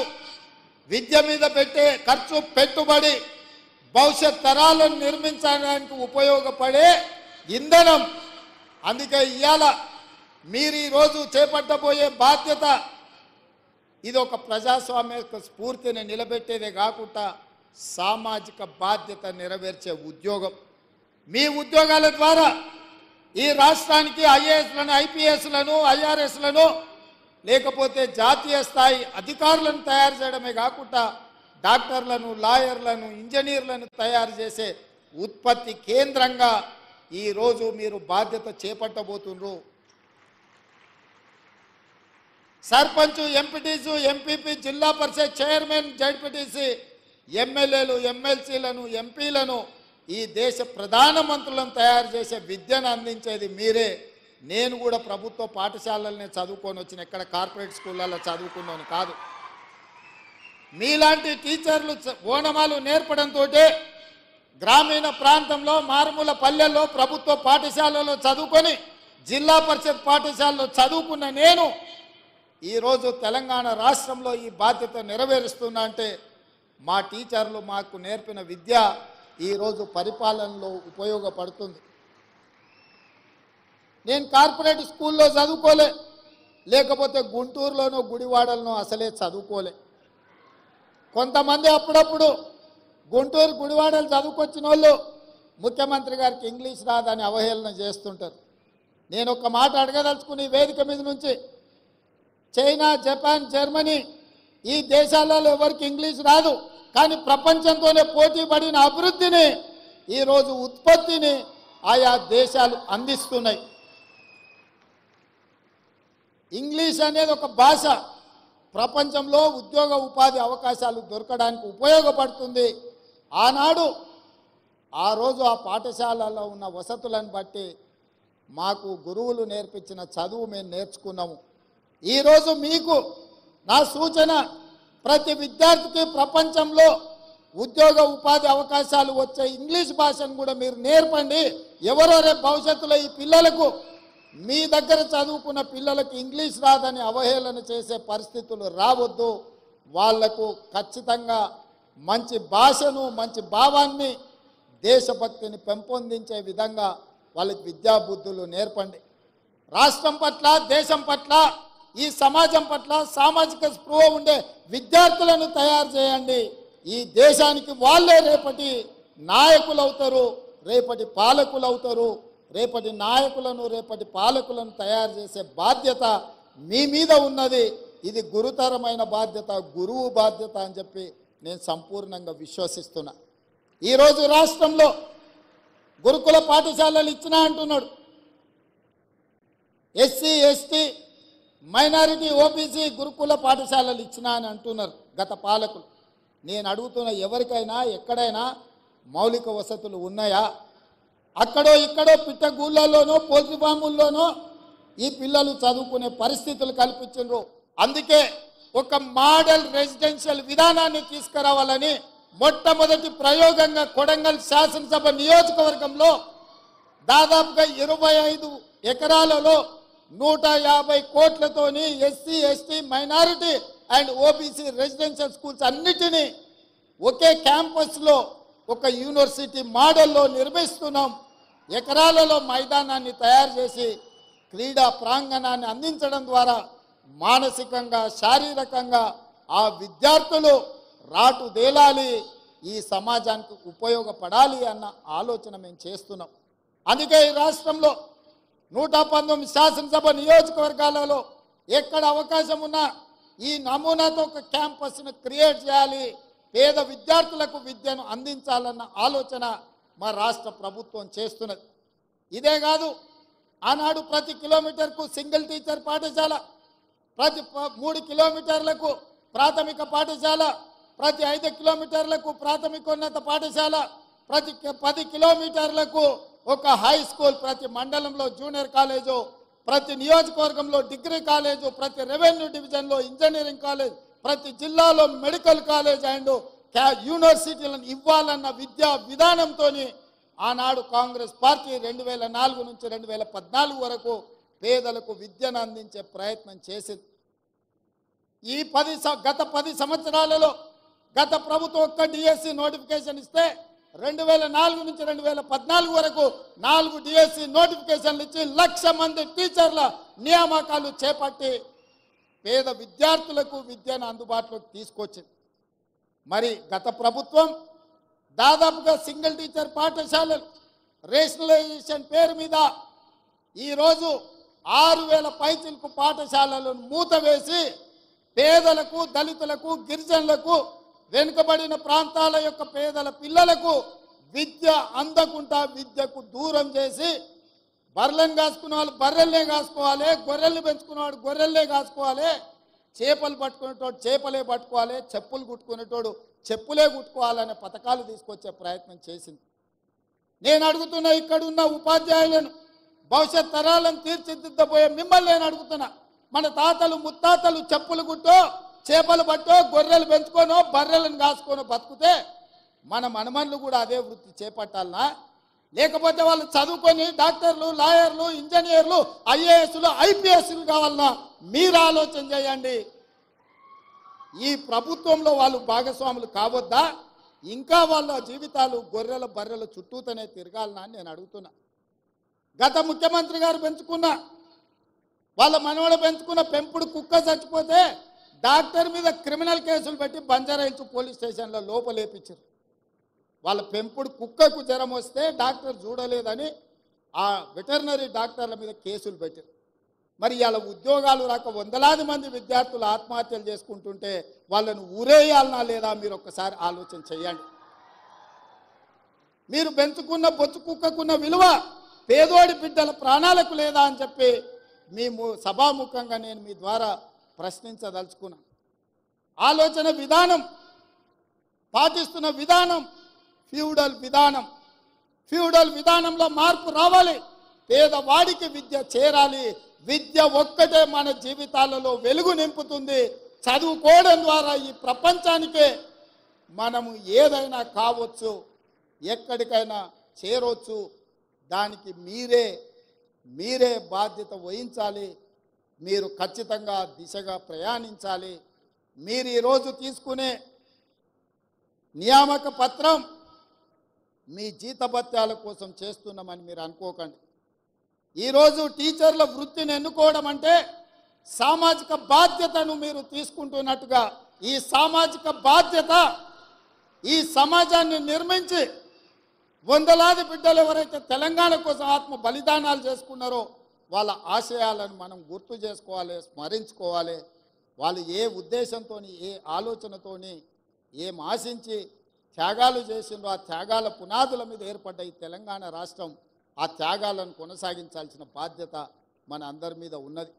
ఇవాళ ఈ నియామక పత్రాలు మేం కష్టపడితే కాదు మా అధికారులు అహర్నిశలు కష్టపడి కోర్టు కేసులను పరిష్కరించి చిక్కుములను అన్నిటిని విప్పి అహోరాత్రులు మా అధికారులు కష్టపడ్డారు. వాళ్ళందరినీ కూడా మీ చప్పట్ల ద్వారా ఒకసారి అభినందించండి. ఇవాళ ఇక్కడ ఏ తప్పిదం లేకుండా ఎవరికి నష్టం జరగకుండా మీ ఉద్యోగ నియామకాల పత్రాలు ఈరోజు మీ చేతికి ఇస్తున్నామంటే మా అధికారుల కృషి కూడా ఉన్నది. యథా రాజా తదా ప్రజా అన్నారు. మాకు మా మంత్రివర్గ సహచరులకు చిత్తశుద్ధి ఉంది. మీకు ఉద్యోగాలు ఇవ్వాలన్న ఆలోచన ఉంది. మీ పట్ల మాకు సానుభూతి ఉంది. మిమ్మల్ని మేము మా కుటుంబ సభ్యులుగా ఈరోజు ఎల్పి స్టేడియం మీ ఇంటికి ప్రతి వాళ్ళ ఇంటికి మేము పంపించవచ్చు నియామక పత్రం. కానీ మీ కళ్ళల్లో ఆనందాన్ని ప్రత్యక్షంగా చూసే అవకాశం మాకు రాదు. మీ కళ్ళల్లో ఆనందం చూడాలి. మీ కుటుంబ సభ్యులు సంతోషపడాలి. రాష్ట్రంలో ఉన్న నాలుగు కోట్ల మంది మీ సంతోషంలో భాగస్వాములను చేయడానికే ఈ ఎల్పి స్టేడియంలో అందరి సమక్షంలో ఈ కార్యక్రమాన్ని చేపట్టినాం. ఇది నిరుద్యోగ యువకులకు స్ఫూర్తిని ఇవ్వాలి. ఆత్మహత్యలు చేసుకుంటున్న నిరుద్యోగ యువకులకు ఒక భరోసాని ఇవ్వాలి. మా ప్రభుత్వం వచ్చింది. మా ఉద్యోగాలు వస్తాయనే ఒక నమ్మకాన్ని కల్పించడానికి ఈ కార్యక్రమాన్ని మేము చేపట్టినాం. ఈ కార్యక్రమం ప్రచారం కోసం కాదు ఈ కార్యక్రమం లక్షలాది మంది నిరుద్యోగ యువకులకు విశ్వాసాన్ని నమ్మకాన్ని కలిగించడానికి ఈ కార్యక్రమాన్ని మేము తీసుకున్నాము. మిత్రులారా భవిష్యత్తులో కూడా తెలంగాణ పబ్లిక్ సర్వీస్ కమిషన్ కంప్లీట్గా ప్రక్షాళన చేసినాం.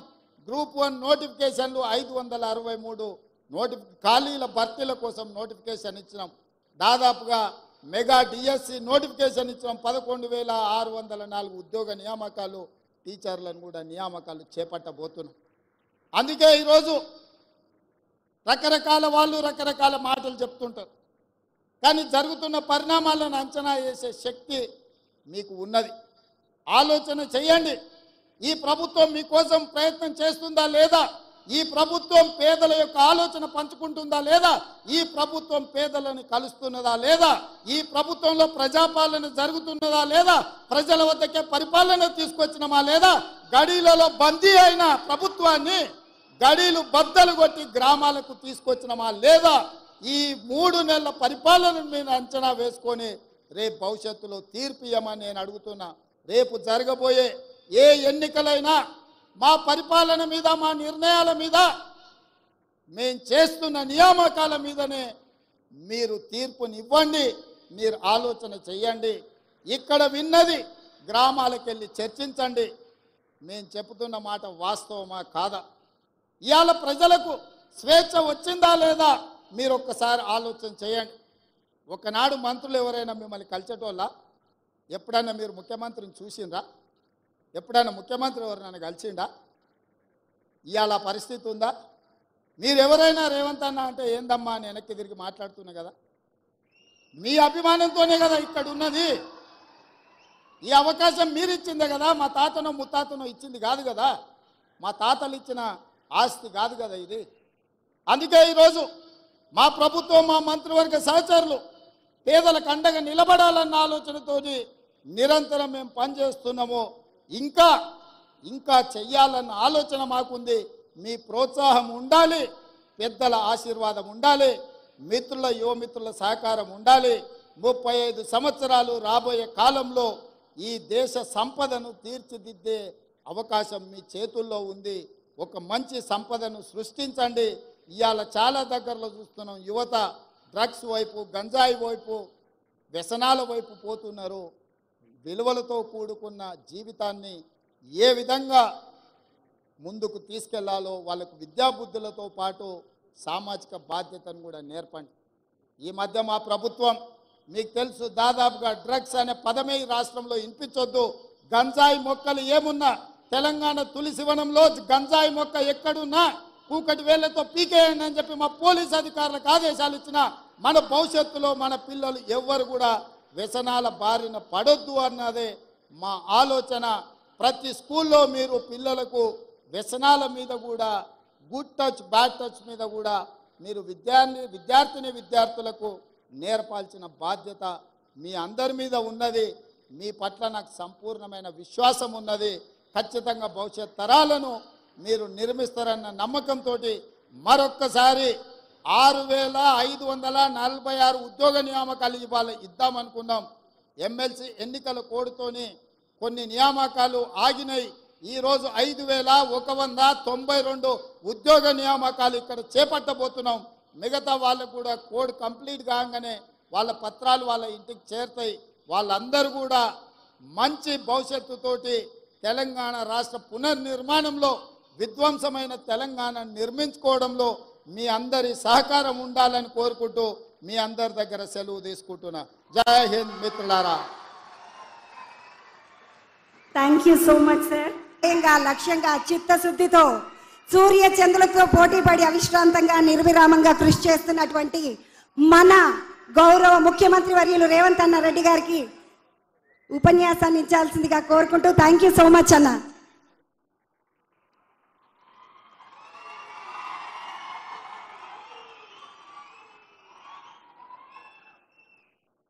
యువమిత్రులందరికీ తెలంగాణ రాష్ట్ర ప్రభుత్వం తరఫున ఈరోజు ఉద్యోగ నియామకాలు ఉద్యోగ ఉద్యోగ నియామక పత్రాలు అందుకొని తెలంగాణ రాష్ట్ర భవిష్యత్తును విద్యార్థి లోకాన్ని తీర్చిదిద్దడానికి ఈ ఎల్బీ స్టేడియానికి వచ్చిన సోషల్ వెల్ఫేర్ టీచర్ ఉద్యోగ నియామకాలు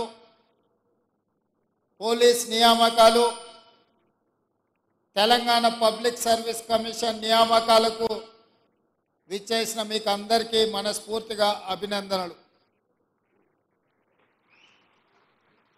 ఈ కార్యక్రమంలో నాతో పాటు హాజరైన మంత్రివర్గ సహచరులు ఉప ముఖ్యమంత్రి వర్యులు బట్టి విక్రమార్క గారు సీనియర్ మంత్రివర్యులు దుద్దిల్ల శ్రీధర్ బాబు గారు తుమ్మల నాగేశ్వరరావు గారు పొన్నం ప్రభాకర్ గారు శ్రీమతి కొండ సురేఖ గారు అదేవిధంగా శాసనసభ్యులు public service commission vice chairman పెద్దలు చిన్నారెడ్డి గారు చీఫ్ సెక్రటరీ గారు డీజీపీ గారు అధికారులందరికీ కూడా హృదయపూర్వకంగా నమస్కారాలు. మిత్రులారా ఎల్బీ స్టేడియం చరిత్రలో శాశ్వతంగా మిగిలిపోతుంది.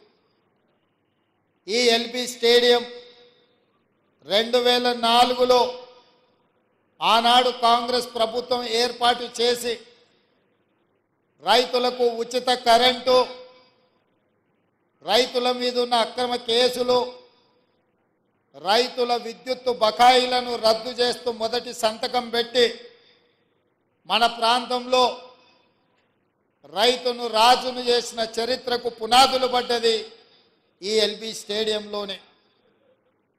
మళ్ళీ రెండు వేల ఇరవై మూడు డిసెంబర్ ఏడు తారీఖు నాడు శ్రీ మల్లికార్జున్ ఖర్గే గారు శ్రీమతి సోనియా గాంధీ గారు శ్రీ రాహుల్ గాంధీ గారు శ్రీమతి ప్రియాంక గాంధీ గారి సమక్షంలో వేలాది మంది తెలంగాణ బిడ్డలు ఇదే ఎల్బీ స్టేడియంలోకి వచ్చి ఇందిరమ్మ రాజ్యంలో ప్రజాపాలన ప్రజా ప్రభుత్వాన్ని ఇక్కడ ఏర్పాటు చేసి అభయహస్తం పేరు మీద ఆరు గ్యారంటీలను అమలు చేయడానికి మళ్ళీ తొలి సంతకం ఇక్కడనే పెట్టడం జరిగింది.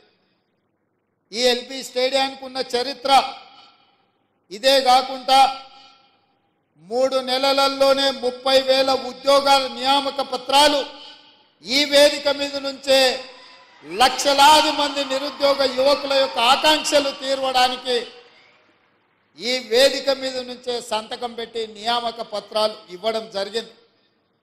అది పోలీస్ శాఖలో కావచ్చు పారామెడికల్ సిబ్బంది కావచ్చు సింగరేణి సిబ్బంది కావచ్చు ఈరోజు గురుకులాలలో టీచర్ల నియామకాలు కావచ్చు ఈరోజు సోషల్ వెల్ఫేర్ టీచర్స్తో పాటు జూనియర్ లెక్చరర్స్ కావచ్చు ఎన్ని ఉద్యోగ నియామకాలు ఈ ఎల్బీ స్టేడియం వేదికగా జరుగుతున్నది అంటే ఖచ్చితంగా రాబోయే చరిత్రలో ఈ ఎల్బీ స్టేడియం శాశ్వతంగా లిఖించడం జరుగుతుందని చెప్పి నేను విశ్వసిస్తున్నా.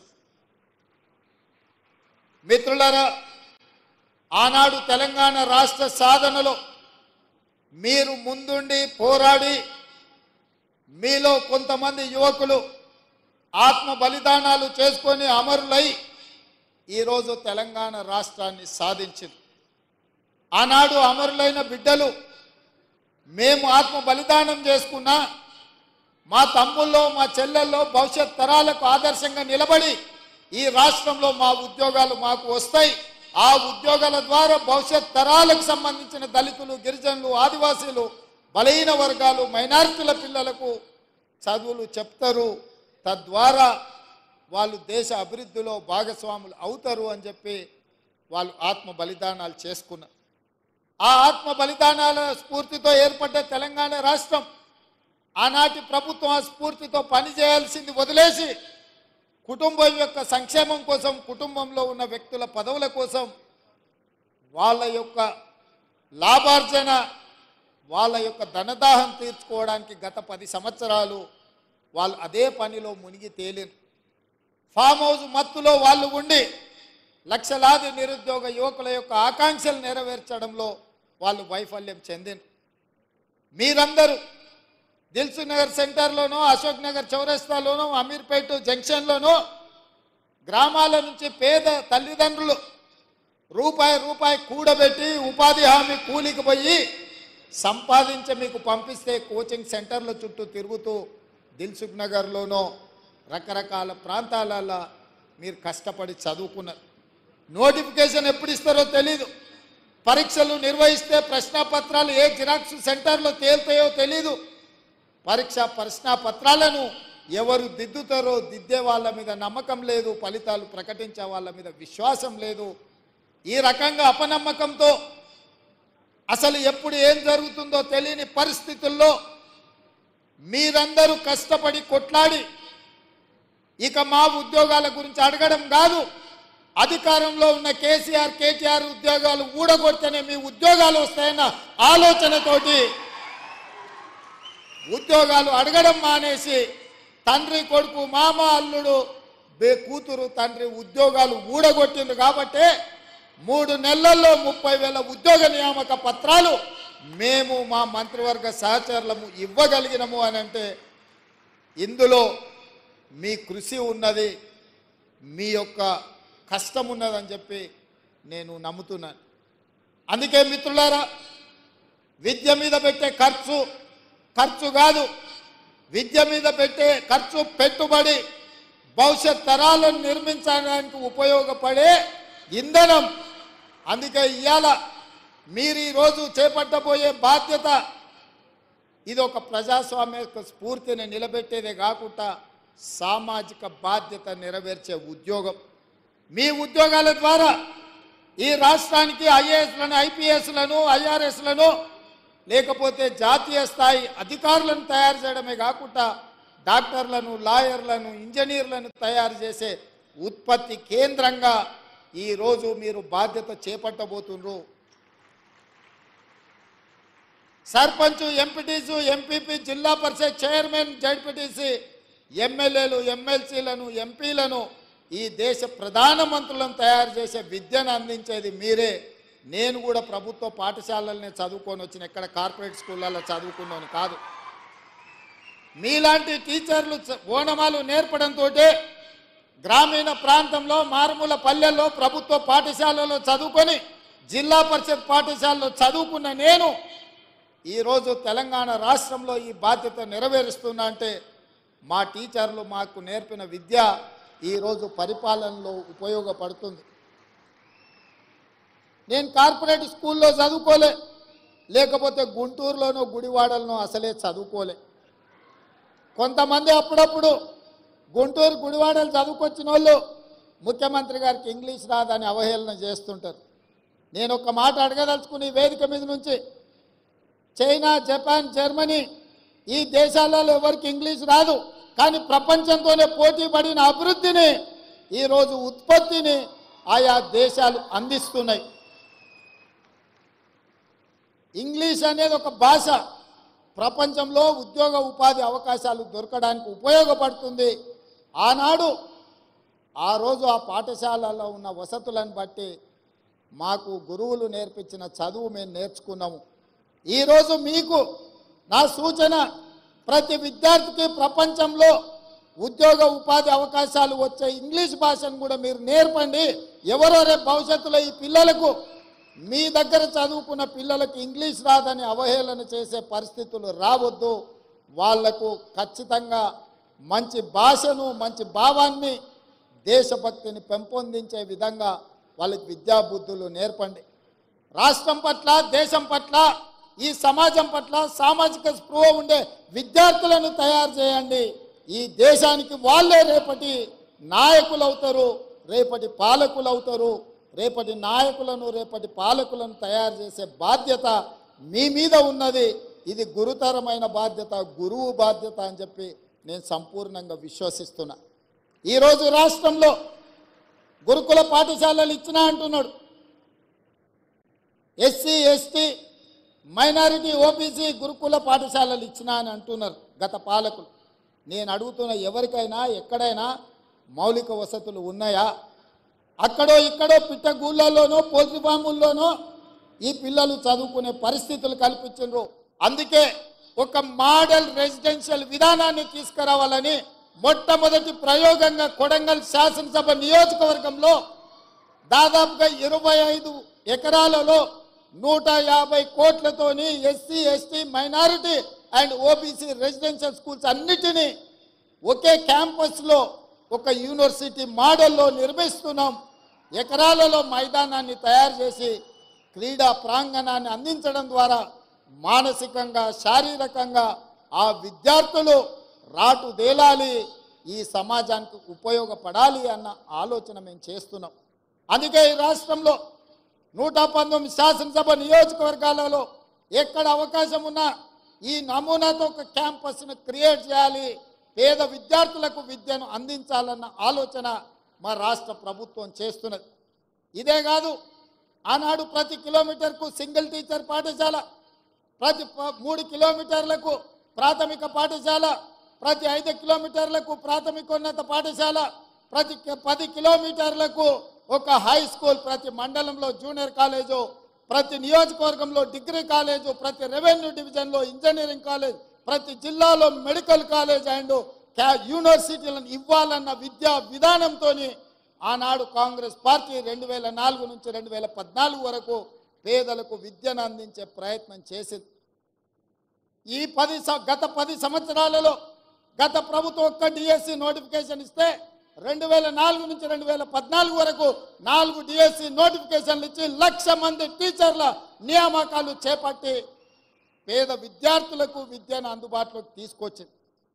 మరి గత ప్రభుత్వం దాదాపుగా సింగిల్ టీచర్ పాఠశాలలు రేషనలైజేషన్ పేరు మీద ఈరోజు ఆరు వేల పైచిలకు పాఠశాలలను మూతవేసి పేదలకు దళితులకు గిరిజనులకు వెనుకబడిన ప్రాంతాల యొక్క పేదల పిల్లలకు విద్య అందకుండా విద్యకు దూరం చేసి బర్రెలను కాసుకునే వాళ్ళు బర్రెల్నే కాసుకోవాలి గొర్రెల్ని పెంచుకున్నవాడు గొర్రెల్నే కాసుకోవాలి చేపలు పట్టుకునేటోడు చేపలే పట్టుకోవాలి చెప్పులు కుట్టుకునేటోడు చెప్పులే కుట్టుకోవాలనే పథకాలు తీసుకొచ్చే ప్రయత్నం చేసింది.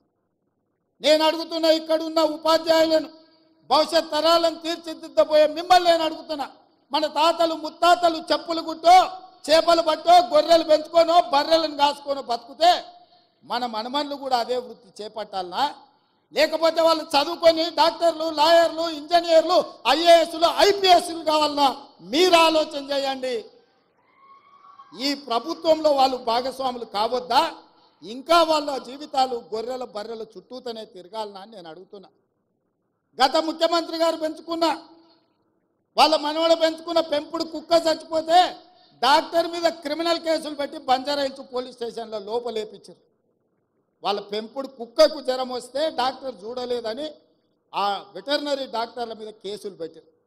మరి ఇవాళ ఉద్యోగాలు రాక వందలాది మంది విద్యార్థులు ఆత్మహత్యలు చేసుకుంటుంటే వాళ్ళను ఊరేయాలనా లేదా మీరు ఒక్కసారి ఆలోచన చేయండి. మీరు పెంచుకున్న బొచ్చు కుక్కకున్న విలువ పేదోడి బిడ్డల ప్రాణాలకు లేదా అని చెప్పి మీ సభాముఖంగా నేను మీ ద్వారా ప్రశ్నించదలుచుకున్నాను. ఆలోచన విధానం పాటిస్తున్న విధానం ఫ్యూడల్ విధానం.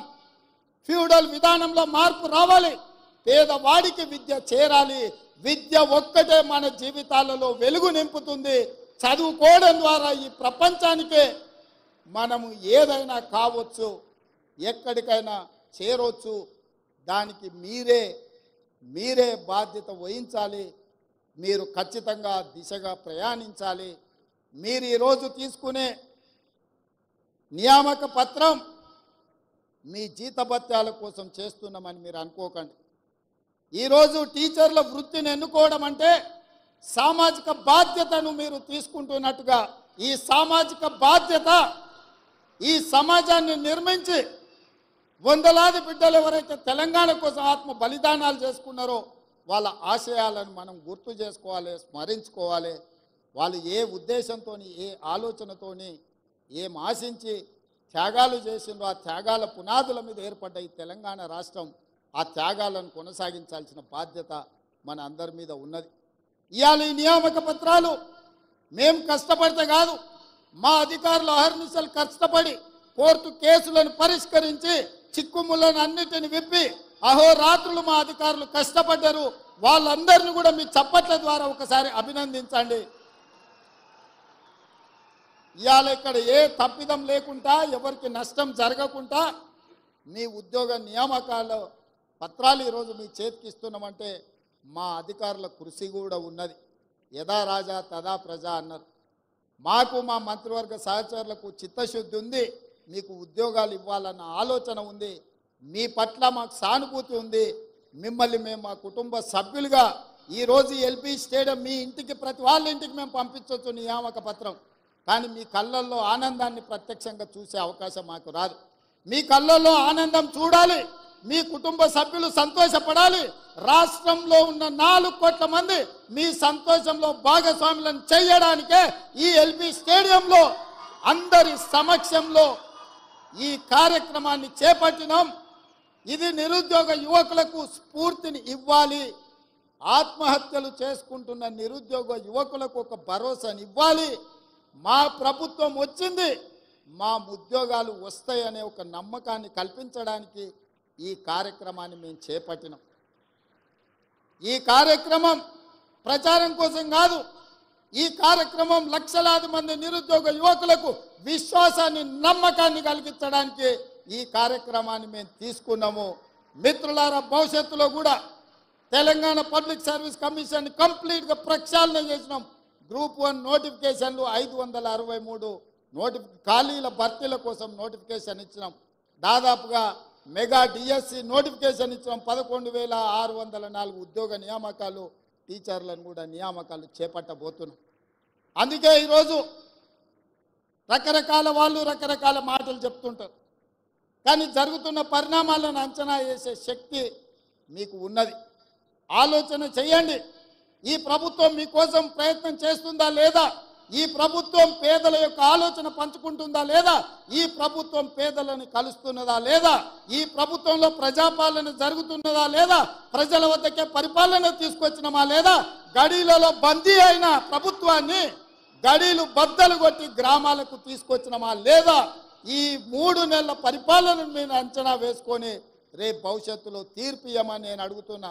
రేపు జరగబోయే ఏ ఎన్నికలైనా మా పరిపాలన మీద మా నిర్ణయాల మీద మేము చేస్తున్న నియామకాల మీదనే మీరు తీర్పునివ్వండి మీరు ఆలోచన చెయ్యండి. ఇక్కడ విన్నది గ్రామాలకు వెళ్ళి చర్చించండి. మేము చెబుతున్న మాట వాస్తవమా కాదా? ఇవాళ ప్రజలకు స్వేచ్ఛ వచ్చిందా లేదా? మీరు ఒక్కసారి ఆలోచన చేయండి. ఒకనాడు మంత్రులు ఎవరైనా మిమ్మల్ని కలిసేటోళ్ళ?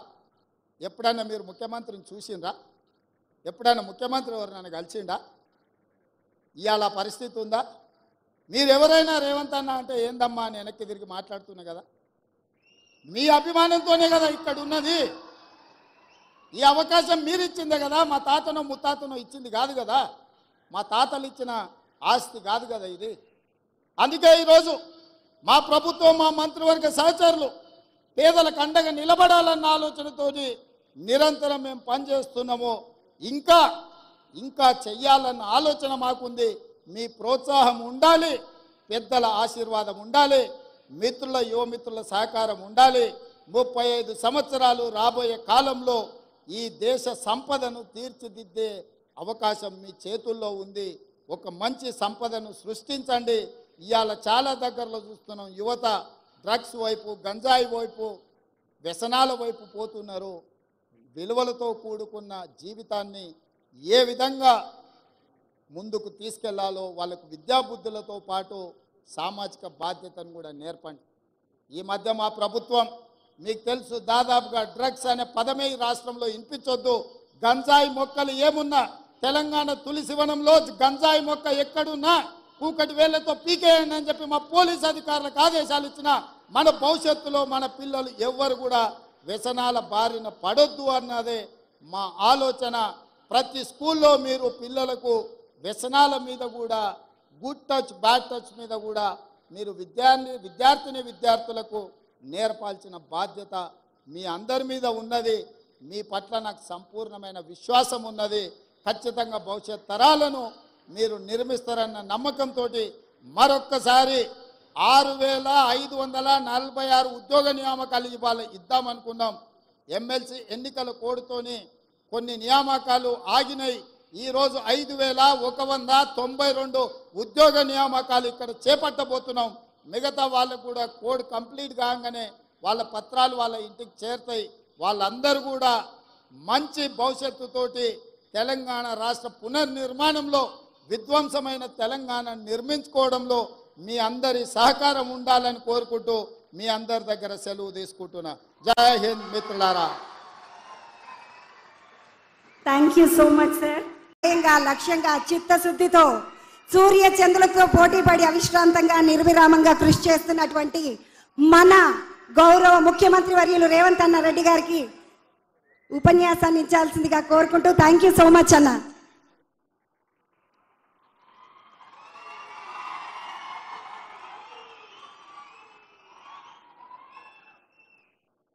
యువమిత్రులందరికీ తెలంగాణ రాష్ట్ర ప్రభుత్వం తరఫున ఈరోజు ఉద్యోగ నియామకాలు ఉద్యోగ ఉద్యోగ నియామక పత్రాలు అందుకొని తెలంగాణ రాష్ట్ర భవిష్యత్తును విద్యార్థి లోకాన్ని తీర్చిదిద్దడానికి ఈ ఎల్బీ స్టేడియానికి వచ్చిన సోషల్ వెల్ఫేర్ టీచర్ ఉద్యోగ నియామకాలు పోలీస్ నియామకాలు తెలంగాణ పబ్లిక్ సర్వీస్ కమిషన్ నియామకాలకు విచ్చేసిన మీకు అందరికీ మనస్ఫూర్తిగా అభినందనలు. ఈ కార్యక్రమంలో నాతో పాటు హాజరైన మంత్రివర్గ సహచరులు ఉప ముఖ్యమంత్రి వర్యులు బట్టి విక్రమార్క గారు సీనియర్ మంత్రివర్యులు దుద్దిల్ల శ్రీధర్ బాబు గారు తుమ్మల నాగేశ్వరరావు గారు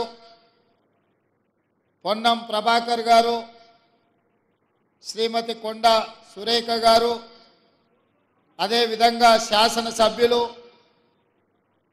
public service commission vice chairman పెద్దలు చిన్నారెడ్డి గారు చీఫ్ సెక్రటరీ గారు డీజీపీ గారు అధికారులందరికీ కూడా హృదయపూర్వకంగా నమస్కారాలు. మిత్రులారా ఎల్బీ స్టేడియం చరిత్రలో శాశ్వతంగా మిగిలిపోతుంది. ఈ ఎల్బీ స్టేడియం రెండు వేల నాలుగులో ఆనాడు కాంగ్రెస్ ప్రభుత్వం ఏర్పాటు చేసి రైతులకు ఉచిత కరెంటు రైతుల మీద ఉన్న అక్రమ కేసులు రైతుల విద్యుత్తు బకాయిలను రద్దు చేస్తూ మొదటి సంతకం పెట్టి మన ప్రాంతంలో రైతును రాజును చేసిన చరిత్రకు పునాదులు పడ్డది ఈ ఎల్బీ స్టేడియంలోనే. మళ్ళీ రెండు వేల ఇరవై మూడు డిసెంబర్ ఏడు తారీఖు నాడు శ్రీ మల్లికార్జున్ ఖర్గే గారు శ్రీమతి సోనియా గాంధీ గారు శ్రీ రాహుల్ గాంధీ గారు శ్రీమతి ప్రియాంక గాంధీ గారి సమక్షంలో వేలాది మంది తెలంగాణ బిడ్డలు ఇదే ఎల్బి స్టేడియంలోకి వచ్చి ఇందిరమ్మ రాజ్యంలో ప్రజాపాలన ప్రజా ప్రభుత్వాన్ని ఇక్కడ ఏర్పాటు చేసి అభయహస్తం పేరు మీద ఆరు గ్యారంటీలను అమలు చేయడానికి మళ్ళీ తొలి సంతకం ఇక్కడనే పెట్టడం జరిగింది.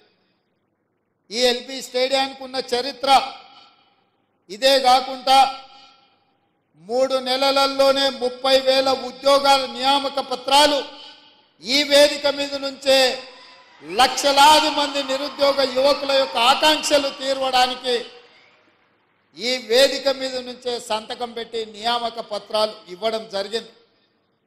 అది పోలీస్ శాఖలో కావచ్చు పారామెడికల్ సిబ్బంది కావచ్చు సింగరేణి సిబ్బంది కావచ్చు ఈరోజు గురుకులాలలో టీచర్ల నియామకాలు కావచ్చు ఈరోజు సోషల్ వెల్ఫేర్ టీచర్స్తో పాటు జూనియర్ లెక్చరర్స్ కావచ్చు ఎన్ని ఉద్యోగ నియామకాలు ఈ ఎల్బీ స్టేడియం వేదికగా జరుగుతున్నది అంటే ఖచ్చితంగా రాబోయే చరిత్రలో ఈ ఎల్బీ స్టేడియం శాశ్వతంగా లిఖించడం జరుగుతుందని చెప్పి నేను విశ్వసిస్తున్నా.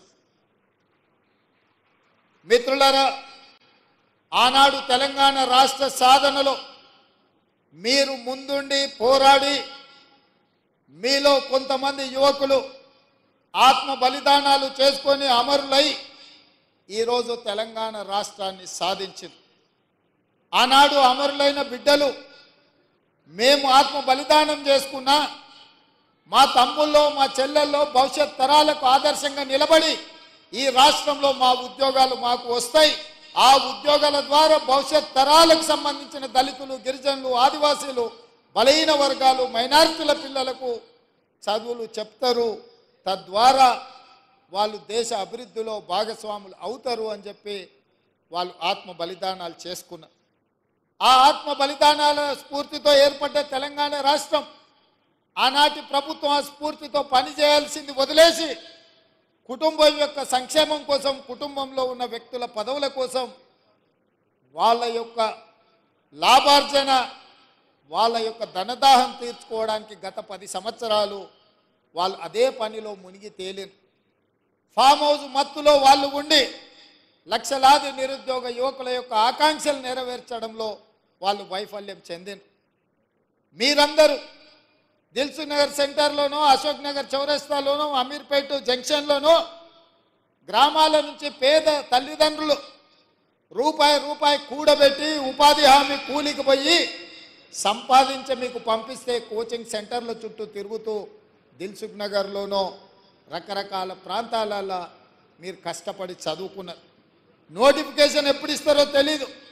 పరీక్షలు నిర్వహిస్తే ప్రశ్నాపత్రాలు ఏ జిరాక్స్ సెంటర్లో తేలుతాయో తెలీదు. పరీక్ష ప్రశ్నాపత్రాలను ఎవరు దిద్దుతారో దిద్దే వాళ్ళ మీద నమ్మకం లేదు ఫలితాలు ప్రకటించే వాళ్ళ మీద విశ్వాసం లేదు. ఈ రకంగా అపనమ్మకంతో అసలు ఎప్పుడు ఏం జరుగుతుందో తెలియని పరిస్థితుల్లో మీరందరూ కష్టపడి కొట్లాడి ఇక మా ఉద్యోగాల గురించి అడగడం కాదు. అధికారంలో ఉన్న కేసీఆర్ కేటీఆర్ ఉద్యోగాలు ఊడగొడితేనే మీ ఉద్యోగాలు వస్తాయన్న ఆలోచనతోటి ఉద్యోగాలు అడగడం మానేసి తండ్రి కొడుకు మామ అల్లుడు బే కూతురు తండ్రి ఉద్యోగాలు ఊడగొట్టింది కాబట్టే మూడు నెలల్లో ముప్పై వేల ఉద్యోగ నియామక పత్రాలు మేము మా మంత్రివర్గ సహచరులము ఇవ్వగలిగినము అని అంటే ఇందులో మీ కృషి ఉన్నది మీ యొక్క కష్టం ఉన్నదని చెప్పి నేను నమ్ముతున్నాను. అందుకే మిత్రులారా విద్య మీద పెట్టే ఖర్చు ఖర్చు కాదు. విద్య మీద పెట్టే ఖర్చు పెట్టుబడి భవిష్యత్ తరాలను నిర్మించడానికి ఉపయోగపడే ఇంధనం. అందుకే ఇవాళ మీరు ఈరోజు చేపట్టబోయే బాధ్యత ఇది ఒక ప్రజాస్వామ్య స్ఫూర్తిని నిలబెట్టేదే కాకుండా సామాజిక బాధ్యత నెరవేర్చే ఉద్యోగం. మీ ఉద్యోగాల ద్వారా ఈ రాష్ట్రానికి ఐఏఎస్లను ఐపీఎస్లను ఐఆర్ఎస్లను లేకపోతే జాతీయ స్థాయి అధికారులను తయారు చేయడమే కాకుండా డాక్టర్లను లాయర్లను ఇంజనీర్లను తయారు చేసే ఉత్పత్తి కేంద్రంగా ఈరోజు మీరు బాధ్యత చేపట్టబోతున్నారు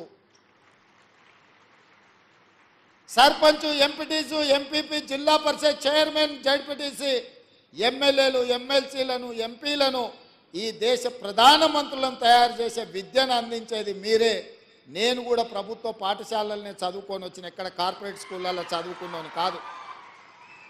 మీలాంటి టీచర్లు ఓనమాలు నేర్పడంతో గ్రామీణ ప్రాంతంలో మారుమూల పల్లెల్లో ప్రభుత్వ పాఠశాలలో చదువుకొని జిల్లా పరిషత్ పాఠశాలలో చదువుకున్న నేను ఈరోజు తెలంగాణ రాష్ట్రంలో ఈ బాధ్యత నెరవేరుస్తున్నా అంటే మా టీచర్లు మాకు నేర్పిన విద్య ఈరోజు పరిపాలనలో ఉపయోగపడుతుంది. నేను కార్పొరేట్ స్కూల్లో చదువుకోలే లేకపోతే గుంటూరులోనో గుడివాడలనో అసలే చదువుకోలే. కొంతమంది అప్పుడప్పుడు గుంటూరు గుడివాడలు చదువుకొచ్చిన వాళ్ళు ముఖ్యమంత్రి గారికి ఇంగ్లీష్ రాదని అవహేళన చేస్తుంటారు. నేను ఒక మాట అడగదలుచుకుని వేదిక మీద నుంచి చైనా జపాన్ జర్మనీ ఈ దేశాలలో ఎవరికి ఇంగ్లీష్ రాదు. కానీ ప్రపంచంతోనే పోటీ పడిన అభివృద్ధిని ఈరోజు ఉత్పత్తిని ఆయా దేశాలు అందిస్తున్నాయి. ఇంగ్లీష్ అనేది ఒక భాష. ప్రపంచంలో ఉద్యోగ ఉపాధి అవకాశాలు దొరకడానికి ఉపయోగపడుతుంది. ఆనాడు ఆ రోజు ఆ పాఠశాలలో ఉన్న వసతులను బట్టి మాకు గురువులు నేర్పించిన చదువు మేము నేర్చుకున్నాము. ఈరోజు మీకు నా సూచన ప్రతి విద్యార్థికి ప్రపంచంలో ఉద్యోగ ఉపాధి అవకాశాలు వచ్చే ఇంగ్లీష్ భాషను కూడా మీరు నేర్పండి. ఎవరో రేపు భవిష్యత్తులో ఈ పిల్లలకు మీ దగ్గర చదువుకున్న పిల్లలకు ఇంగ్లీష్ రాదని అవహేళన చేసే పరిస్థితులు రావద్దు. వాళ్ళకు ఖచ్చితంగా మంచి భాషను మంచి భావాన్ని దేశభక్తిని పెంపొందించే విధంగా వాళ్ళకి విద్యాబుద్ధులు నేర్పండి. రాష్ట్రం పట్ల దేశం పట్ల ఈ సమాజం పట్ల సామాజిక స్పృహ ఉండే విద్యార్థులను తయారు చేయండి. ఈ దేశానికి వాళ్ళే రేపటి నాయకులు అవుతారు రేపటి పాలకులు అవుతారు రేపటి నాయకులను రేపటి పాలకులను తయారు చేసే బాధ్యత మీ మీద ఉన్నది. ఇది గురుతరమైన బాధ్యత గురువు బాధ్యత అని చెప్పి నేను సంపూర్ణంగా విశ్వసిస్తున్నా. ఈరోజు రాష్ట్రంలో గురుకుల పాఠశాలలు ఇచ్చినా అంటున్నాడు. ఎస్సీ ఎస్టీ మైనారిటీ ఓబీసీ గురుకుల పాఠశాలలు ఇచ్చినా అని అంటున్నారు గత పాలకులు. నేను అడుగుతున్న ఎవరికైనా ఎక్కడైనా మౌలిక వసతులు ఉన్నాయా? అక్కడో ఇక్కడో పిట్టగూళ్ళలోనో పోల్ట్రీ ఫాముల్లోనో ఈ పిల్లలు చదువుకునే పరిస్థితులు కల్పించారు అందుకే ఒక మోడల్ రెసిడెన్షియల్ విధానాన్ని తీసుకురావాలని మొట్టమొదటి ప్రయోగంగా కొడంగల్ శాసనసభ నియోజకవర్గంలో దాదాపుగా ఇరవై ఐదు ఎకరాలలో నూట యాభై కోట్లతోని SC ST minority and OBC residential schools అన్నిటినీ ఒకే క్యాంపస్లో ఒక యూనివర్సిటీ మోడల్లో నిర్మిస్తున్నాం. ఎకరాలలో మైదానాన్ని తయారు చేసి క్రీడా ప్రాంగణాన్ని అందించడం ద్వారా మానసికంగా శారీరకంగా ఆ విద్యార్థులు రాటుదేలాలి ఈ సమాజానికి ఉపయోగపడాలి అన్న ఆలోచన మేము చేస్తున్నాం. అందుకే ఈ రాష్ట్రంలో నూట పంతొమ్మిది శాసనసభ నియోజకవర్గాలలో ఎక్కడ అవకాశం ఉన్నా ఈ నమూనాతో ఒక క్యాంపస్ను క్రియేట్ చేయాలి. పేద విద్యార్థులకు విద్యను అందించాలన్న ఆలోచన మా రాష్ట్ర ప్రభుత్వం చేస్తున్నది. ఇదే కాదు ఆనాడు ప్రతి కిలోమీటర్కు సింగిల్ టీచర్ పాఠశాల ప్రతి మూడు కిలోమీటర్లకు ప్రాథమిక పాఠశాల ప్రతి ఐదు కిలోమీటర్లకు ప్రాథమికోన్నత పాఠశాల ప్రతి పది కిలోమీటర్లకు ఒక హై స్కూల్ ప్రతి మండలంలో జూనియర్ కాలేజు ప్రతి నియోజకవర్గంలో డిగ్రీ కాలేజు ప్రతి రెవెన్యూ డివిజన్లో ఇంజనీరింగ్ కాలేజ్ ప్రతి జిల్లాలో మెడికల్ కాలేజ్ అండ్ యూనివర్సిటీలను ఇవ్వాలన్న విద్యా విధానంతో ఆనాడు కాంగ్రెస్ పార్టీ రెండు వేల నాలుగు నుంచి రెండు వేల పద్నాలుగు వరకు పేదలకు విద్యను అందించే ప్రయత్నం చేసింది. ఈ పది గత పది సంవత్సరాలలో గత ప్రభుత్వం ఒక్క డిఎస్సి నోటిఫికేషన్ ఇస్తే రెండు వేల నాలుగు నుంచి రెండు వేల పద్నాలుగు వరకు నాలుగు డిఎస్సి నోటిఫికేషన్లు ఇచ్చి లక్ష మంది టీచర్ల నియామకాలు చేపట్టి పేద విద్యార్థులకు విద్యను అందుబాటులోకి తీసుకొచ్చింది. మరి గత ప్రభుత్వం దాదాపుగా సింగిల్ టీచర్ పాఠశాలలు రేషనలైజేషన్ పేరు మీద ఈరోజు ఆరు వేల పైచిల్పు పాఠశాలలను మూతవేసి పేదలకు దళితులకు గిరిజనులకు వెనుకబడిన ప్రాంతాల యొక్క పేదల పిల్లలకు విద్య అందకుండా విద్యకు దూరం చేసి బర్రెలను కాసుకున్న వాళ్ళు బర్రెల్నే కాసుకోవాలి గొర్రెల్ని పెంచుకున్నవాడు గొర్రెల్నే కాసుకోవాలి చేపలు పట్టుకునేటోడు చేపలే పట్టుకోవాలి చెప్పులు కుట్టుకునేటోడు చెప్పులే కుట్టుకోవాలనే పథకాలు తీసుకొచ్చే ప్రయత్నం చేసింది. నేను అడుగుతున్నా ఇక్కడున్న ఉపాధ్యాయులను భవిష్యత్ తరాలను తీర్చిదిద్దబోయే మిమ్మల్ని నేను అడుగుతున్నా. మన తాతలు ముత్తాతలు చెప్పులు కుట్టో చేపలు పట్టో గొర్రెలు పెంచుకోనో బర్రెలను కాసుకోనో బతుకుతే మన మనమన్లు కూడా అదే వృత్తి చేపట్టాలనా? లేకపోతే వాళ్ళు చదువుకొని డాక్టర్లు లాయర్లు ఇంజనీర్లు ఐఏఎస్లు ఐపీఎస్లు కావాలన్నా మీరు ఆలోచన చేయండి. ఈ ప్రభుత్వంలో వాళ్ళు భాగస్వాములు కావద్దా? ఇంకా వాళ్ళ జీవితాలు గొర్రెల బర్రెల చుట్టూతోనే తిరగాలనా అని నేను అడుగుతున్నా.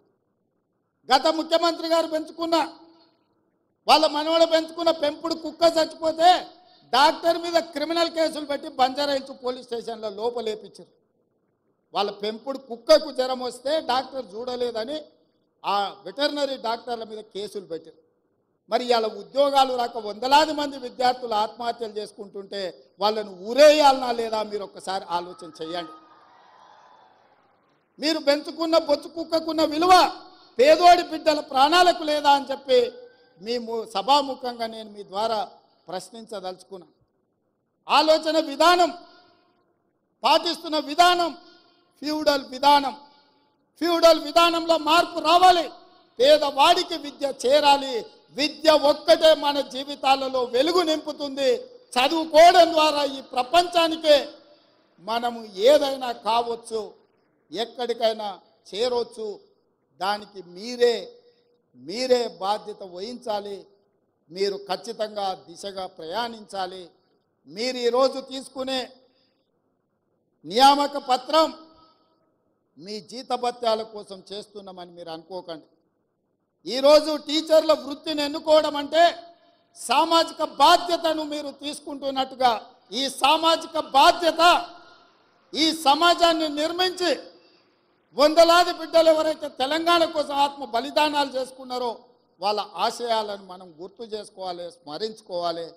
వాళ్ళు ఏ ఉద్దేశంతో ఏ ఆలోచనతోని ఏం ఆశించి త్యాగాలు చేసిండ్రో ఆ త్యాగాల పునాదుల మీద ఏర్పడ్డ ఈ తెలంగాణ రాష్ట్రం ఆ త్యాగాలను కొనసాగించాల్సిన బాధ్యత మన అందరి మీద ఉన్నది.